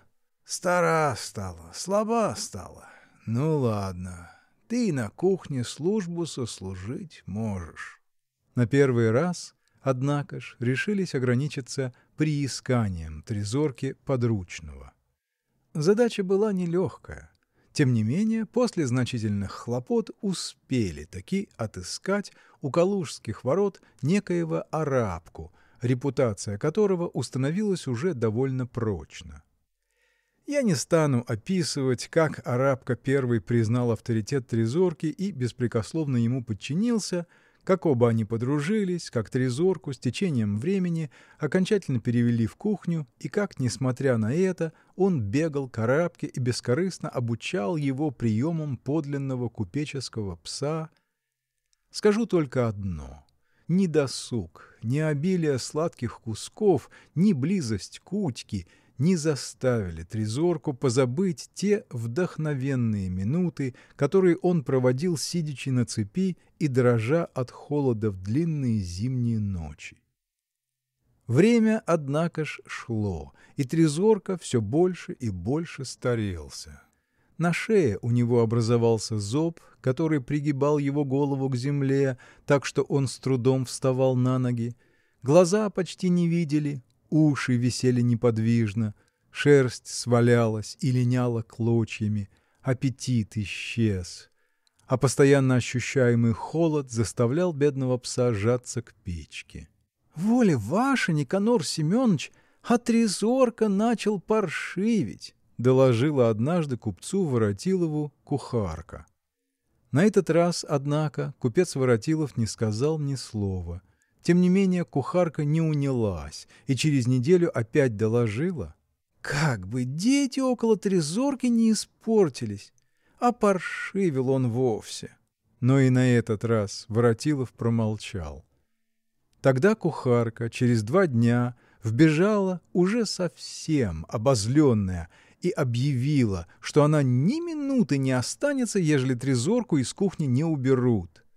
И так как кухарка мастерски готовила поросенка с кашей, а Воротилов безумно это блюдо любил, то участь Трезоркина была решена.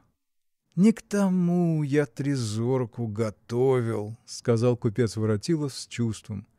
Да видно, правду пословица говорит: собаке собачья и смерть. Утопить трезорку. И вот вывели трезорку во двор.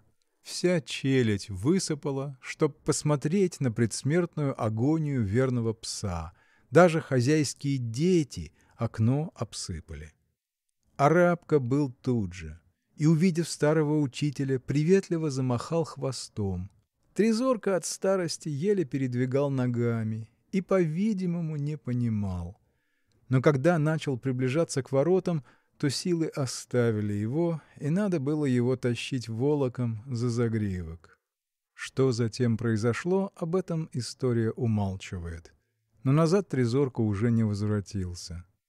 А вскоре арабка и совсем изгнал Трезоркин образ из сердца купца Воротилова. Конец секции 10. Верный Трезор.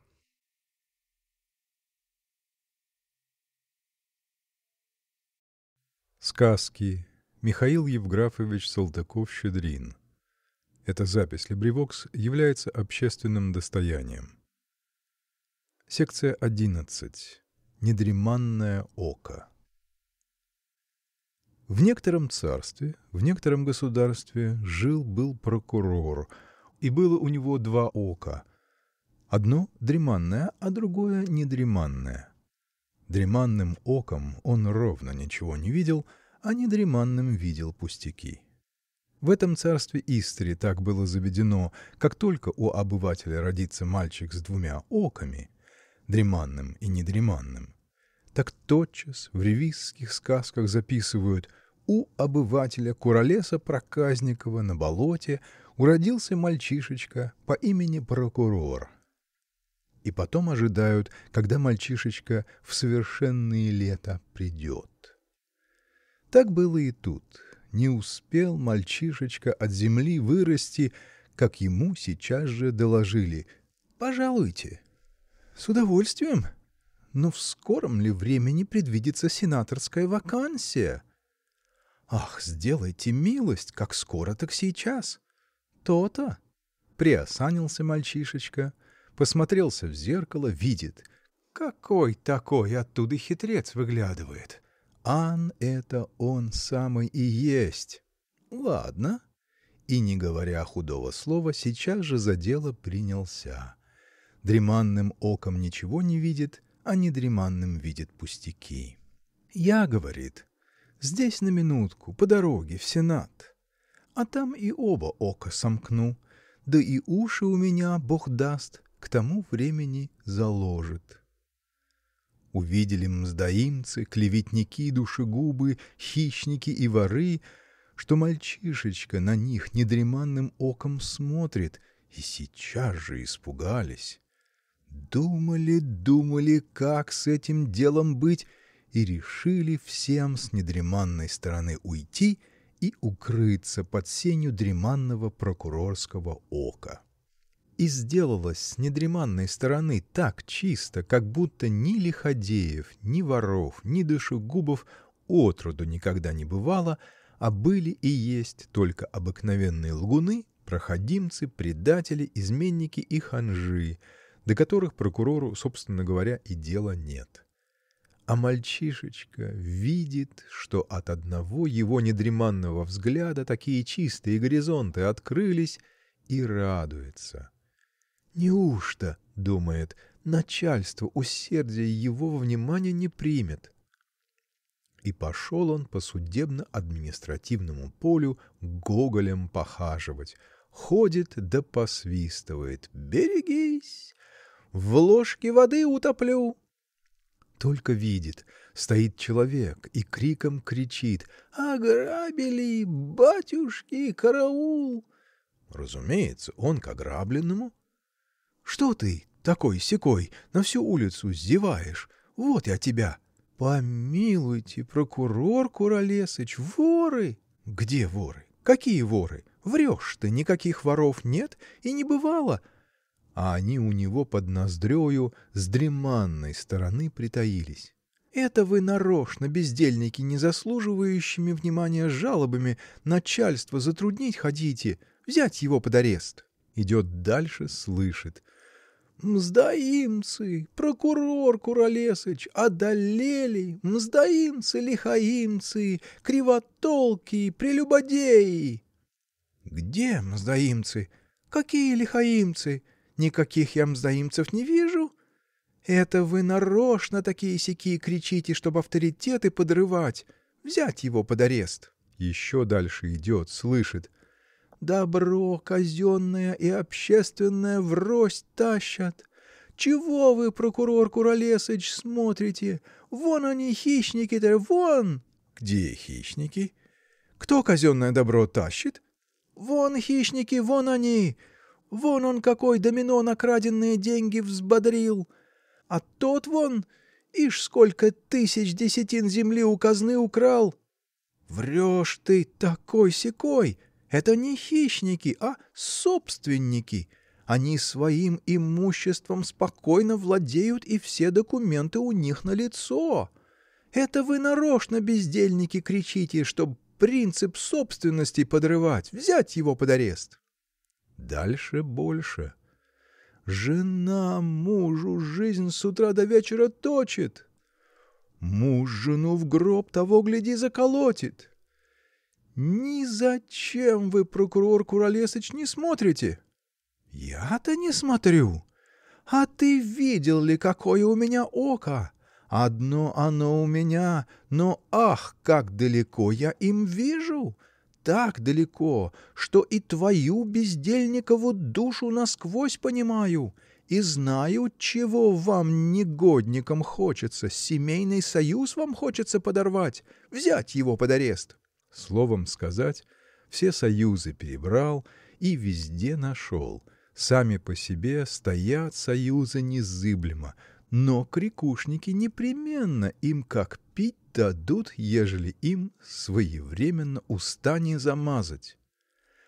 А когда до государственного союза мальчишечка дошел, то и разговаривать не стал. Кричит, как озаренный. Взять его, связать его, замуровать, законопатить. Сам кричит, а недреманное око так у него колесом и вертится в глазнице. День-деньской таким манером мальчишечка мается, союзы оберегает, а к вечеру домой отдыхать вернется. Ляжет на кровать и думает. Все-то я в полной мере, как хочется начальству, выполнил. Хищников, мздоимцев, распутников и злоупотребителей с помощью одного моего недреманного ока рассеял, а с подрывателями, кои недельными жалобами начальства утруждают, особливо распорядился. Чисто, благородно. Надеюсь, что и начальство с своей стороны мои труды в надлежащей мере оценит. «Чего бишь мне, например, пожелать?» — говорил он сам себе. «В Сенат, ежели, так я еще на одно ухо слышу, да Сенат от меня и не уйдет. Вот кабы, хоть не теперь, а со временем, вот кабы в... Да нет, это уж разве когда я обоняние я потеряю. Нет, вот сейчас, в ближайшем будущем, чего бы мне, например, пожелать?» Расстраивал, расстраивал себе воображение, да, наконец, и расстроил.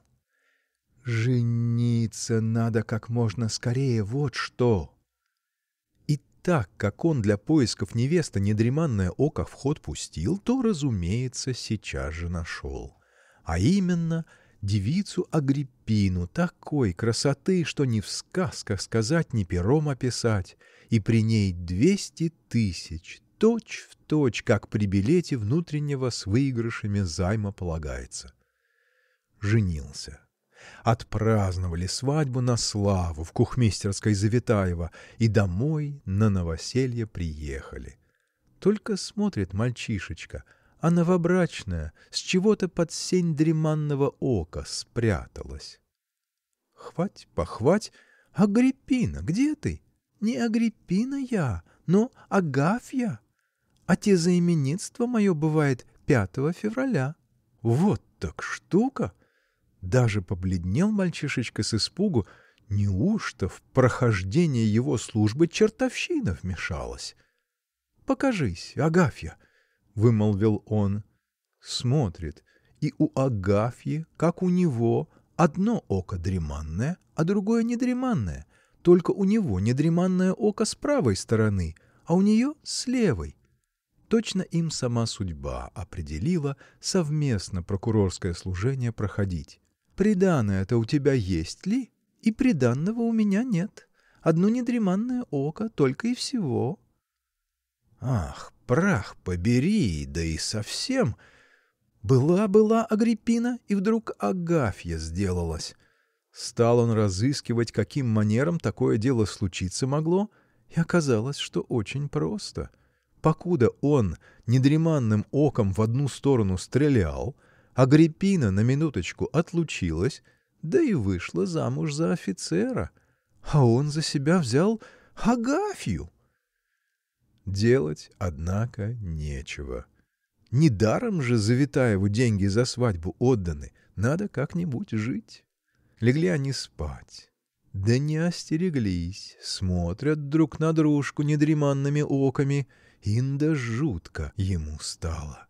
Ему-то жутко, а ей точно с гуся вода, даже приятно. — Ведьма ты, что ли? — спросил он ее. — Сказывай. — Нет, я не ведьма, но твоя законная жена.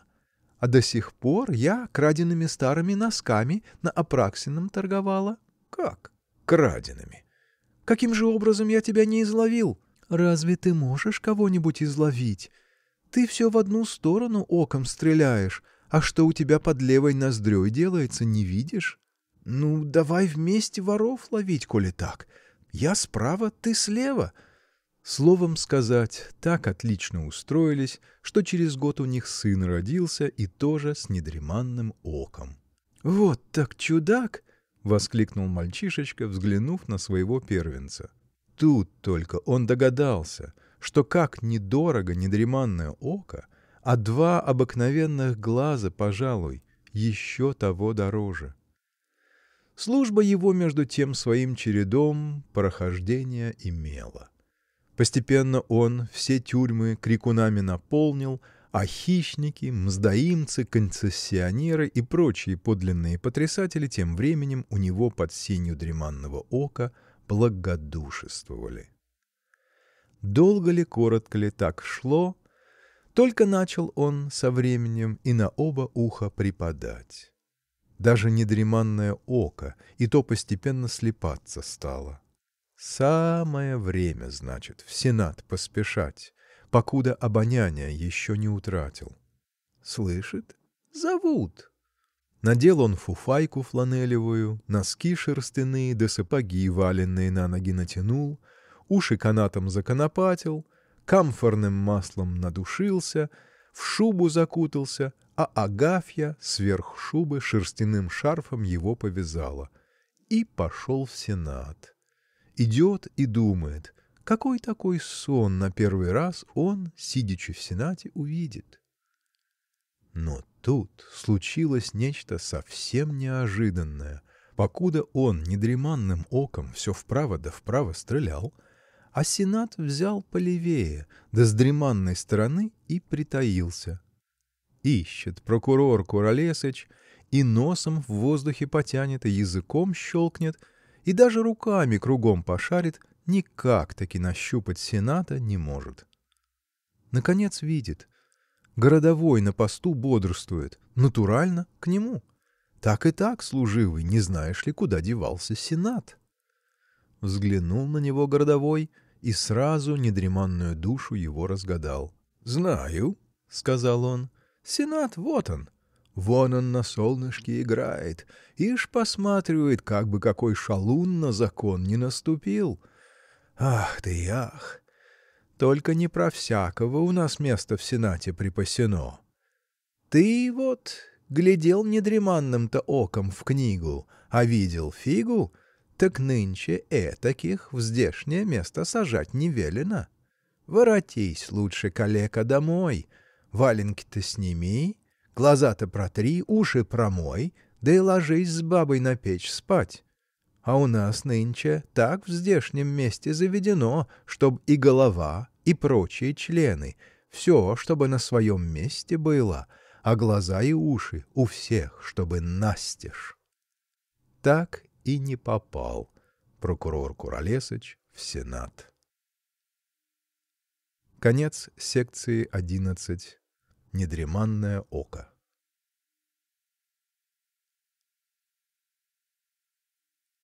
Сказки. Михаил Евграфович Салтыков-Щедрин. Эта запись LibriVox является общественным достоянием. Секция 12. Дурак. В старые годы, при царе Горохе это было, у умных родителей родился сын-дурак. Еще когда младенцем Иванушка был, родители дивились. В кого он уродился? Мамочка говорила, что в папочку, папочка, что в мамочку, а, наконец, подумали и решили – должно быть в обоих. Не то, впрочем, родителей смущало, что у них сын дурак, дурак, да ежели ко двору лучше и желать не надо, а то, что он дурак особенный, за которого, того гляди, перед начальством ответить придется. Набедокурит, начудит, по какому праву, какой такой закон есть? Бывают дураки легкие, а этот мудреный. Вон у Мелитрисы Кирбитьевны рукой подать сын Левка, тоже дурачок. Выбежит босиком на улицу, спустит рукава, на одной ножке скачет, а сам во всю мочь кричит. «Тили-тили, Левку били, бими-бими-бом-бум!» Сейчас его изымают, да на замок в холодную, сиди да посиживай. Даже губернатору, когда на ревизию приезжал Левку, показывали, и тот похвалил. «Берегите его, нам дураки нужны!» А этот дурак необыкновенный. Сидит себе дома, книжку читает, либо к папке с мамкой ласкается, и вдруг ни с того ни с сего в нем сердце загорится. Бежит, земля дрожит, к которому делу с подходцем бы подойти — а он на него прямиком лезет, которое слово совсем бы позабыть надо, а он его-то и ляпнет. И смех, и грех. Хоть кричи на него, хоть бей, ничего он не чувствует и не слышит. Сделает, что ему хочется, и опять домой прибежит к папке с мамкой под крылышко. «Что с тобой, ненаглядный ты наш? Сядь, миленький, отдохни. Я, мамочка, не устал». Куда ты, голубчик, бегаешь? Не скажешься никому и убежишь. Я, мамочка, к Левке бегал. Левка болен, калачика просит. Я взял с прилавка в булочный калачик и снес. Услышит мамочка эти слова, так и ахнет. Ах, убил! Ах, голову с меня несчастный ты снял! Что ты наделал? Это ты, значит, калачик-то украл? Как украл? Что такое украл? Сколько раз и соседи папочку с мамочкой предостерегали. «Уймите вы своего дурака! Большие он вам неприятности через свою глупость предоставит!» Но родители ничего не могли, только думали. Легко сказать «уймите», а как ты его уймешь? Как это люди не понимают, что родительское сердце по глупом сыне больше даже, чем по умным, разрывается? И точно, примется, бывало, папочка дурака усовещивать. Калач есть собственность. Он как будто и понимает. Да, папочка, Но вдруг в это время откуда ни возьмись Левка Дай, Ваня, калачика! Он шмык – и точно вот слизнул калач с прилавка. Как тут понять, украл он его или не украл? Терпел, терпел булочник, но, наконец, обиделся. Принес в квартал жалобу. Явился к дураковым родителям квартальный и сказал Как угодно, а извольте вашего дурака высечь. Плакала родительская утроба, а делать нечего. Видит папочка, что резонно квартальный говорит «высек дурака». Но дурак ничего не понял. Почувствовавши, что больно, всплакнул, но не жаловался, за что и не кричал «не буду». Скорее, как будто удивился, для чего это папочке понадобилось. Так и пропал этот урок даром. Как был Иванушка до сечения дураком, так и после сечения дураком остался.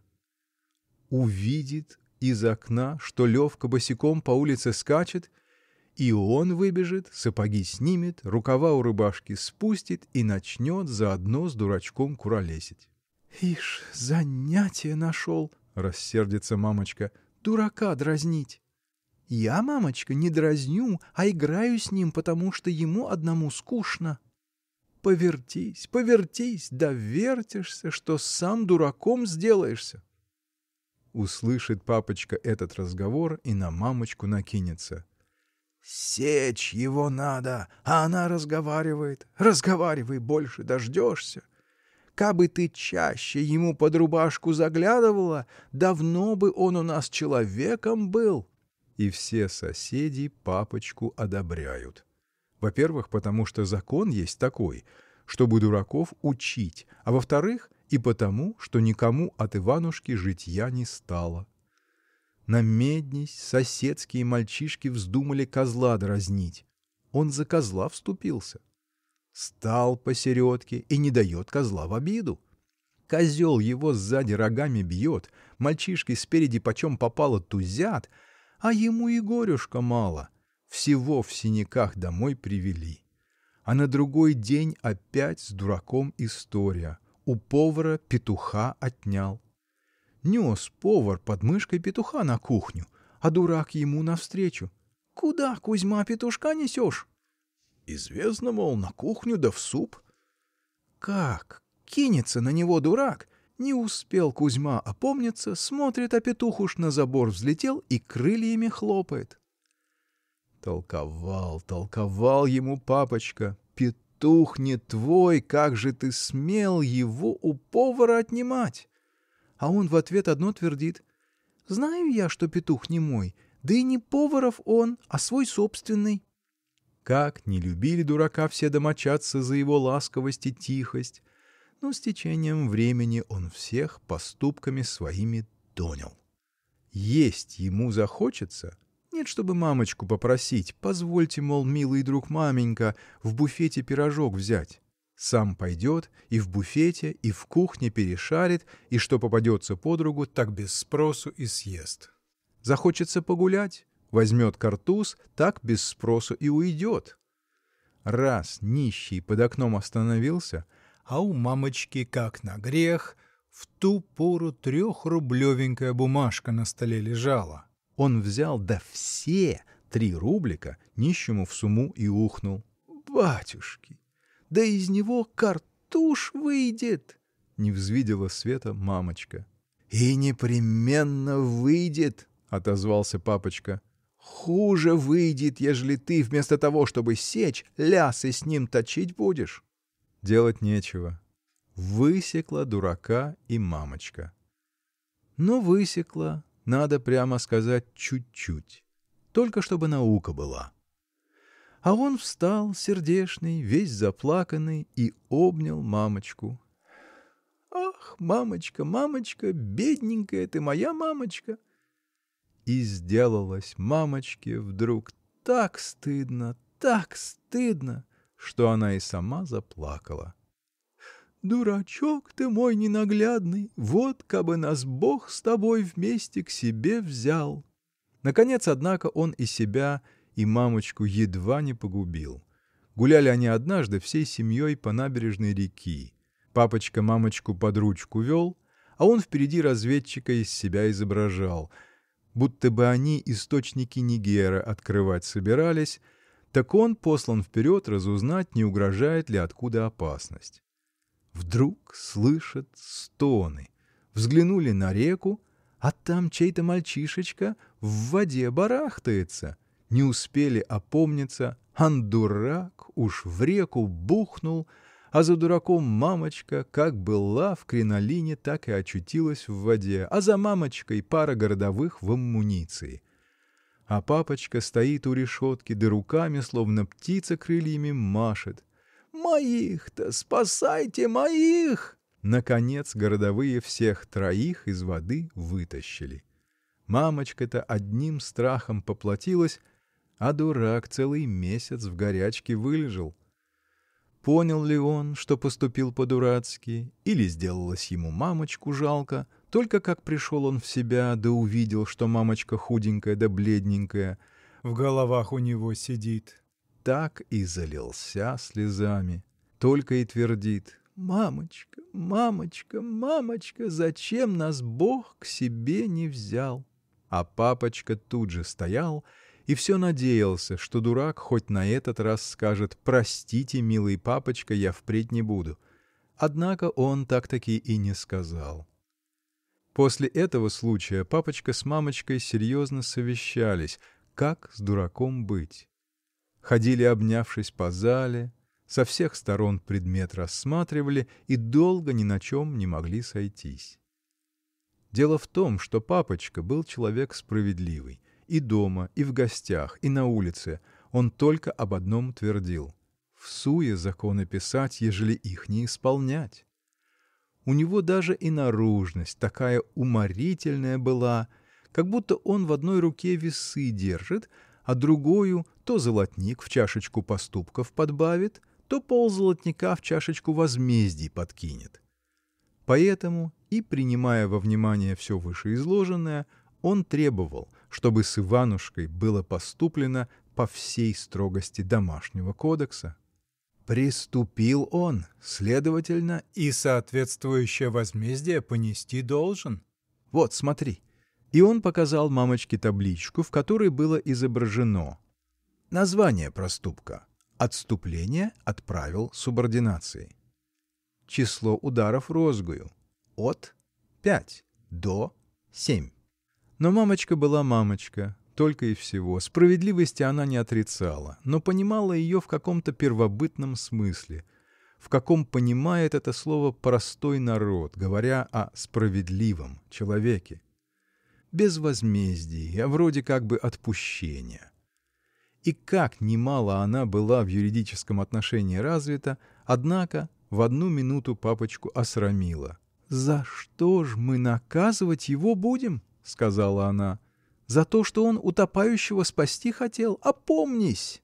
Тем не менее папочка настоял-таки, что дома держать дурака невозможно, а надо его отдать в заведение. Регулярно спокойный обиход заведения на первых порах отразился на дураке довольно выгодно. Ничто не бередило его восприимчивости, не пробуждало в нем внезапных движений души.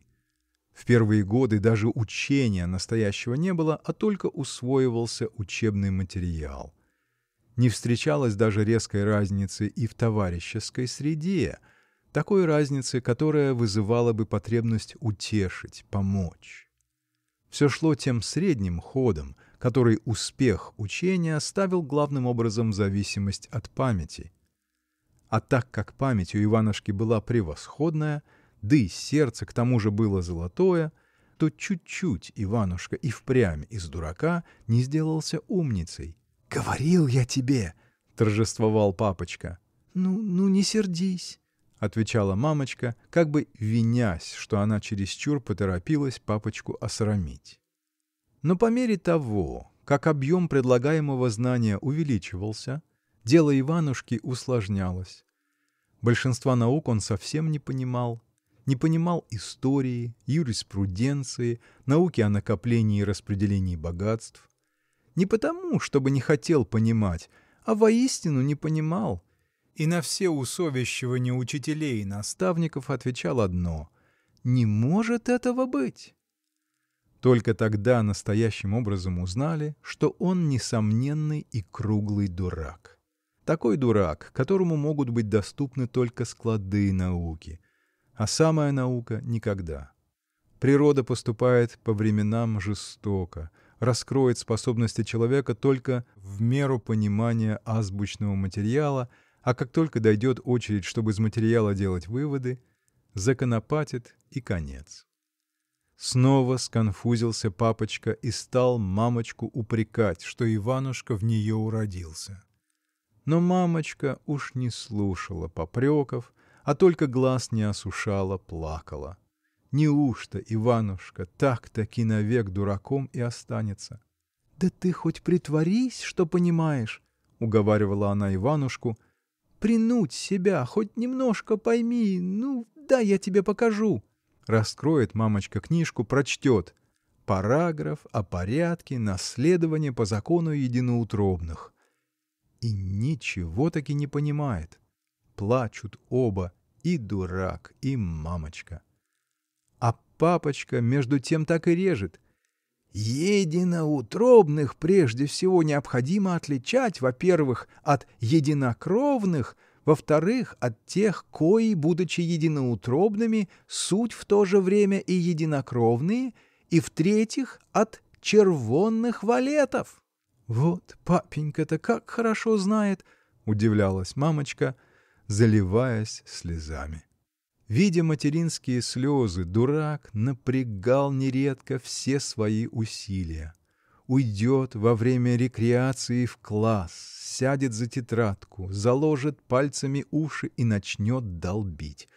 Выдолбит и так отлично скажет урок, словно на бабах разведет. И вдруг что-нибудь такое насчет Александра Македонского ляпнет, что у учителя на плешивой голове остальные три волоса дыбом встанут. «Садитесь!» — молвит учитель. «Печальная вам в будущем участь предстоит. Никогда вы государственным человеком не сделаетесь. Благодарите Бога, что Он дал вам родителей, которые ни в чем не замечены. Потому что если б не это... Садитесь!» И ежели можете, то старайтесь не огорчать ваших наставников возмутительными выходками. И точно. Только благодаря родительскому благонравию дурака из класса в класс переводили и, наконец, и из заведения с чином выпустили. Но когда он домой с аттестатом явился, то мамочка, как взглянула, что там написано, так и залилась слезами – а папочка сурово спросил. — Что ты, бесчувственный, идол набедокурил? — Я, папочка, так себе, — ответил он. — Это должно быть такое правило в заведении.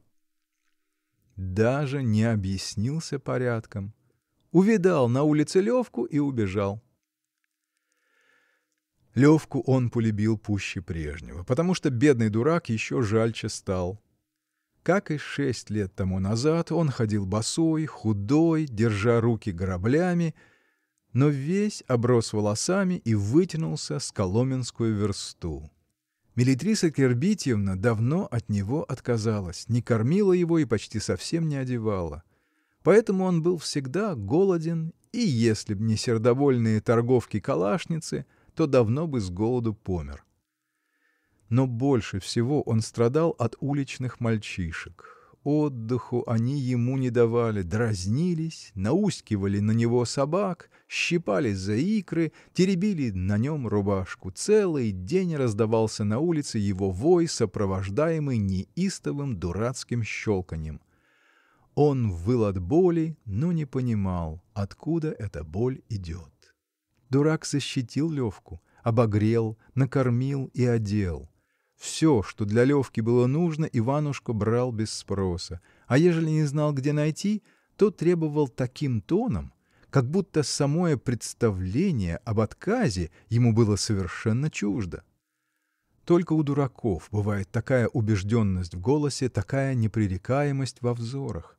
Никого и ничего он не боялся, ни к чему не питал отвращения и совсем не имел понятия об опасности. Завидев исправника, он не перебегал на другую сторону улицы, но шел прямо навстречу, точно ни в чем не был виноват. Случится в городе пожар, он первый идет в огонь. Услышит ли, что где-нибудь есть трудный больной, он бежит туда, садится к изголовью больного и прислуживает. И умные слова у него в таких случаях оказывались, словно он и не дурак. Одно только тяжелым камнем лежало на его сердце. Мамочка бессонные ночи проводила, пока он дурачество свое ублажал. Но было в его судьбе нечто непреодолимое, что фаталистически влекло его к самоуничижению и самопожертвованию, и он инстинктивно повиновался этому указанию, не справляясь об ожидаемых последствиях и не допуская сделок даже в пользу кровных уз. Не раз родители задумывались, каким бы образом дурака пристроить, чтобы он хоть маломальски на человека похож был. Определил было папочка его на службу чем-то вроде попечителя местного училища, без жалования, дескать, и дурак сойдет, а с жалованием даже наверное. Но дурак сразу такую ахинею понес, что исправник только во внимание к испытанному благонравию родителей согласился это дело замять. Тогда мамочка напала на мысль женить дурака. Может быть, бог узы ему разрешит. Подыскали невесту, молодую купеческую вдову Подвохину. Невеста из себя писанная краля была, и в гостином дворе две лавки имела. Вдовела она безупречно, товар держала всегда первейшего качества и дела свои по торговле вела умело и самостоятельно. Словом сказать, лучше партии и желать не надо. Дурак, в свою очередь, тоже понравился невесте, внешность у него была приличная, поведение кроткое. Даже ума в нем она не отрицала, как другие, но только находила, что нужно этот ум развязать. И вполне на себя надеялась, что успеет в этом. Но у дурака все вообще инстинкты до такой степени глубоко спали, что даже эта жалостливая и скромная женщина удивилась. Ни разу он не дрогнул от прикосновения к ней, ни разу не смутился, не почувствовал ни одной из тех неловкостей, к которым с таким сердечным жалением относятся женщины, инстинктивно угадывая в них первые сладостные трепетания любви. Придет дурак, отобедает, чаю напьется и, по-видимому, совсем не понимает, почему он находится у Подвохиной, а не дома. — Как это вам не скучно? Ничего вы не понимаете? — спросит его красавица-вдова. — Ах, нет, мне очень скучно. Говорят, будто от того, что занятия у меня никакого нет. Так вы займитесь, полюбите кого-нибудь. — Помилуйте, как же возможно не любить? Всех любить надо. Счастливых за то, что они сумели себя счастливыми сделать, несчастных за то, что у них радости нет. Так это сватовство и не состоялось. Потужила вдова Подвохина и даже пообещала годок подождать, но месяц-другой потерпела, да в рождественский мясоед и вышла замуж за городского голову Лиходеева. Теперь у них уж четыре лавки в гостином дворе, по будням они во всех четырех лавках торг ведут, она по галантерейной части, он по бакалейной, а по праздникам исправника и прочих властей пирогом угощают.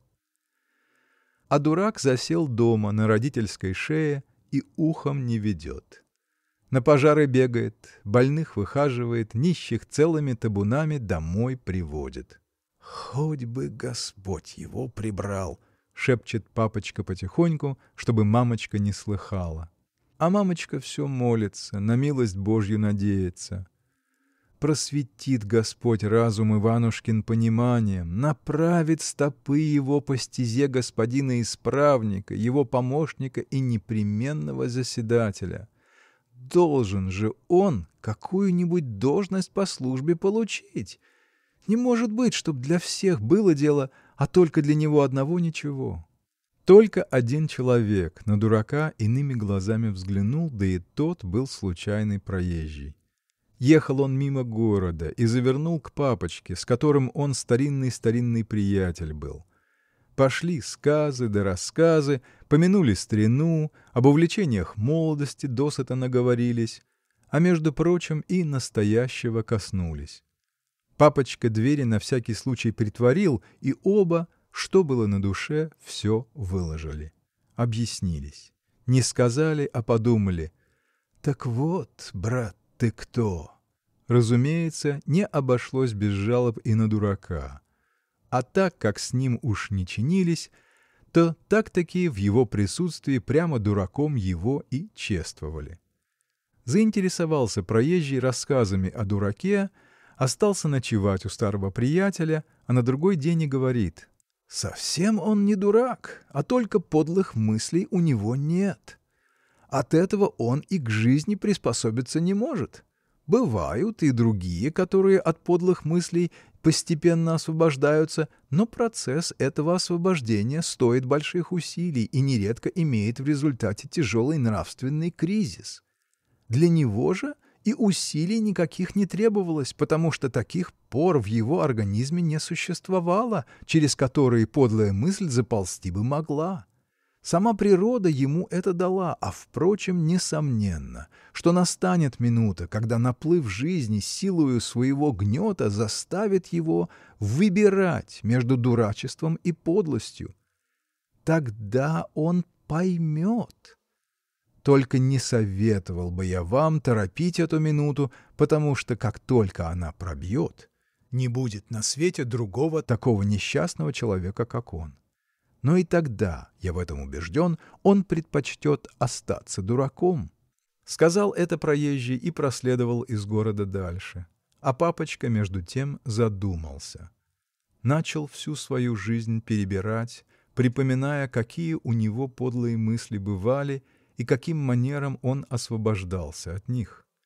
И, разумеется, как ни строго себя экзаменовал, но вышел из испытания с честью.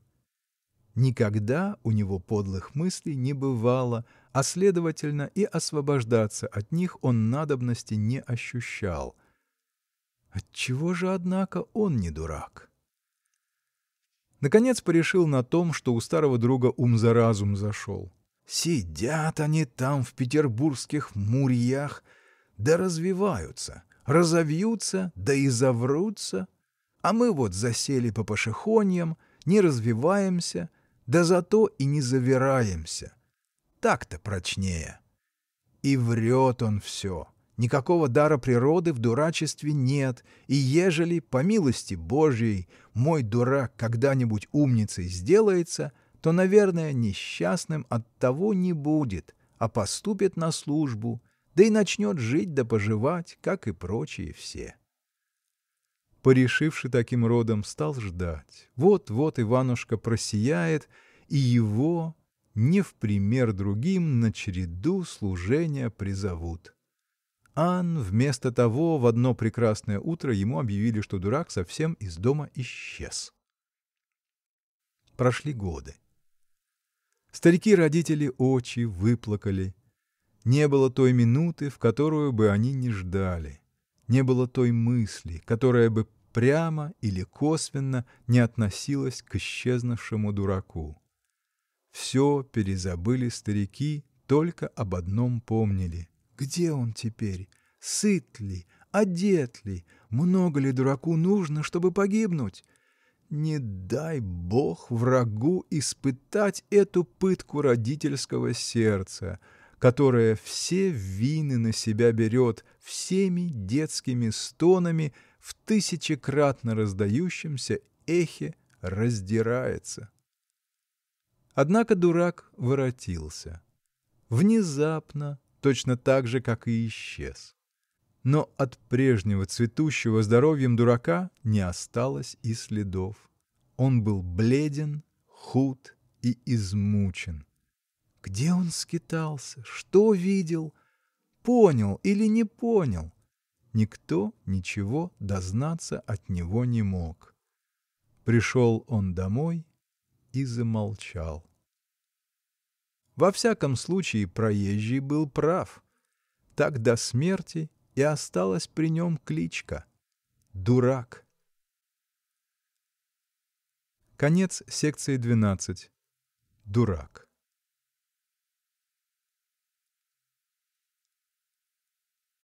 Сказки. Михаил Евграфович Салтыков-Щедрин. Эта запись Либревокс является общественным достоянием. Секция 13. Соседи. В некотором селе жили два соседа – Иван Богатый да Иван Бедный. Богатого величали Сударем и Семенычем, а бедного – просто Иваном, а иногда и Ивашкой. Оба были хорошие люди, а Иван Богатый даже отличный. Как есть во всей форме филантроп. Сам ценностей не производил, но о распределении богатств очень благородно мыслил. «Это, — говорит, — с моей стороны лепта». Другой говорит, и ценностей не производит, да и мыслит неблагородно. Это уж свинство. А я еще ничего. А Иван Бедный о распределении богатств совсем не мыслил. Недосужно ему было. Но взамен того производил ценности. И тоже говорил – это с моей стороны лепта. Сойдутся они вечером под праздник, когда и бедным, и богатым, всем досужно, сядут на лавочку перед хоромами Ивана Богатого и начнут калякать. — У тебя завтра с чем щи? — спросит Иван Богатый. — С пустым, — ответит Иван Бедный. — А у меня с убоиной. Зевнет Иван Богатый, рот перекрестит, взглянет на бедного Ивана, и жаль ему станет. — Чудно на свете деется, — молвит он. Который человек постоянно в трудах находится, у того по праздникам пустые щи на столе. А который при полезном досуге состоит, у того и в будни щи с убойной. С чего бы это? И я давно думаю, с чего бы это? Да не досуг раздумывать-то мне, только начну думать, ан в лес за дровами ехать надобно. Привез дров, смотришь, навоз возить, или с сахой выезжать пора пришла. Так между делом мысли-то и уходят. Надо бы, однако, нам это дело рассудить. И я говорю, надо бы. Зевнет и Иван Бедный с своей стороны, перекрестит рот, пойдет спать и во сне завтрашние пустые щи видит. А на другой день проснется, смотрит, Иван Богатый сюрприз ему приготовил, убоины ради праздника вощи прислал. В следующий предпраздничный канун опять сойдутся соседи и опять за старую материю примутся. — Веришь ли, — молвит Иван Богатый, — и наяву, и во сне только одно я и вижу — сколь много ты против меня обижен. — И на этом спасибо, — ответит Иван Бедный. — Хоть и я благородными мыслями немалую пользу обществу приношу, однако ведь ты не выйди-ка ты вовремя с сахой, пожалуй, и без хлеба пришлось бы насидеться. Так ли я говорю? — Это так точно. Только не выехать-то мне нельзя, потому что в этом случае я первый с голоду пропаду. — Правда твоя. Хитро эта механика устроена. Однако ты не думай, что я ее одобряю, не боже мой. Я только об одном и тужу. Господи, как бы так сделать, чтобы Ивану бедному хорошо было? Чтобы и я свою порцию, и он свою порцию. И на этом, сударь, спасибо, что беспокоитесь. Это действительно, что кабы не добродетель ваша, сидеть бы мне праздник на тюре на одной. Что ты, что ты, разве я об этом? Ты об этом забудь, а я вот об чем. Сколько раз я решался, пойду, мол, и отдам полымения нищим.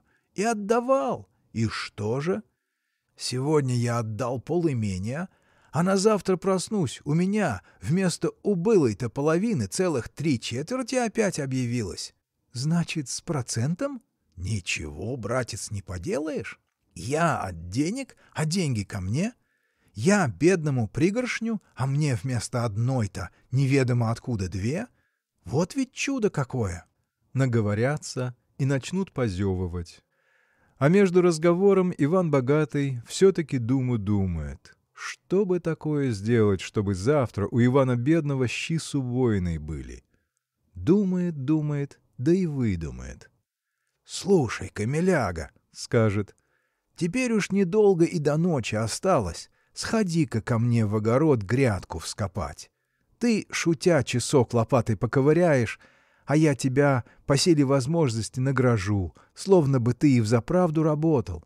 И действительно, поиграет лопатой Иван Бедный часок-другой, а завтра он с праздником словно бы и взаправду поработал. Долго ли, коротко ли соседи таким манером калякали, только под конец так у Ивана Богатого сердце раскипелось, что и взаправду не втерпешь ему стало. «Пойду, — говорит, — к самому набольшему, поду перед ним и скажу, ты у нас око царева, ты здесь решишь и вяжешь, караешь и милуешь, повели нас с Иваном Бедным в одну версту поверстать. Чтоб с него рекрут и с меня рекрут, с него подвода и с меня подвода, с его десятины грош и с моей десятины грош. От души, чтобы и его, и моя от акциза одинаково свободны были.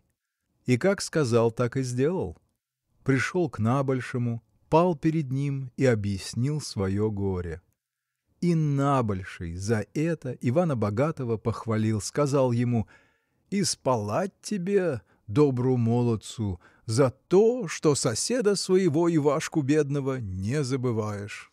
Нет для начальства приятнее, как ежели государевы подданные в добром согласии и во взаимном родении живут, и нет того зла злее, как ежели они в сваре, в ненависти и в доносах друг на дружку время проводят. Сказал это набольший и на свой страх повелел своим помощникам, чтобы в виде опыта обоим Иванам суд равный был. И дани равные, а того бы, как прежде было, один тяготы несет, а другой песенки поет, впредь чтобы не было. Воротился Иван Богатый в свое село. Земли под собою от радости не слышит. «Вот, друг сердешный!» — говорит он Ивану Бедному. «Своротил я по милости начальнической с души моей камень тяжелый. Теперь уж мне, супротив тебя в виде опыта, никакой вольготы не будет. С тебя рекрут и с меня рекрут, с тебя подвода и с меня подвода, с твоей десятины грош и с моей грош. Не успеешь и ты оглянуться, как у тебя от одной этой паровенки в ощах ежедень убоина будет. Сказал это Иван Богатый, а сам в надежде славы и добра уехал на теплые воды, где года два сряду и находился при полезном досуге. Был в Вестфалии, ел вестфальскую ветчину, был в Страсбурге, ел страсбургские пироги, в Бордо был, пил бордоское вино, наконец приехал в Париж, все вообще пил и ел. Словом сказать, так весело прожил, что на силу ноги унес. И все время об Иване бедном думал. То-то он теперь, после паровенки-то, за обе щеки уписывает. А Иван бедный между тем в трудах жил. Сегодня вспашет полосу, а завтра забаранует, сегодня скосит осминник, а завтра, коли бог ведрушка даст, сено сушить принимается. В кабак и дорогу позабыл, потому знает, что кабак — это погибель его и супруга его, Марья Ивановна, заодно с ним трудится, и жнет, и баранует, и сено трясет, и дрова колет. И детушки у них подросли, и те так и рвутся, хоть с эстолько поработать. Словом сказать, вся семья с утра до ночи словно в котле кипит, и все-таки пустые щи не сходят у нее со стола. А с тех пор, как Иван Богатый из села уехал, так даже по праздникам сюрпризов Иван Бедный не видит. «Незадача нам», — говорит бедняга жене, — «вот и сравняли меня, в виде опыта в тягостях с Иваном Богатым, а мы все при прежнем интересе находимся, живем богато со двора поката. Чего не хватись, за всем в люди покатись. Так и ахнул Иван Богатый, когда увидел соседа в прежней бедности. Признаться сказать, первою его мыслью было, что Ивашка в кабак прибытки свои таскает. Неужели он так закоренел, неужели он неисправим? — восклицал он в глубоком огорчении. Однако Ивану Бедному не стоило никакого труда доказать, что у него не только на вино, но и на соль не всегда прибытков достаточно. А что он не мод, не расточитель, а хозяин родительный, так и тому доказательства были налицо.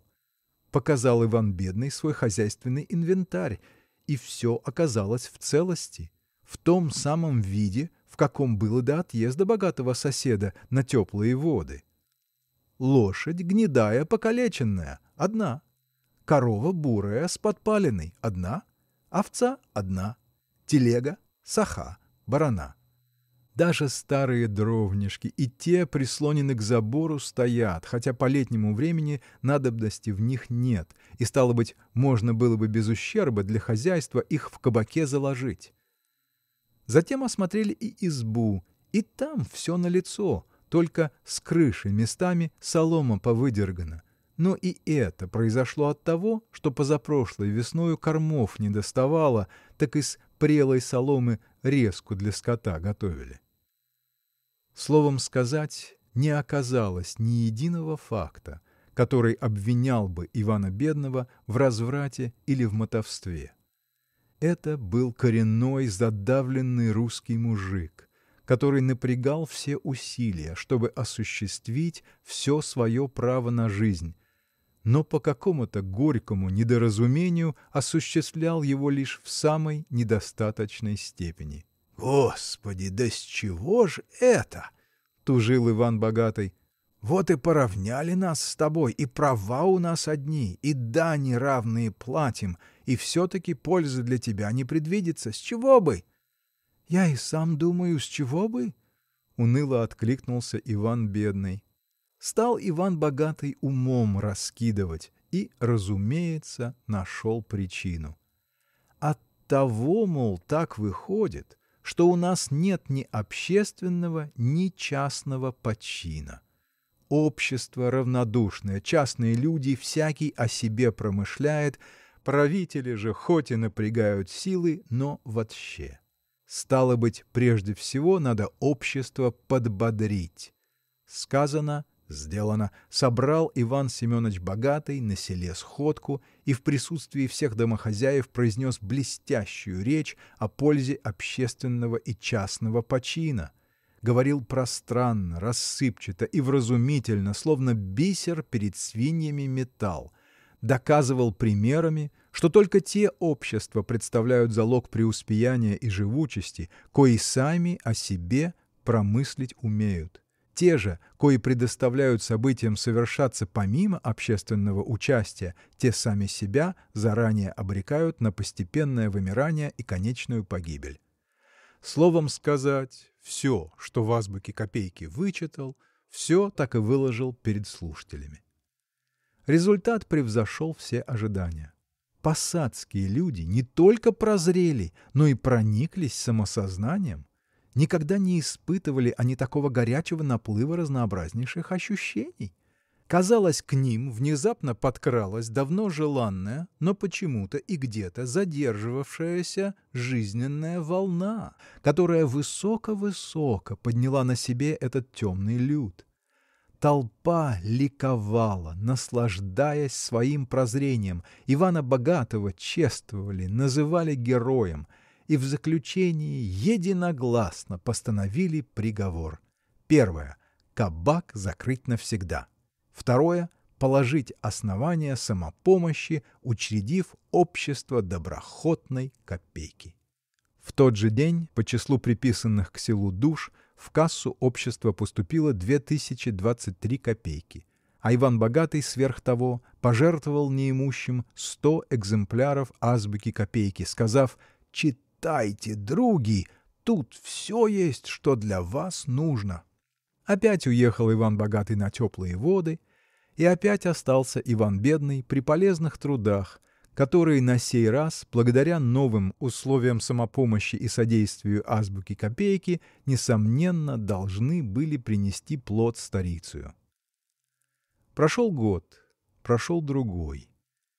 Ел ли в течение этого времени Иван Богатый в Вестфалии вестфальскую ветчину, а в Страсбурге страсбургские пироги, достоверно сказать не умею. Но знаю, что когда он по окончании срока воротился домой, то в полном смысле слова обомлел. Иван Бедный сидел в развалившейся лачуге, худой, отощалый, на столе стояла чашка с тюрей, в которую Марья Ивановна по случаю праздника подлила для запаха ложку конопляного масла.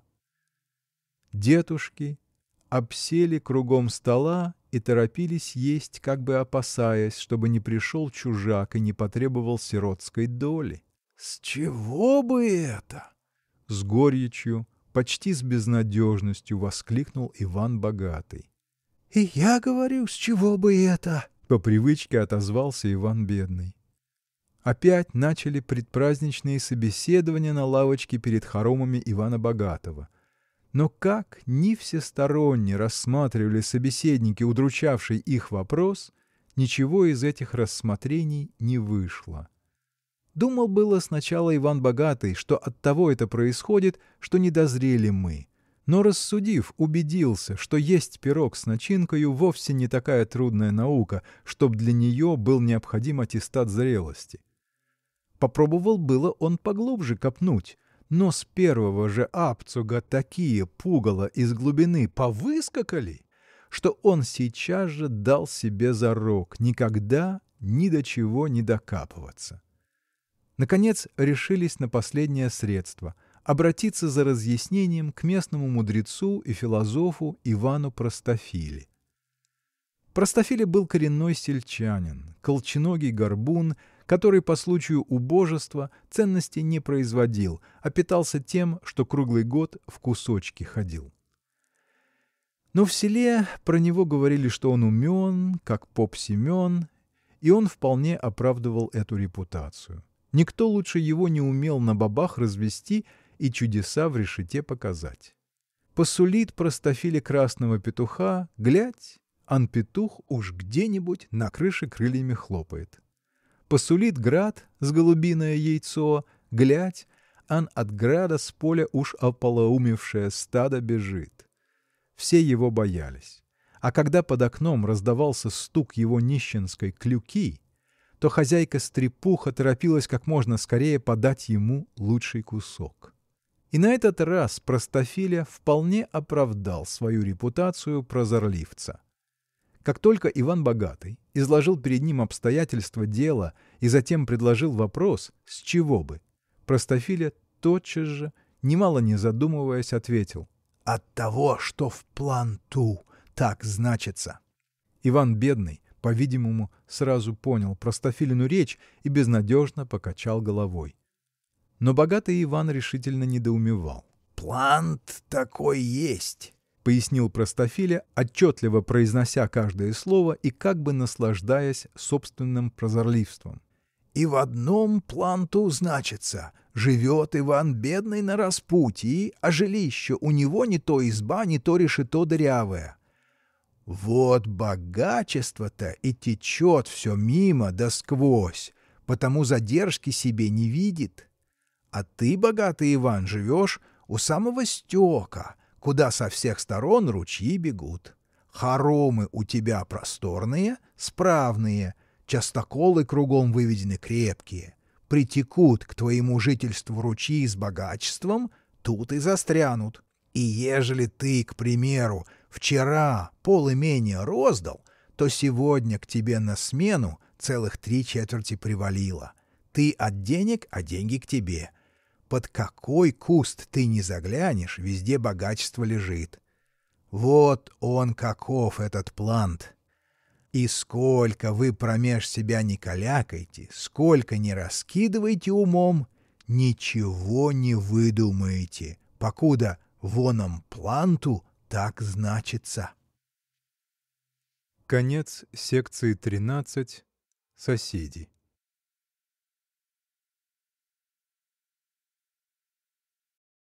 Сказки. Михаил Евграфович Салтыков-Щедрин. Эта запись LibriVox является общественным достоянием. Секция 14. Здравомысленный заяц. Хоть и обыкновенный это был заяц, а преумный. И так здраво рассуждал, что и ослу впору. Притаится под кустом, чтоб не видать его было, и сам с собой разговаривает. «Всякому, — говорит, — зверю свое житье предоставлено. Волку — волчье, льву — львиное, зайцу — заячье. Доволен ты или недоволен своим житьем, никто тебя не спрашивает, живи только и всего. Нашего брата-зайца, например, все едят. Кажется, имели бы мы основания на сие претендовать. Однако, ежели рассудить здраво, то едва ли подобная претензия могла бы назваться правильную. Во-первых, кто ест, тот знает, зачем и почему ест. А во-вторых, если бы мы и правильно претендовали, от этого нас есть не перестанут. Сверх пропорций все равно не будут есть, а сколько надо, непременно съедят. Статистические таблицы при Министерстве внутренних дел, издаваемые на этом заяц обыкновенно засыпал, потому что статистика имела свойство приводить его в беспамятство. Но выспится и опять примется здраво рассуждать. Едят нас, едят, а мы, зайцы, что год, то больше плодимся. Стало быть, и нам пальцы в рот не клади. И летом, и зимой посмотри на поляну, то и дело, что зайцы вдоль и поперек сигают. Заберемся мы в капустники или в овсы, или около молодых яблонь пристроимся, пожалуй, и от нашего брата солоно мужичку придется. Да, и за нами, за зайцами глаз да глаз нужен. Недаром статистические таблицы при Министерстве внутренних дел издаваемые... Новый сон, новые пробуждения, новые здравые мысли. Без конца заяц умную свою канитель разводил — и так прикинет, и этак смекнет, и все у него хорошо выходило. И что всего дороже, ни карьеры он при этом в виду не имел, ни перед начальством оригинальностью взглядов блеснуть не рассчитывал. Он знал, что начальство, не выслушавшее его, съест. А просто-напросто сам для себя любил солидно, по-заячьи обо всем рассудить.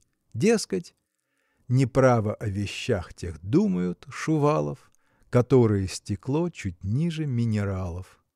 Вот, мол, у нас как. Сидел он однажды таким манером под кустиком, да и вздумал перед зайчихой своей здравыми мыслями щегольнуть. Встал на задние ножки, ушки на макушку взбодрил, передними лапками штуки фигуры выделывает, а языком, слово за словом, точно горох так и сыплет. Нет, говорит, мы, зайцы, даже очень хорошо прожить можем. Мы и свадьбы справляем, и хороводы водим, и пиво в престольные праздники варим. Расставим верст на десять сторожей, да и горланим. А волк услышит, да и прибежит, кто песни пел. Но тут натурально кто куда поспел. Успел улепетнуть, в другом месте пиво вари. Не успел Съест тебя волк, как пить даст. И ничего ты с этим не поделаешь. Зайчиха, правду ли я говорю? Коли не врешь, так правду говоришь. — отвечала зайчиха, которая уже за десятым мужем за этим зайцем была, и все прежние девятеро у нее на глазах напрасную смертью погибли. «Подлый народ эти волки, это правду надо сказать. Все у них только разбой на уме», — продолжал заяц.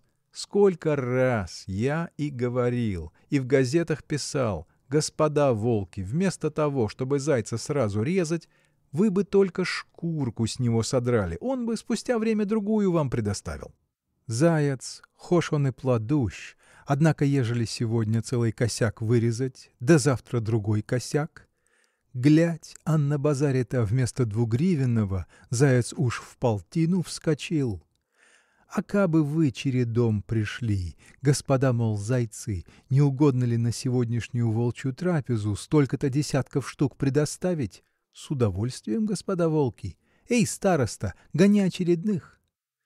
И шло бы у нас все по закону, как следует, и волки, и зайцы все бы в надежде были. И мы бы, и вы бы, и с одной стороны, и с другой стороны. Ах, господа, господа! Говорил, говорил заяц, и чуть было совсем не зарапортовался, как вдруг услышал, что неподалечку, в траве, что-то шуршит. Смотрит, ан зайчиха-то его давно стречка дала, а лиса-кляузница легла на брюхо, да и ползет на него, словно поиграть с заинькой собралась. — Вон ты какой заяц умный! — первая заговорила лиса. — Так ты сладко растобарываешь, что век бы я тебя слушала, и все бы слушать хотелось. Умен был заяц, а с первоначалу и он обомлел. Стоит на задних лапках, как вкопанный. Не то в сторону глазами косит, куда бы стричка дать, не то обдумывает. Вот оно, когда пришлось с здравой точки зрения на свое положение взглянуть. «Голодна, тетенька?» — спросил он, стараясь как можно меньше робеть. «И что ты, Господь с тобой! Да я присытехонька! Разве потом что будет, а теперь и Боже меня сохрани! Здравствуй, заинька, будь здоров!» Села лиса по собачьему, и заиньку присесть пригласила, и он ножки под себя поджал. Поджал сердешный и все сам с собой рассуждает. Как, мол, я ожидал, так, по-моему, и вышло. Всякому зверю свое житье, льву львиное, лисе лисье, зайцу заячье. Ну-тка, вывози теперь заячье житье. А лисица точно читает в его сокровенных мыслях, сидит, да знай, заиньку похваливает. И откуда ты к нам такой философ пожаловал? Недавно я, тетенька, из-за тридевять земель, как угорелый, сюда прикатил. Жил я в своем месте, можно сказать, даже очень хорошо, и семейство у меня было, и обзаведенница, и все такое. Целую зиму мы у помещика на скотном дворе в омете припеваючи прожили. Днем спим, а ночью клинков да яблонек погрызем. Уж дело к весне шло. В лес бы собираться на дачу пора, ан к нам в омет волк пожаловал. Какие такие звери? По какому виду? С чьего разрешения? Я-то, признаться, убег, а зайчиха с зайчатами... Слышала я об этом. Волк-то мне кумом приходится, так сказывал. На меднись, говорит, я целое заячье гнездо разорил, а заяц убег. Так как бы нам кума его разыскать? Анты, вот он он. Смотри, жену-то чай жалко было. Уж и не помню. Вижу, что надо бежать, и побежал. Прибежал, смотрю, зайчиха вдова сидит, давай, мол, вместе жить. И стали жить. Жили мы с ней, нельзя похаять, исправно, а теперь вот она убежала, а я остался. Ах ты, горюн, горюн, ну, дай срок, мы ее изымаем. Лисица зевнула, легонько куснула зайца за ляжку. Он, однако, сделал вид, что не заметил, повалилась на бок, откинула голову и зажмурилась. «Ишь, ведь солнце-то жарит!» — лениво пробормотала она. «Словно дело делает. Сем я вздремну, а ты тем временем сядь поближе да покалякай». Так и сделали. Лиса задремала, а заяц с таким расчетом сел, чтоб лисе его во всякое время мордой достать было можно, и начал сказки сказывать. «Я, тетенька, не привередлив», — говорил он, — «я всячески жить согласен. И трех лет еще нет, как я на свете живу, а уж чуть не половину России обегал. Только что в одном месте оснуешься, глядь, либо волк, либо сова, либо охотнички с облавой на тебя собрались. Беги, сломя голову, устраивайся по-новому за три девять земель. Но я на это не ропщу, потому понимаю, что такова есть заячья жизнь. А ежели иной раз и не понимаю, то и не понимающий все-таки бегу. Все одно, как мужики в наших местах. Он спать собрался, а под окном у него тук-тук. Ступай, дядя Михей, с подводой. На дворе метель, стыть. Лошаденка у него чуть дышит, а он навалит на подводу солдат, да и прет двадцать верст около саней пешком. Через сутки, гляди, опять домой вернулся. Ребятам пряника привез, жене платок на голову, всем вообще слезы. Спроси его, что сие означает. Он тебе ответит, означает сие мужицкую жизнь. Так-то и мы, зайцы. Жить живем, а рук на себя не накладываем. Всегда мы готовы. Так ли я, тетенька, говорю? Лиса вместо ответа тихо лайнула точно во сне. Заяц искоса взглянул на нее, не спит ли, мол, тетенька. Не было ли у него при этом на уме, в случае чего, стричка дать? Наверное, сказать не могу. Но очень возможно, что и такого рода политика в программу заячьей жизни входит. Однако, хотя лиса не только глаза зажмурила, но легла на спину и даже ноги подлая распялила, но заяц чутьем догадался, что она это комедии перед ним разыгрывает. «Расскажу я тебе», — продолжал он, — «как у меня дядя у одного солдата в услужении жил. Поймал его солдат еще махонького и всему солдатскому обиходу выучил из ружья ли выпалить, артикул ли выкинуть, смаршировать ли, в барабан ли зорю отбить. На все дядя за первый сорт был. Ездят, бывало, вдвоем по базарам, представления показывают, а им кто яйцо, кто копеечку, кто хлеба кусок Христа ради подаст. Так вот этот самый солдат житье свое дяде рассказывал. «Жил я, — говорит, — в дому у родителей, и послал меня однажды батюшка сани на зиму изладить. Излаживаю я, песенки попиваю, трубочку покуриваю, вдруг десятский на двор. «Ступай, Семен, в волосную, тебя в солдаты требуют». Я в чем был, в том и ушел. Хорошо, что трубку-то в штаны спрятать успел. Ушел до двадцать лет после того и пропонтировал. Сноска.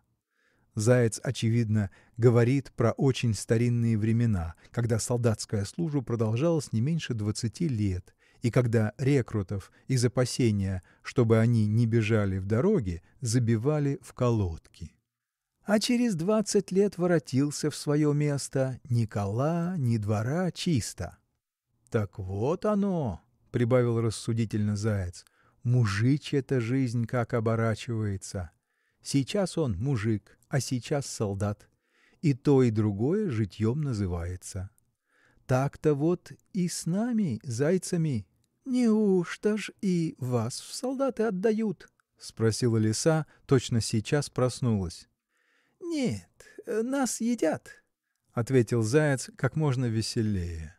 «Я тоже думаю, потому что какие же вы солдаты, хуже старинной гарнизы, которую славный генерал Бибиков негодницей звал.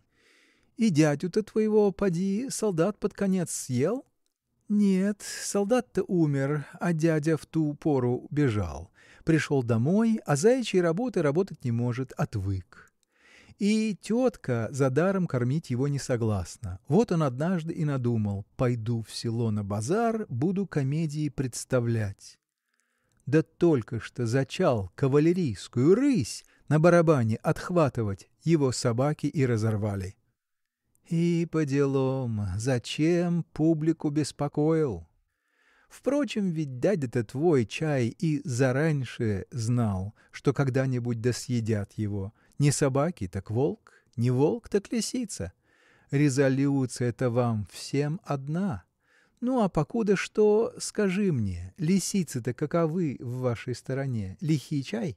В нашей стороне лисицы, нужно правду сказать, даже очень лихий. Я-то ни с одной близко не встречался, а видел, как однажды лисицу у меня в глазах охотничек заполивал.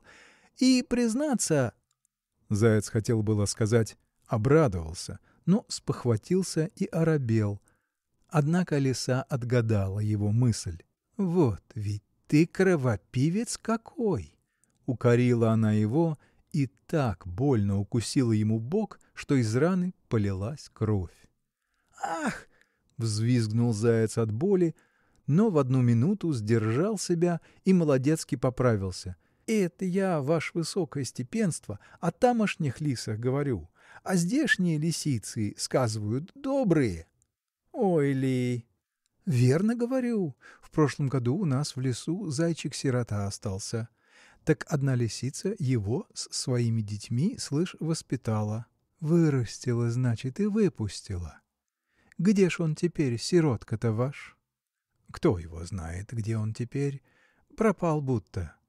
Поворовывать, говорят, начал. Скружился. А, наконец, и лисицу молоденькую соблазнил. За это будто бы его старуха-лисица съела.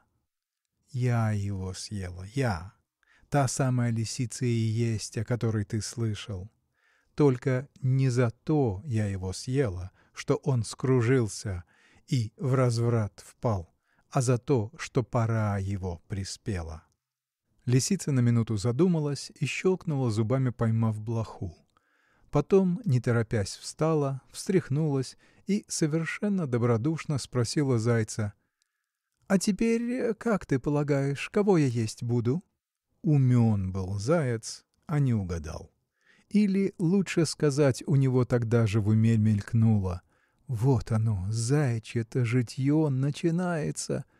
Но ему, смерть, не хотелось даже самому себе признаться в этом. «Не знаю», — ответил он. Однако и по лицу, и по голосу его так было явно, что он лжет, что лиса не на шутку рассердилась. «Вот ты какой лгун!» — сказала она.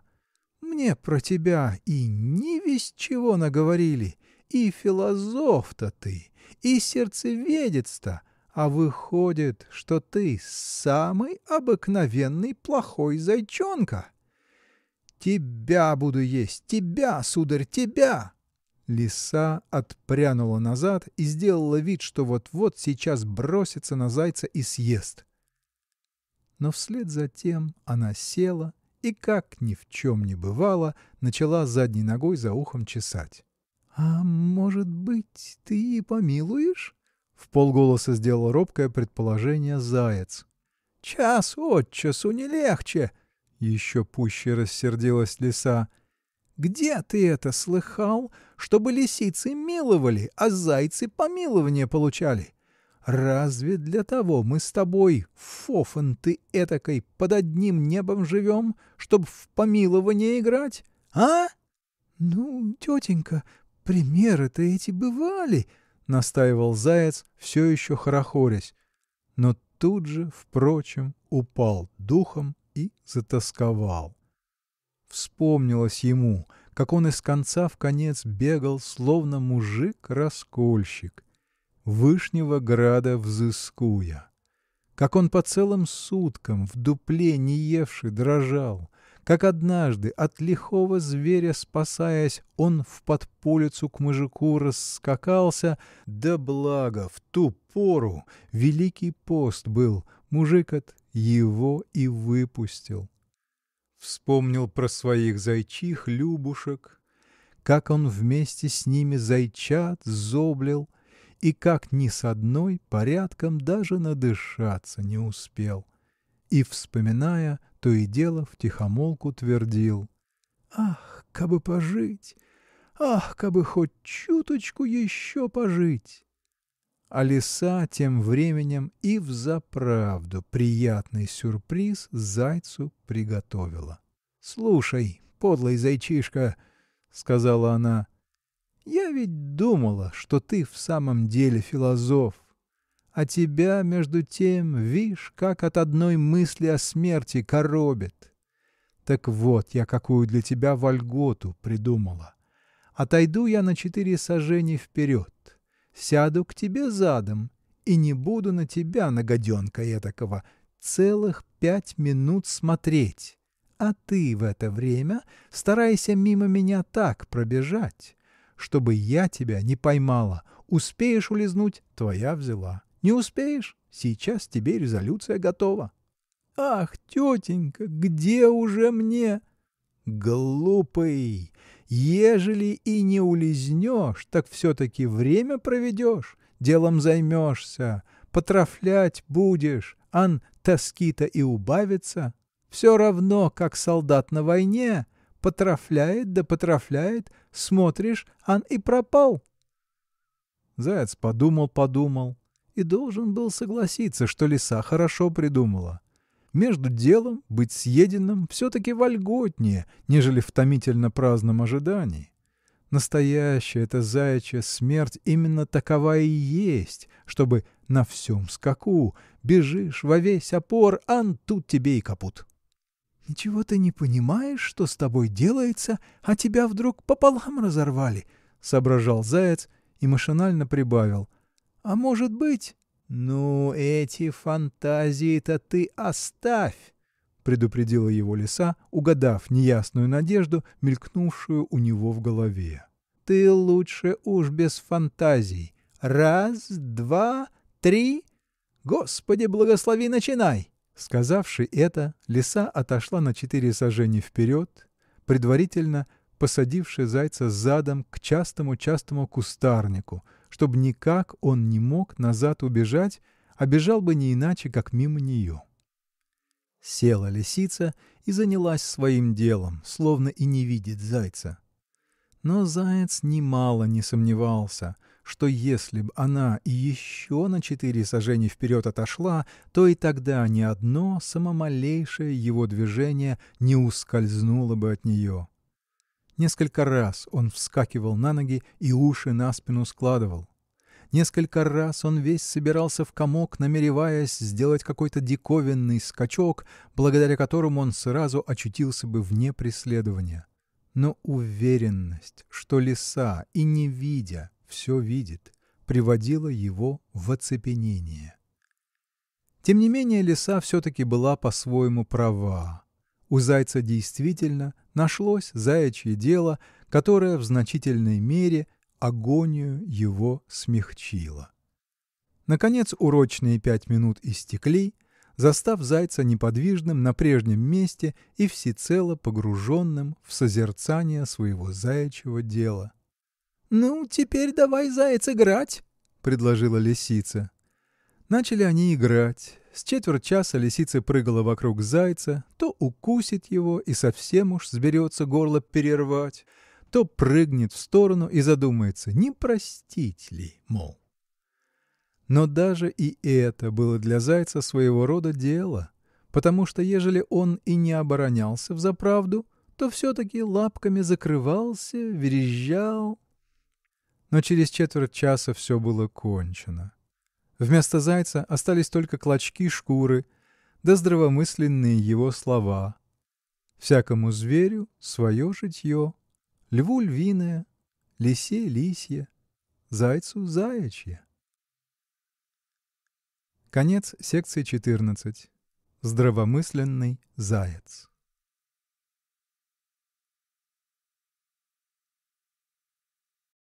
Сказки Михаил Евграфович Салтыков-Щедрин. Эта звукозапись Либривокс является общественным достоянием. Секция 15. Либерал. В некоторой стране жил-был либерал, и притом такой откровенный, что никто слова не молвит, а он уж во все горло гаркает Ах, господа, господа, что вы делаете? Ведь вы сами себя губите. И никто на него за это не сердился, а напротив, все говорили Пускай предупреждает, нам же лучше. «Три фактора, — говорил он, — должны лежать в основании всякой общественности — свобода, обеспеченность и самодеятельность. Ежели общество лишено свободы, то это значит, что оно живет без идеалов, без горения мысли, не имея основы для творчества, ни веры в предстоящие ему судьбы. Ежели общество сознает себя необеспеченным, то это налагает на него печать подавленности и делает равнодушным к собственной участи. Ежели общество лишено самодеятельности, то оно становится неспособным к устройству своих дел и даже мало-помалу утрачивает представление об Отечестве. Вот как мыслил либерал. И надо правду сказать, мыслил правильно. Он видел, что кругом него люди, словно отравленные мухи, бродят, и говорил себе «Это от того, что они не сознают себя строителями своих судеб. Это колодники, к которым и счастье, и злосчастье приходит без всякого с их стороны предвидения» которые не отдаются беззаветно своим ощущениям, потому что не могут определить, действительно ли это ощущение или какая-нибудь фантасмагория. Одним словом, либерал был твердо убежден, что лишь упомянутые три фактора могут дать обществу прочные устои и привести за собою все остальные блага, необходимые для развития общественности. Но этого мало – либерал не только благородно мыслил, но и рвался благое дело делать.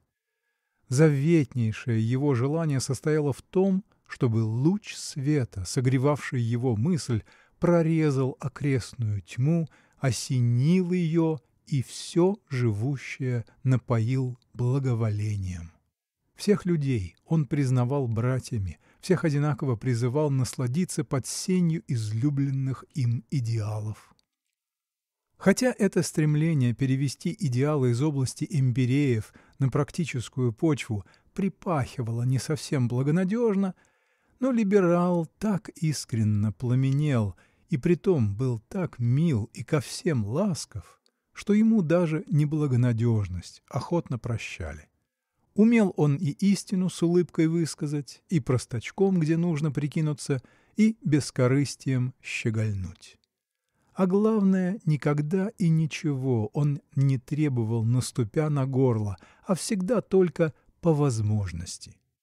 Конечно, выражение «по возможности» не представляло для его ретивости ничего особенно лестного. Но либерал примирялся с ним, во-первых, ради общей пользы, которая у него всегда на первом плане стояла, и, во-вторых, ради ограждения своих идеалов от напрасной и преждевременной гибели. Сверх того он знал, что идеалы его одушевляющие имеют слишком отвлеченный характер, чтобы воздействовать на жизнь непосредственным образом. Что такое свобода, обеспеченность, самодеятельность? Все это отвлеченные термины, которые следует наполнить, несомненно, осязательным содержанием, чтобы в результате вышло общественное цветение, Термины эти в своей общности могут воспитывать общество, могут возвышать уровень его верований и надежд, но благо осязаемого, разливающего непосредственное ощущение довольства принести не могут. Чтобы достичь этого блага, чтобы сделать идеал общедоступным, необходимо разменять его на мелочи – и уже в этом виде применять к исцелению недугов, удручающих человечество. Вот тут-то, при размене на мелочи, и вырабатывается само собой это выражение «по возможности», которое из двух приходящих в соприкосновение сторон одну заставляет в известной степени отказаться от замкнутости, а другую в значительной степени сократить свои требования. Все это отлично понял наш либерал и, заручившись этими соображениями, припоясался на брань с действительностью. И прежде всего, разумеется, обратился к сведущим людям. свобода, ведь, кажется, тут ничего предосудительного нет? – спросил он их. – Не только не предосудительно, но и весьма похвально, – ответили сведущие люди, – ведь это только клевещут на нас, будто бы мы не желаем свободы. В действительности мы только об ней и печалимся. Но, разумеется, в пределах. Хм, в пределах, понимаю. А что вы скажете насчет обеспеченности? И это, милости просим, но, разумеется, тоже в пределах. А как вы находите мой идеал общественной самодеятельности? Его только и не доставало, но, разумеется, опять-таки в пределах. Что ж, в пределах так в пределах. Сам либерал хорошо понимал, что иначе нельзя. Пусти-ка совраса без узды, он в один момент того накуролесит, что годами потом не поправишь. А с уздою святое дело. Идет соврас и оглядывается, а ну-ка я тебя, соврас, кнутом шарахну. Вот так. И начал либерал в пределах орудовать. Там урвет, тут урежет, а в третьем месте и совсем спрячется. А следующие люди глядят на него и не нарадуются. Одно время даже так работой его увлеклись, что можно было подумать, что и они либералами сделались. «Действуй!» – поощряли они его. «Тут обойди, здесь стушуй, а там и вовсе не касайся, и будет все хорошо. Мы бы, любезный друг, и с радостью готовы тебя, козла, в огород пустить, да сам видишь, каким тыном у нас огород обнесен. «Э, – Вижу-то, вижу, – соглашался либерал, – но только как мне стыдно свои идеалы ломать. Так стыдно. Ах, как стыдно! Ну и постыдись маленько, стыд глаза не выезд. Зато по возможности все-таки затею свою выполнишь. Однако по мере того, как либеральная затея по возможности осуществлялась, Сведущие люди догадывались, что даже и в этом виде идеалы либерала не розами пахнут. С одной стороны, чересчур широко задумано, с другой стороны, недостаточно созрело, к восприятию не готово. «Не в моготу нам твои идеалы», — говорили либералу сведущие люди.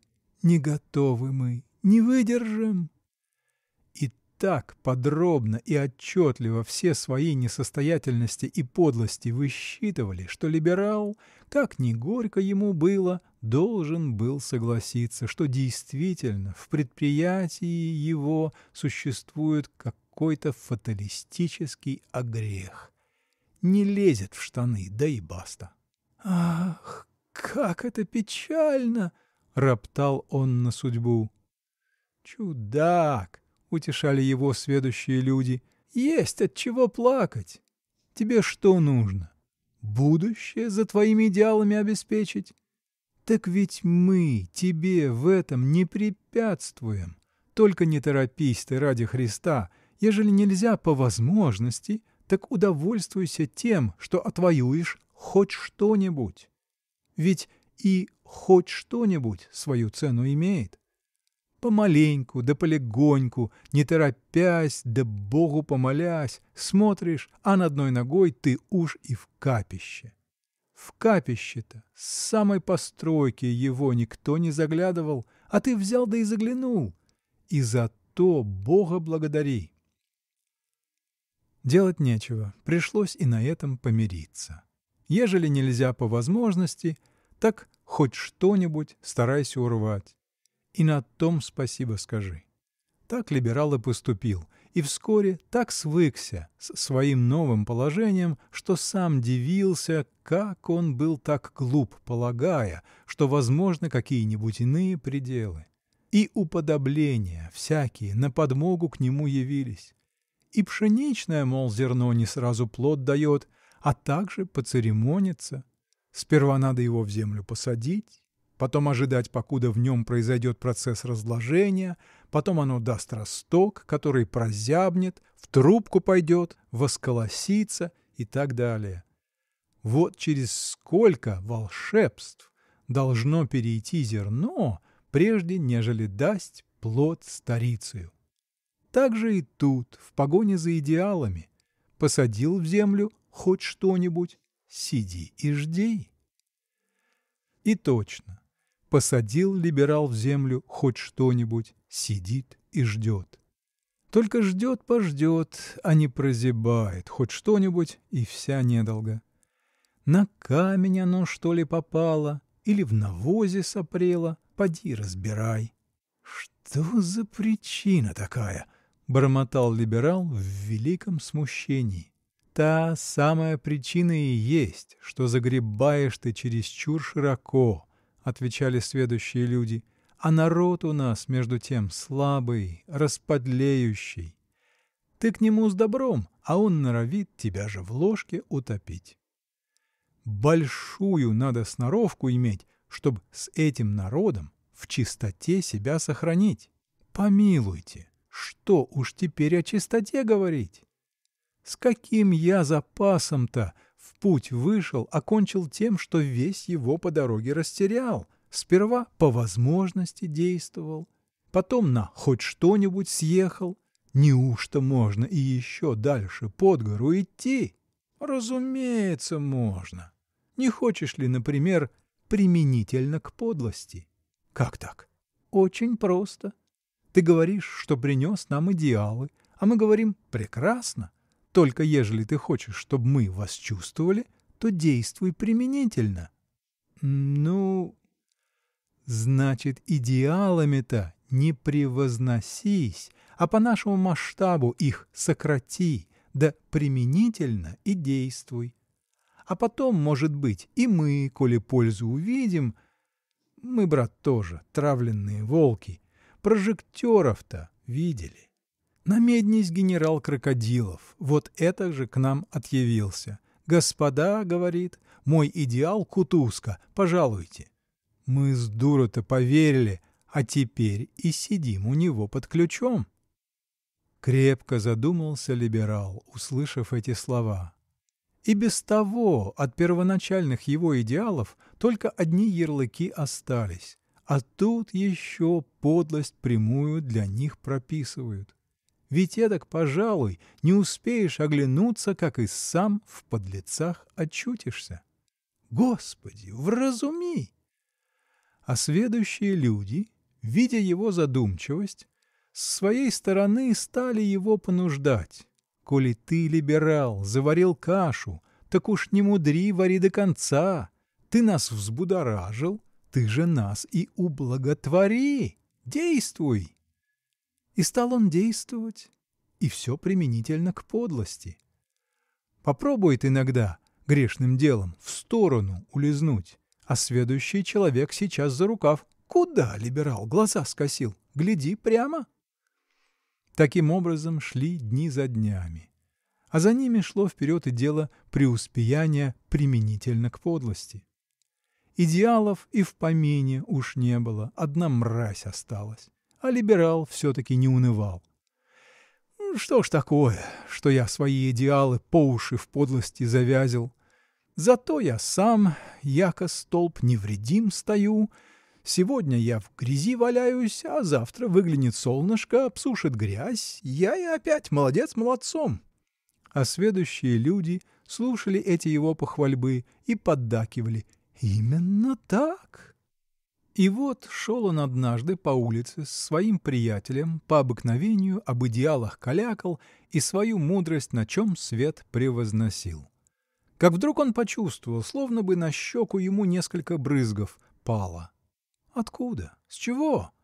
Взглянул либерал наверх. Не дождик ли, мол?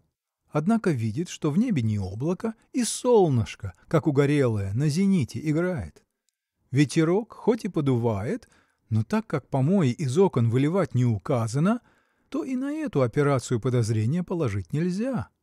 «Что за чудо?» — говорит приятелю либерал. «Дождя нет, помоев нет, а у меня на щеку брызги летят».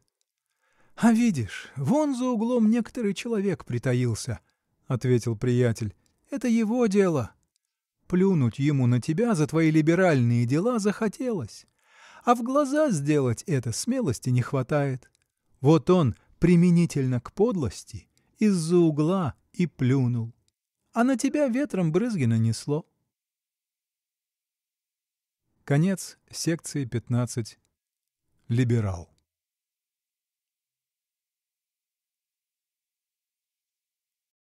Сказки. Михаил Евграфович Салтыков-Щедрин. Эта звукозапись LibriVox является общественным достоянием. Секция 16. Баран непомнящий. Домашние бараны с незапамятных времен живут в порабощении у человека, их настоящие родоначальники неизвестны. Брэм. Были ли когда-нибудь домашние бараны вольными, история об этом умалчивает. В самой глубокой древности патриархи уже обладали стадами прирученных баранов, и затем, через все века, баран проходит распространенным по всему лицу земли в качестве животного, как бы нарочито на потребу человека созданного. Человек, в свою очередь, создает целые особые породы баранов, почти не имеющие между собой ничего общего. Одних воспитывают для мяса, других для сала, третьих ради теплых овчин, четвертых ради обильной и мягкой волны. Сами домашние бараны, конечно, всего меньше о вольном прародителе своем помнят, а просто знают себя принадлежащими к той породе, в которой застал их момент рождения. Этот момент составляет исходную точку личной бараньей истории, но даже и он постепенно тускнеет по мере вступления барана в зрелый возраст так что истинно мудрым называется только тот баран, который ничего не помнит и не сознает, кроме травы, сена и месятки, предлагаемых ему в пищу. Однако грех да беда на кого не живет. Спал однажды некоторый баран и увидел сон. Должно быть, не одну месятку во сне видел, потому что проснулся тревожный и долго глазами чего-то искал. Стал он припоминать, что такое случилось, но хоть убей, ничего вспомнить не мог. Даль какая-то, серебряным светом подернутая, и больше ничего. Только смутное ощущение этой бесформенной серебряной дали и осталось в нем, но никакого определенного очертания, ни одного живого образа. «Овца! А овца! Что я такое во сне видел? — спросил он лежащую рядом овцу, которая, яко воистину овца, отроду снов не видала. — Спи, выдумщик! — сердито отвечала овца. — Не для того тебя из-за моря привезли, чтобы сны видеть да модника из себя представлять. Баран был породистый английский меринос. Помещик Иван Сазонтыч Ростаковский — шальные деньги за него заплатил и великие на него надежды возлагал. Но, конечно, не для того он его из-за моря вывез, чтобы от него поколение умных баранов пошло, а для того, чтобы он создал для своего хозяина стадо тонкорунных овец. И в первое время, по приезде его на место, баран действительно зарекомендовал себя с самой лучшей стороны. Ни о чем он не рассуждал, ничем не интересовался, даже не понимал, куда и зачем его привезли, а просто-напросто жил да поживал. Что же касается до вопроса о том, что такое баран и какие его права и обязанности, то баран не только никаких пропаганд по этому предмету не распространял, но едва ли даже подозревал, что подобные вопросы могут бараньи головы волновать. Но это-то именно и помогало ему выполнять баранье дело настолько пунктуально и добросовестно, что Иван Сазонтыч и сам нарадоваться на него не мог, и соседи любоваться водил. Смотрите! И вдруг этот сон. Что это был за сон, баран решительно не мог сообразить. Он чувствовал только, что в существование его вторглось нечто необычное, какая-то тревога, тоска. И хлев у него, по-видимому, тот же, и корм тот же, и тоже стадо овец, предоставленное ему для усовершенствования. а ему ни до чего как будто бы дела нет. Бродит он по хлеву, как потерянный, и только и дело блеет. Что такое я во сне видел? Растолкуйте мне, что такое я видел? Но овцы не выказывали ни малейшего сочувствия к его тревогам и даже не без ядовитости называли его умником и философом, что, как известно, на овечьем языке имеет значение худшее, нежели моветон. С тех пор, как он начал сны видеть, овцы с горечью вспоминали о простом шленской породы баране, который перед тем четыре года сряду ими помыкал, но под конец за выслугу лет был определен на кухню и там без вести пропал, видели только, как его из кухни на блюде с триумфом в господский дом пронесли. То-то был настоящий служилый баран. Никогда никаких снов он не видел, никаких тревог не ощущал, а делал свое дело по точному разуму бараньего устава. И больше ничего знать не хотел. И что же? Его, старого и испытанного слугу, уволили, а на его место определили какого-то празднолюбца, мечтателя, который с утра до вечера неведомо о чем блеет, а они, овцы, между тем ходят яловы. «Совсем нас этот Аглицкой олух не совершенствует», — жаловались овцы овчару Никите. Как бы нам за него, за Фофана, перед Иваном Сазонтычем в ответе не быть? — Успокойтесь, милая, — обнадежил их Никита, — завтра мы его выстрижем, а потом крапивой высечем, шелковой будет. Однако расчеты Никиты не оправдались. Барана выстригли, высекли, а он в ту же ночь опять сон увидел. С этих пор сны не покидали его. Не успеет он ноги под себя подогнуть, как дрема уже сторожит его, не разбирая день или ночь на дворе. И как только он закроет глаза, то весь словно преобразится, и лицо у него словно не баранье сделается, а серьезное, строгое, как у старого благомысленного мужичка из тех, что в старинные годы министрами называли так что всякий, кто не пройдет мимо, непременно скажет «Не на скотном дворе этому барану место, ему бы бурмистром следовало быть». Тем не менее, сколько он ни подстерегал себя, чтобы восстановить в памяти только что виденный сон, усилия его по-прежнему оставались напрасными. Он помнил, что во сне перед ним проходили живые образы, и даже целые картины, созерцание которых приводило его в восторженное состояние. Но как только бодрственное состояние возвращалось, и образы, и картины исчезали неведомо куда, и он опять становился заурядным бараном. Вся разница заключалась лишь в том, что прежде он бодро шел навстречу своему бараньему делу, а теперь ходил ошеломленный, чего-то с дуру искал, а чего именно, сам себе объяснить не мог. Баран, да еще меланхолик. Что, кроме ножа, может ожидать его в будущем? Но, кроме перспективы ножа, положение барана и само по себе было мучительно. Нет боли горшей, нежели та, которую приносят за собой бессильные порывания от тьмы к свету встревоженной бессознательности. Пристигнутое внезапной жаждой бесформенных чаяний, бедное, подавленное существо мечется и изнемогает, не умея определить ни характера этих чаяний, ни источника их. Оно чувствует, что сердце его объято пламенем, и не знает, ради чего это пламя зажглось.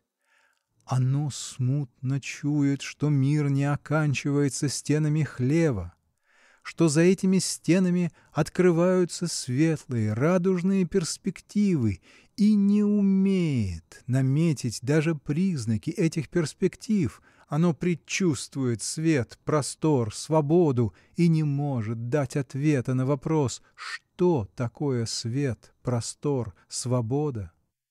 По мере учащения снов волнение барана все больше и больше росло. Ниоткуда не видел он ни сочувствия, ни ответа. Овцы с испугу жались друг к другу при его приближении, а овчар Никита, хотя, по-видимому, и знал нечто, но упорно молчал. Это был умный мужик, который до тонкости проник баранье дело и признавал для баранов только одну обязательную аксиому. «Коли ты в бараньем сословии уродился, — говорил он солидно, — вьем, значит, и живи». Но именно этого-то баран и не мог выполнить. Именно сословие-то его и мучило. Не потому, что ему худо было жить, а потому что с тех пор, как он стал сны видеть, ему постоянно чуялось какое-то совсем другое сословие. Он не был в состоянии воспроизвести свои сны, но инстинкты его были настолько возбуждены, что, несмотря на неясность внутренней тревоги, поднявшейся в его существе, он уже не мог справиться с нею. Тем не менее, с течением времени тревоги его начали утихать, и он как будто даже остепенел. Но успокоение это не было последствием трезвого решения вступить на прежнюю баранью колею — а напротив, скорее свидетельствовала об общем обессилении бараньего организма. Поэтому и пользы от него не вышло никакой. Баран, очевидно, с предвзятым намерением, с утра до вечера спал, как будто искал обрести во сне те сладостные ощущения, в восстановлении которых отказывала ему бодрственная действительность.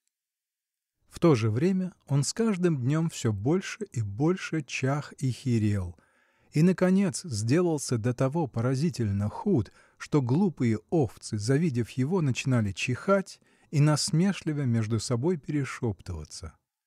И по мере того, как неразгаданный недуг овладевал им, лицо его становилось осмысленнее и осмысленнее. Овчары все до единого жалели о нем, все знали, что он честный и добрый баран, и что ежели он не оправдал хозяйских надежд, то не по своей вине, а единственно потому, что его постигло какое-то глубокое несчастье, вовсе баранам не свойственное, но в то же время, как многие инстинктивно догадывались, делающее ему лично великую честь. Сам Иван Сазонтыч сочувственно относился к страданиям барана. Не раз овчар Никита намекал, что самая лучшая развязка в таком загадочном деле — нож. Но Ростаковский упорно отклонял это предложение. «Плакали мои денежки», — говорил он, — «но не затем я их платил, чтобы шкурой его воспользоваться. Пускай своей смертью умрет». И вот вожделенный момент просияния наступил. Над полями мерцала теплая, облитая лунным светом июньская ночь. Тишина стояла кругом непробудная. Не только люди притаились, но и вся природа как бы застыла в волшебном оцепенении. В бараньем загоне все спало. Овцы, понурив головы, дремали около изгороди, Баран лежал одиноко, посередке загона. Вдруг он быстро и тревожно вскочил. Выпрямил ноги, вытянул шею, поднял голову кверху и всем телом дрогнул. В этом выжидающем положении, как бы прислушиваясь и всматриваясь, простоял он несколько минут, и затем сильное, потрясающее блеяние вырвалось из его груди. Заслышав эти торжественно агонизирующие звуки, овцы в испуге повскакали с своих мест и шарахнулись в сторону. Сторожевой пес тоже проснулся и с лаем бросился приводить в порядок всполошившееся стадо. Но баран уже не обращал внимания на происшедший переполох, он весь ушел в созерцание. перед тускнеющим его взором воочию развернулась сладостная тайна его снов. Еще минута, и он дрогнул в последний раз. Засим ноги сами собой подогнулись под ним, и он мертвый рухнул на землю. Иван Сазонтыч был очень смертью его огорчен. «И что за причина такая?» — сетовал он вслух. «Все был баран как баран, и вдруг словно его осетило. Никита, ты пятьдесят лет во вчерах состоишь, стало быть, должен дурью эту породу знать. Скажи, отчего над ним такая беда стряслась?» — Стало быть, вольного барана во сне увидел, — ответил Никита. — Увидать-то во сне увидал, а сообразить настоящим манером не мог. Вот он сначала затасковал, а со временем и издох. Все равно, как из нашего брата бывает. Но Иван Сазонтыч от дальнейшего объяснения уклонился. — «Сие да послужит нам уроком», — похвалил он Никиту. «В другом месте из этого барана, может быть, козел бы вышел, а по нашему месту такое правило, ежели ты баран, так и оставайся бараном без дальних затей. И хозяину будет хорошо, и тебе хорошо, и государству приятно и всего у тебя будет довольно и травы, и сена, и месятки, и овцы к тебе будут ласковы. Так ли, Никита? — Это так точно, Иван Сазонтыч, — отозвался Никита. Конец секции шестнадцать. Баран непомнящий.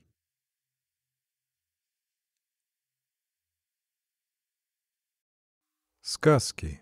Михаил Евграфович Салтыков-Щедрин. Эта запись Либривокс является общественным достоянием. Секция 17. Коняга. Коняга лежит при дороге и тяжко дремлет. Мужичок только что выпряг его и пустил покормиться. Но коняги не до корма. Полоса выбралась трудная, с камешком. В великую силу они с мужичком ее одолели. Коняга — обыкновенный мужичий живот, замученный, побитый, узкогрудый, с выпеченными ребрами и обожженными плечами, с разбитыми ногами.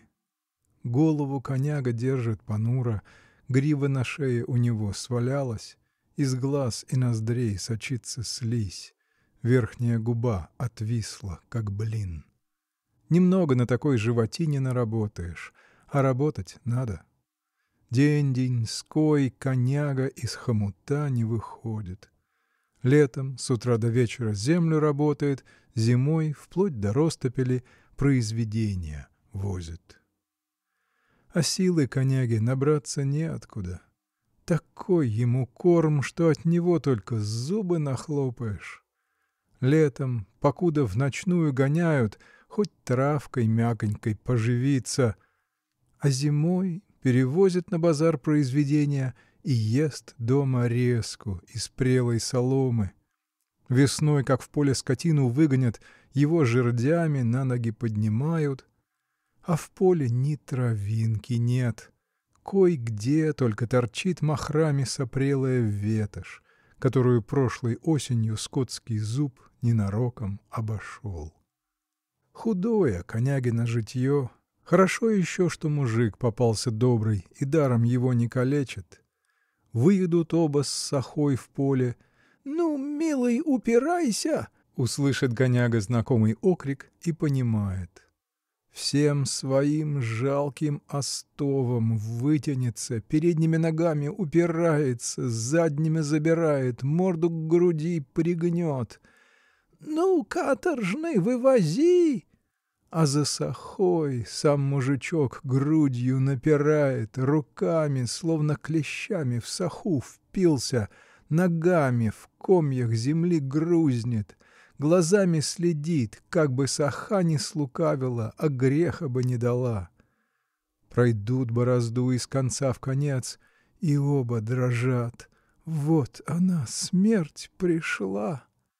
Обоим смерть, и коняге, и мужику, каждый день смерть. Пыльный мужицкий проселок узкой лентой от деревни до деревни бежит, юркнет в поселок, вынырнет и опять неведомо куда побежит. И на всем протяжении, по обе стороны, его поля сторожат. Нет конца полям, всю ширь и даль они заполонили. Даже там, где земля с небом слилась, и там все поля.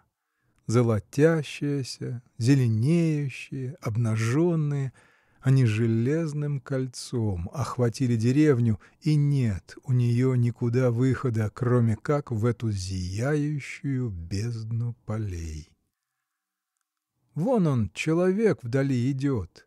Может, ноги у него от спешной ходьбы подсекаются, а издали кажется, что он все на одном месте топчется, словно освободиться не может от одолевающего пространства полей. Не вглубь уходит эта малая, едва заметная точка, а только чуть тускнеет. Тускнеет, тускнеет и вдруг неожиданно пропадет Точно пространство само собой ее засосет. Из века в век цепенеет грозная, неподвижная громада полей. Словно силу сказочную в плену у себя сторожит. Кто освободит эту силу из плена? Кто вызовет ее на свет? Двум существам выпала на долю эта задача — мужику да коняге и оба от рождения до могилы над этой задачей бьются, пот проливают кровавый, а поле и поднесь своей сказочной силы не выдало, той силы, которая разрешила бы узы мужику, а коняге исцелила бы наболевшие плечи.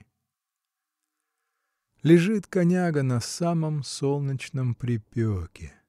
Кругом не деревца, а воздух до того накалился, что дыхание в гортани захватывает.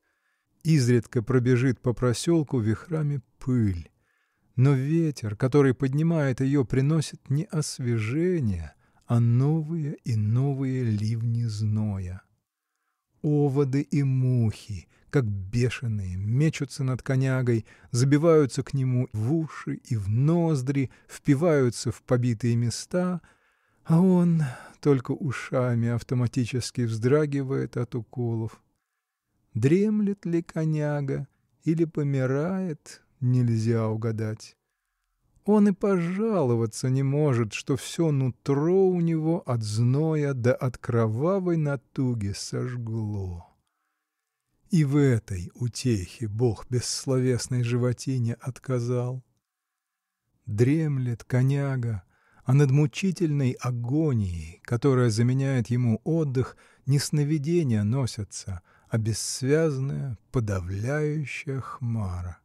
Хмара, в которой не только образов, но даже чудищ нет, а есть громадные пятна, то черные, то огненные, которые и стоят, и движутся вместе с измученным конягой — и тянут его за собой все дальше и дальше в бездонную глубь. Нет конца полю, не уйдешь от него никуда. Исходил его коняга с сахой вдоль и поперек, и все-таки ему конца краю нет. И обнаженное, и цветущее, и цепенеющее под белым саваном, оно властно раскинулось вглубь и вширь, и не на борьбу с собою вызывает, а прямо берет в кабалу. Ни разгадать его, ни покорить, ни истощить нельзя. Сейчас оно помертвело, сейчас опять народилось. Не поймешь, что тут смерть и что жизнь. Но и в смерти, и в жизни первый и неизменный свидетель — коняга. Для всех поле раздолье, поэзия, простор для коняги оно кабала. Поле давит его, отнимает у него последние силы и все-таки не признает себя сытым. Ходит коняга от зари до зари, а впереди его идет колышущееся черное пятно и тянет, и тянет за собой. Вот теперь оно колышется перед ним, и теперь ему сквозь дремоту слышится окрик «Ну, милый, ну, каторжный, ну!» Никогда не потухнет этот огненный шар, который от зари до зари льет на конягу потоки горячих лучей. Никогда не прекратятся дожди, грозы, вьюги, мороз. Для всех природа — мать, для него одного она — бич и истязание. Всякое проявление ее жизни отражается на нем мучительством, всякое цветение — отравою. Нет для него ни благоухания, ни гармонии звуков, ни сочетания цветов, никаких ощущений он не знает, кроме ощущения боли, усталости и злосчастья. Пускай солнце наполняет природу теплом и светом, пускай лучи его вызывают к жизни и ликованию — Бедный коняга знает о нем только одно, что оно прибавляет новую отраву к тем бесчисленным отравам, из которых соткана его жизнь. Нет конца работе. Работой исчерпывается весь смысл его существования. Для нее он зачат и рожден, и вне ее он не только никому не нужен, но, как говорят расчетливые хозяева, представляет ущерб. Вся обстановка, в которой он живет, направлена единственно к тому, чтобы не дать замереть в нем той мускульной силе, которая источает из себя возможность физического труда. И корма, и отдыха отмеривается ему именно столько, чтобы он был способен выполнить свой урок а затем пускай поле и стихии калечат его. Никому нет дела до того, сколько новых ран прибавилось у него на ногах, на плечах и на спине. Не благополучие его нужно, а жизнь, способная вносить иго и работы. Сколько веков он несет это иго, он не знает. Сколько веков предстоит нести его впереди, не рассчитывает. Он живет, точно в темную бездну погружается и из всех ощущений, доступных живому организму, знает только ноющую боль, которую дает работа. Самая жизнь коняги запечатлена клеймом бесконечности. Он не живет, но и не умирает. Поле, как головоног, присосалось к нему бесчисленными щупальцами и не спускает его с урочной полосы. Какими бы наружными отличками ни наделил его случай, он всегда один и тот же, побитый, замученный, еле живой. Подобно этому полю, которое он орошает своей кровью, он не считает ни дней, ни лет, ни веков, а знает только вечность. По всему полю он разбрелся и там, и тут одинаково вытягивается всем своим жалким остовом, и везде все он, все один и тот же безымянный коняга. Целая масса живет в нем, не умирающая, не расчленимая и неистребимая. Нет конца жизни, только одно это для этой массы, и ясно. Но что такое сама эта жизнь? Зачем она опутала конягу узами бессмертия? Откуда она пришла и куда идет? Вероятно, когда-нибудь на эти вопросы ответит будущее. Но, может быть, и оно останется столь же немо и безучастна, как и та темная бездна прошлого, которая населила мир привидениями и отдала им в жертву живых. Дремлет коняга, а мимо него пустоплясы проходят. Никто с первого взгляда не скажет, что коняга и пустопляс одного отца дети. Однако предание об этом родстве еще не совсем заглохло. Жил во времена оны старый конь, и было у него два сына — коняга и пустопляс. Пустопляс был сын вежливый и чувствительный, а коняга неотесанный и бесчувственный. Долго терпел старик конягину неотесанность, долго обоих сыновей вел ровно, как подобает чадолюбивому отцу. Но, наконец, рассердился и сказал «Вот вам навеки вечные моя воля! Коняги — солома, а пустоплясу — овес!» Так с тех пор и пошло. Пустопляса в теплое стойло поставили, соломки мяконькой постелили, медовой сытой напоили и пшена ему в ясли засыпали, а конягу привели в хлев и бросили охапку прелой соломы, хлопай зубами, коняга, а пить вон из той лужи. Совсем было позабыл пустопляс, что у него братец на свете живет, да вдруг с чего-то загрустил и вспомнил. «Надоело», — говорит, — «мне стоило теплое, прискучило сыто медовое, не лезет в горло пшено ярое. Пойду проведаю, каково-то мой братец живет». Смотрит, ан братец-то у него бессмертный. Бьют его чем ни попадя, а он живет. Кормят его соломою, а он живет. И в какую сторону поля не взгляни, везде все братец орудует. Сейчас ты его здесь видел, а мигнул глазом, он уж вон где ногами вывертывает. Стало быть, добродетель какая-нибудь в нем есть, что палка сама об него сокрушается, а его сокрушить не может. И вот начали пустоплясы кругом коняги похаживать. Один скажет, это от того его ничем донять нельзя, что в нем от постоянной работы здравого смысла много накопилось. Понял он, что уши выше лба не растут, что плетью обуха не перешибешь, и живет себе смирнехонько, весь опутанный пословицами, словно у Христа за пазушкой. Будь здоров, коняга, делай свое дело, бди. Другой возразит — Ах, совсем не от здравого смысла так прочно сложилась его жизнь. Что такое здравый смысл? Здравый смысл — это нечто обыденное, до пошлости ясное, напоминающее математическую формулу или приказ по полиции. Не это поддерживает в коняге несокрушимость, а то, что он в себе жизнь духа и дух жизни носит и покуда он будет вмещать эти два сокровища, никакая палка его не сокрушит. Третий молвил, «Какую вы, однако, галиматью городите!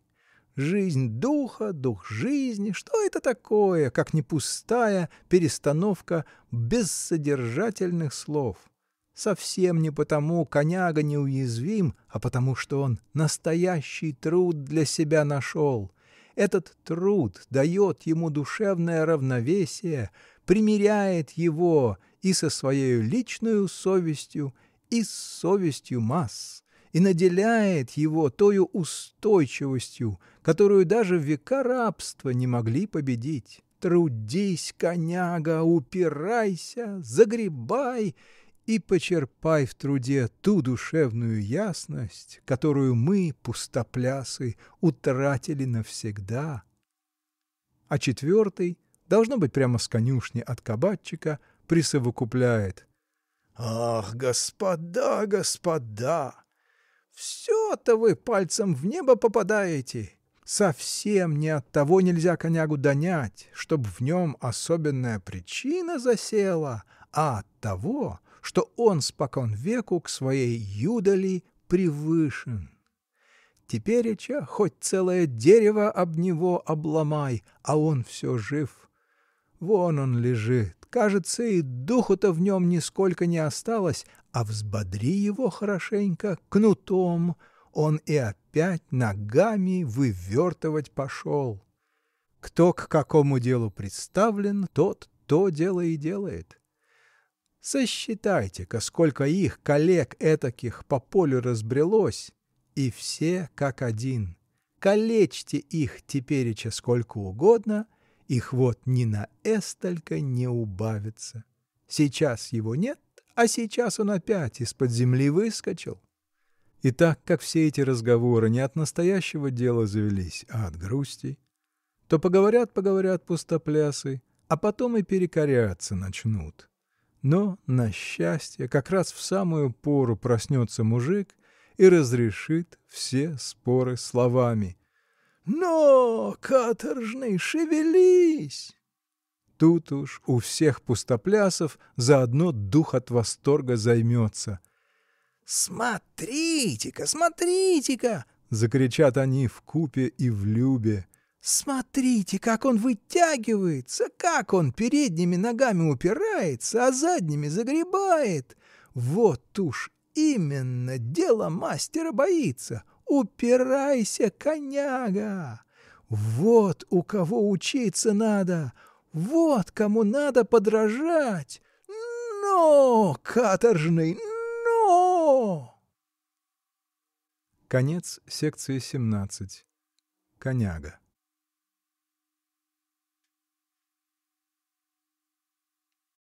Сказки. Михаил Евграфович Салтыков-Щедрин. Эта запись Либревокс является общественным достоянием. Секция 18. Кисель. Сварила кухарка кисель и на стол поставила.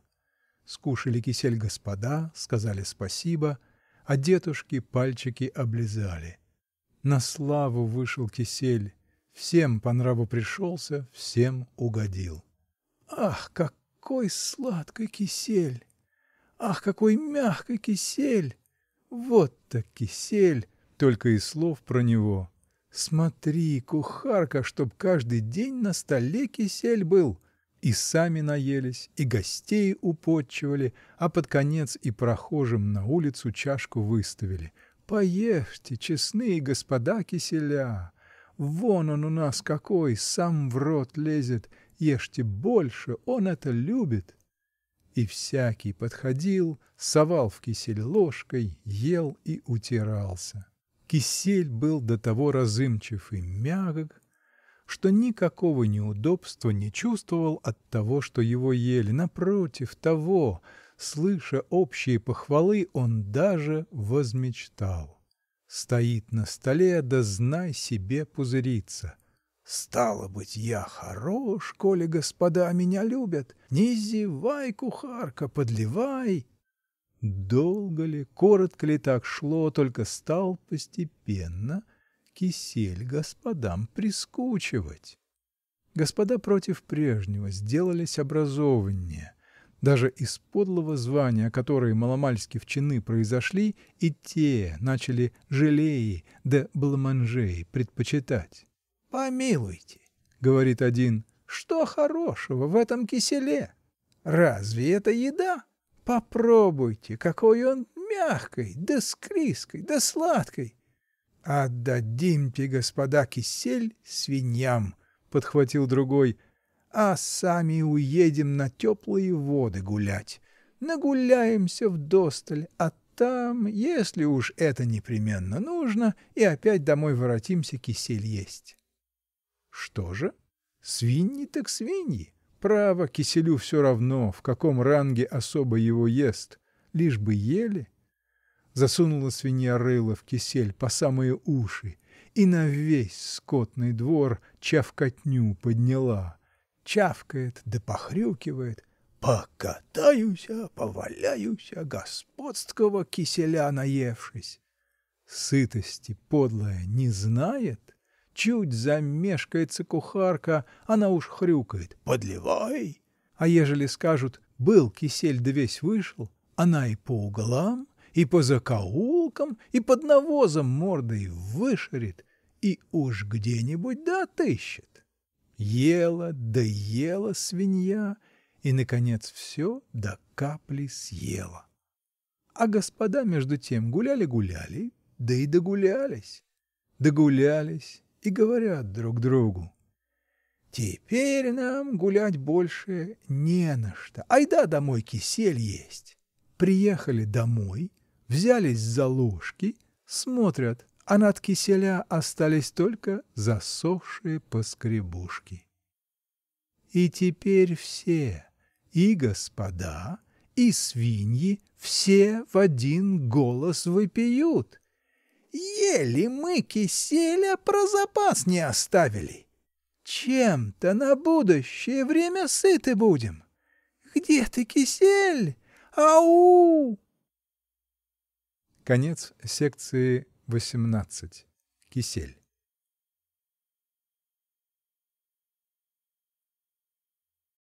Сказки. Михаил Евграфович Салтыков-Щедрин. Эта запись Либревокс является общественным достоянием. Секция 19. Праздный разговор. Нынче этого нет, а было такое время, когда и между сановниками вольтерьянцы попадались. Само высшее начальство этой моды держалось, а сановники подражали. Вот в это самое время жил-был губернатор, который многому не верил, во что другие по простоте верили, а главное, не понимал, для какой причины губернаторская должность учреждена. Напротив, предводитель дворянства в этой губернии во все верил, а значение губернаторской должности даже до тонкости понимал. И вот однажды уселись они вдвоем в губернаторском кабинете и заспорили. Между нами, будь сказано, решительно я этого не понимаю, — сказал губернатор. По моему мнению, если бы нас всех губернаторов без шума упразднить, то никто бы и не заметил. — Ах, вашество! Как вы так выражаетесь? — возразил ему удивленный и даже испуганный предводитель.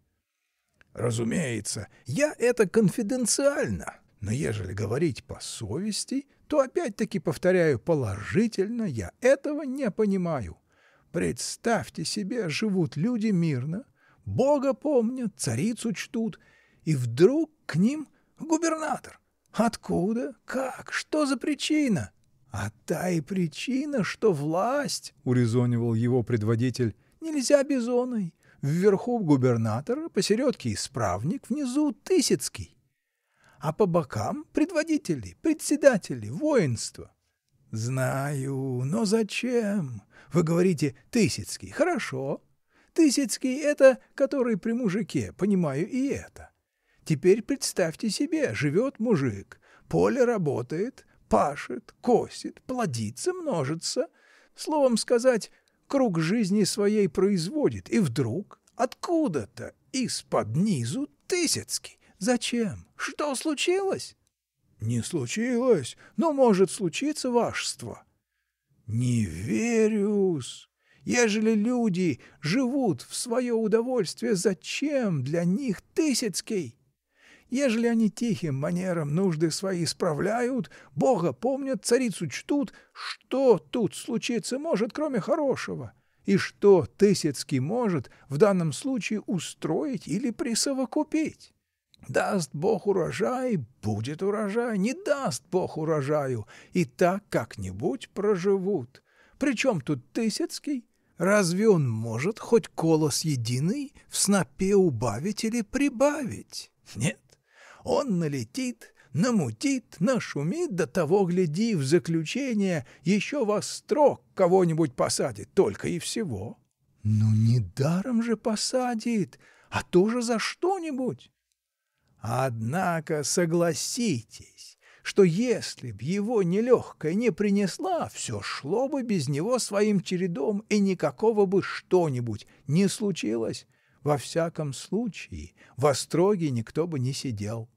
А как только он появится, так тотчас же вслед за ним и что-нибудь явилось. Ох, вашество! Ведь и Тысяцкие разные бывают. Вот у нас, например. Нет, вы меня выслушайте. Я не об личностях веду речь и не парадоксами перед вами щегольнуть хочу. Я по опыту эту музыку знаю и даже на самом себе могу пример показать. Уезжаю я, например, из губернии, и что вдруг случилось? Не успел я за заставу отъехать, как вдруг во всей губернии наступило благорастворение воздухов. Полицмейстер не скачет, квартальные не бегут, городовые не усердствуют. Даже и простецы, которые и о существовании моем досконально не знают, и те чувствуют, что из их жизни исчезла какая-то запятая, от которой им во всех местах больно было. Что сей сон означает? Спрашиваю я вас. А то, государь мой, что мой заступающий не все то может сделать, что я могу, и что, следовательно, и служащим, и обывателям на всю эту разницу легче стало. Но вот я возвращаюсь опять к своему посту. Шум, треск, езда, беготня. Кто в фуражке ходил, бежит в треуголке. Кто в полном удовольствии месяц прожил, снова приходит в унылость. Все видят впереди бесконечную распостылую канитель. Да, впрочем, что же много об этом толковать? Вы и на себе, наверное, хоть отчасти да испытали. Действительно, предводитель вспомнил, что и за ним в этом роде грешок водился. Как только бывало губернатор за ворота, так он сейчас «Эй, Тарантас!» и марш в деревню и ходит там без оных, покуда опять начальство к долгу не призовет. Только одну проформу и соблюдет, что, едучи мимо вице-губернаторской квартиры, зайдет на минуту к заступающему должность и условится. «Уж вы, Арефий Иванович, коли что случится, гонца пришлите». «Чему случится? С Богом!» «Ну так прощайте, Капитолине Сергеевне кланяйтесь, пошевеливай». Только его и видели. — Есть тот грех, — сказал он, — только все-таки не от того. Просто отдохнуть хочется, вот и пользуешься. То-то, что отдохнуть. А кто отдохнуть помешал? Разве в отдыхе грех какой? Никакого греха нет. А просто мешал, потому что он губернатор только и всего. Теперь пойдем дальше. Замечали ли вы, как партикулярные люди о губернаторе отзываются, когда похвалить его хотят. Это, говорят, хороший губернатор, он сидит смирно, никого не трогает. Вот.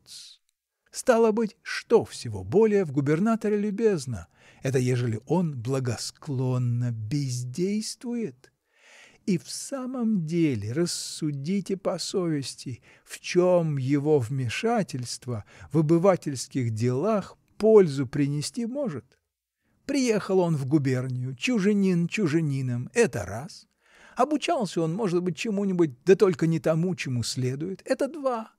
Затем статистики он не знает, этнографии не разумеет, нравы и обычаи не при нем писаны, где какая река, куда течет, почему и в каком смысле – это он разве тогда узнает, когда раз пять вдоль и поперек губернию исколесит, о железных дорогах знает только, когда и куда какой поезд отходит, чтобы в случае чего не опоздать.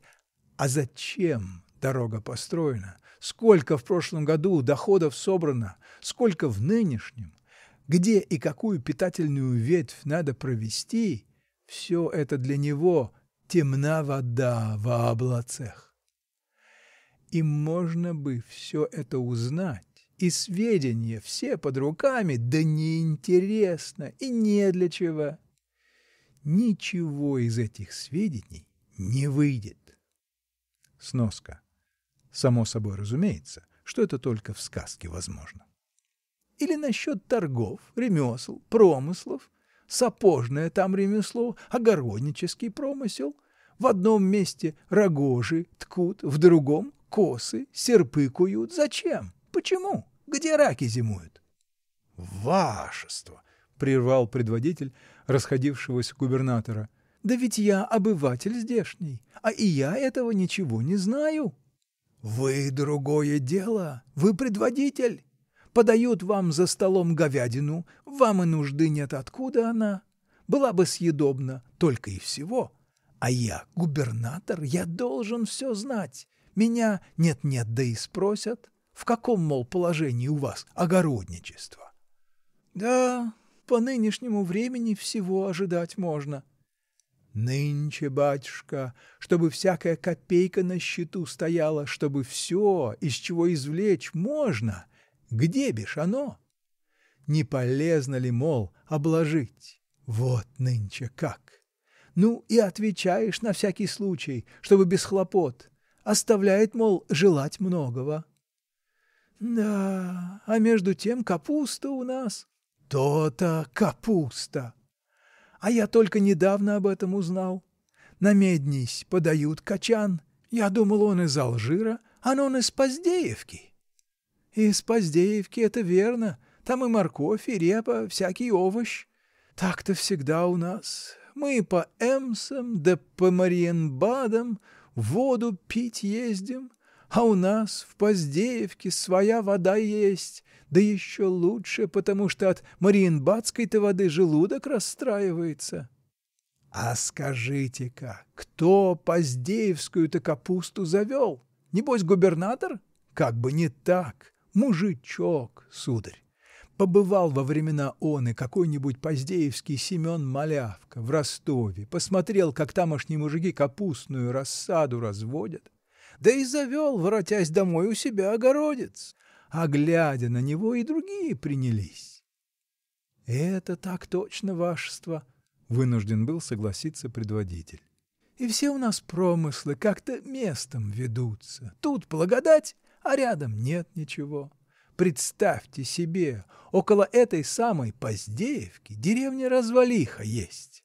Так там об огородах и слыхом не слыхать, а все мужички до одного шерстобиты.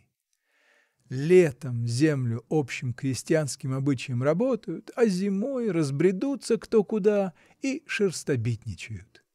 И тоже не губернатор завел, а побывал простой мужик Абрамка, Калязинском уезде и привез оттуда. Вот и понимаете теперь, капуста, огурцы, шерстобитничество, сапоги, рогожи — все они, все обыватели. Вы думаете, у вас в Растеряевке колокольню кто построил? Губернатор? А нет, купец Поликарп Агеев Параличев ее построил, а губернатор только на освещении был да пирог с визигой ел. — Это верно. — А переславских сельдей кто первый коптить начал? — Тоже верно, не губернатор. А семгу порок, а кольскую морожку, а ржевскую и коломенскую пастилу? Губернатор, а? Позвольте, вашество, но ведь кроме огородничества и бакалеи есть и других предметов достаточно. Например? Подати, например. Собирать их, взыскивать. А что такое подати, слыхали? Подати — это, так сказать, свидетельство принадлежности, — начал было предводитель, но запутался и умолк. То-то свидетельство. А как вы думаете, приятное это свидетельство? Смотрите-ка, за податьми приехал. Ах, как приятно! Диво бы секрет разведения муромских огурцов! или копчение тамбовской ветчины привез, а то подати выбивать. Да и как, позвольте спросить, я это свидетельство принадлежности осуществлю, ежели, например, у поздеевских мужиков капуста не родится? Какая моя в этом разе роль? Разошлю по исправникам циркуляр только и всего, а исправники наполнят губернию криком тоже только всего. Во всяком смысле я понуждаю, не знаю, на какой предмет. Исправник кричит, тоже на какой предмет, не знает. Что такое случилось? Куда скрылись казенные подати? Не урожай ли мужика обездолил? Пьянство ли одолело, мироед ли к нему присосался, или мужик сам капризничать начал, кубышку вздумал копить? Вот ведь сколько разных случаев может быть, да и все ли еще тут?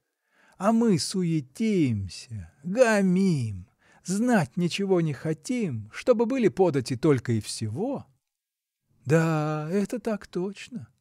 И нагамят, и нашумят, и даже под рубашку заглянут.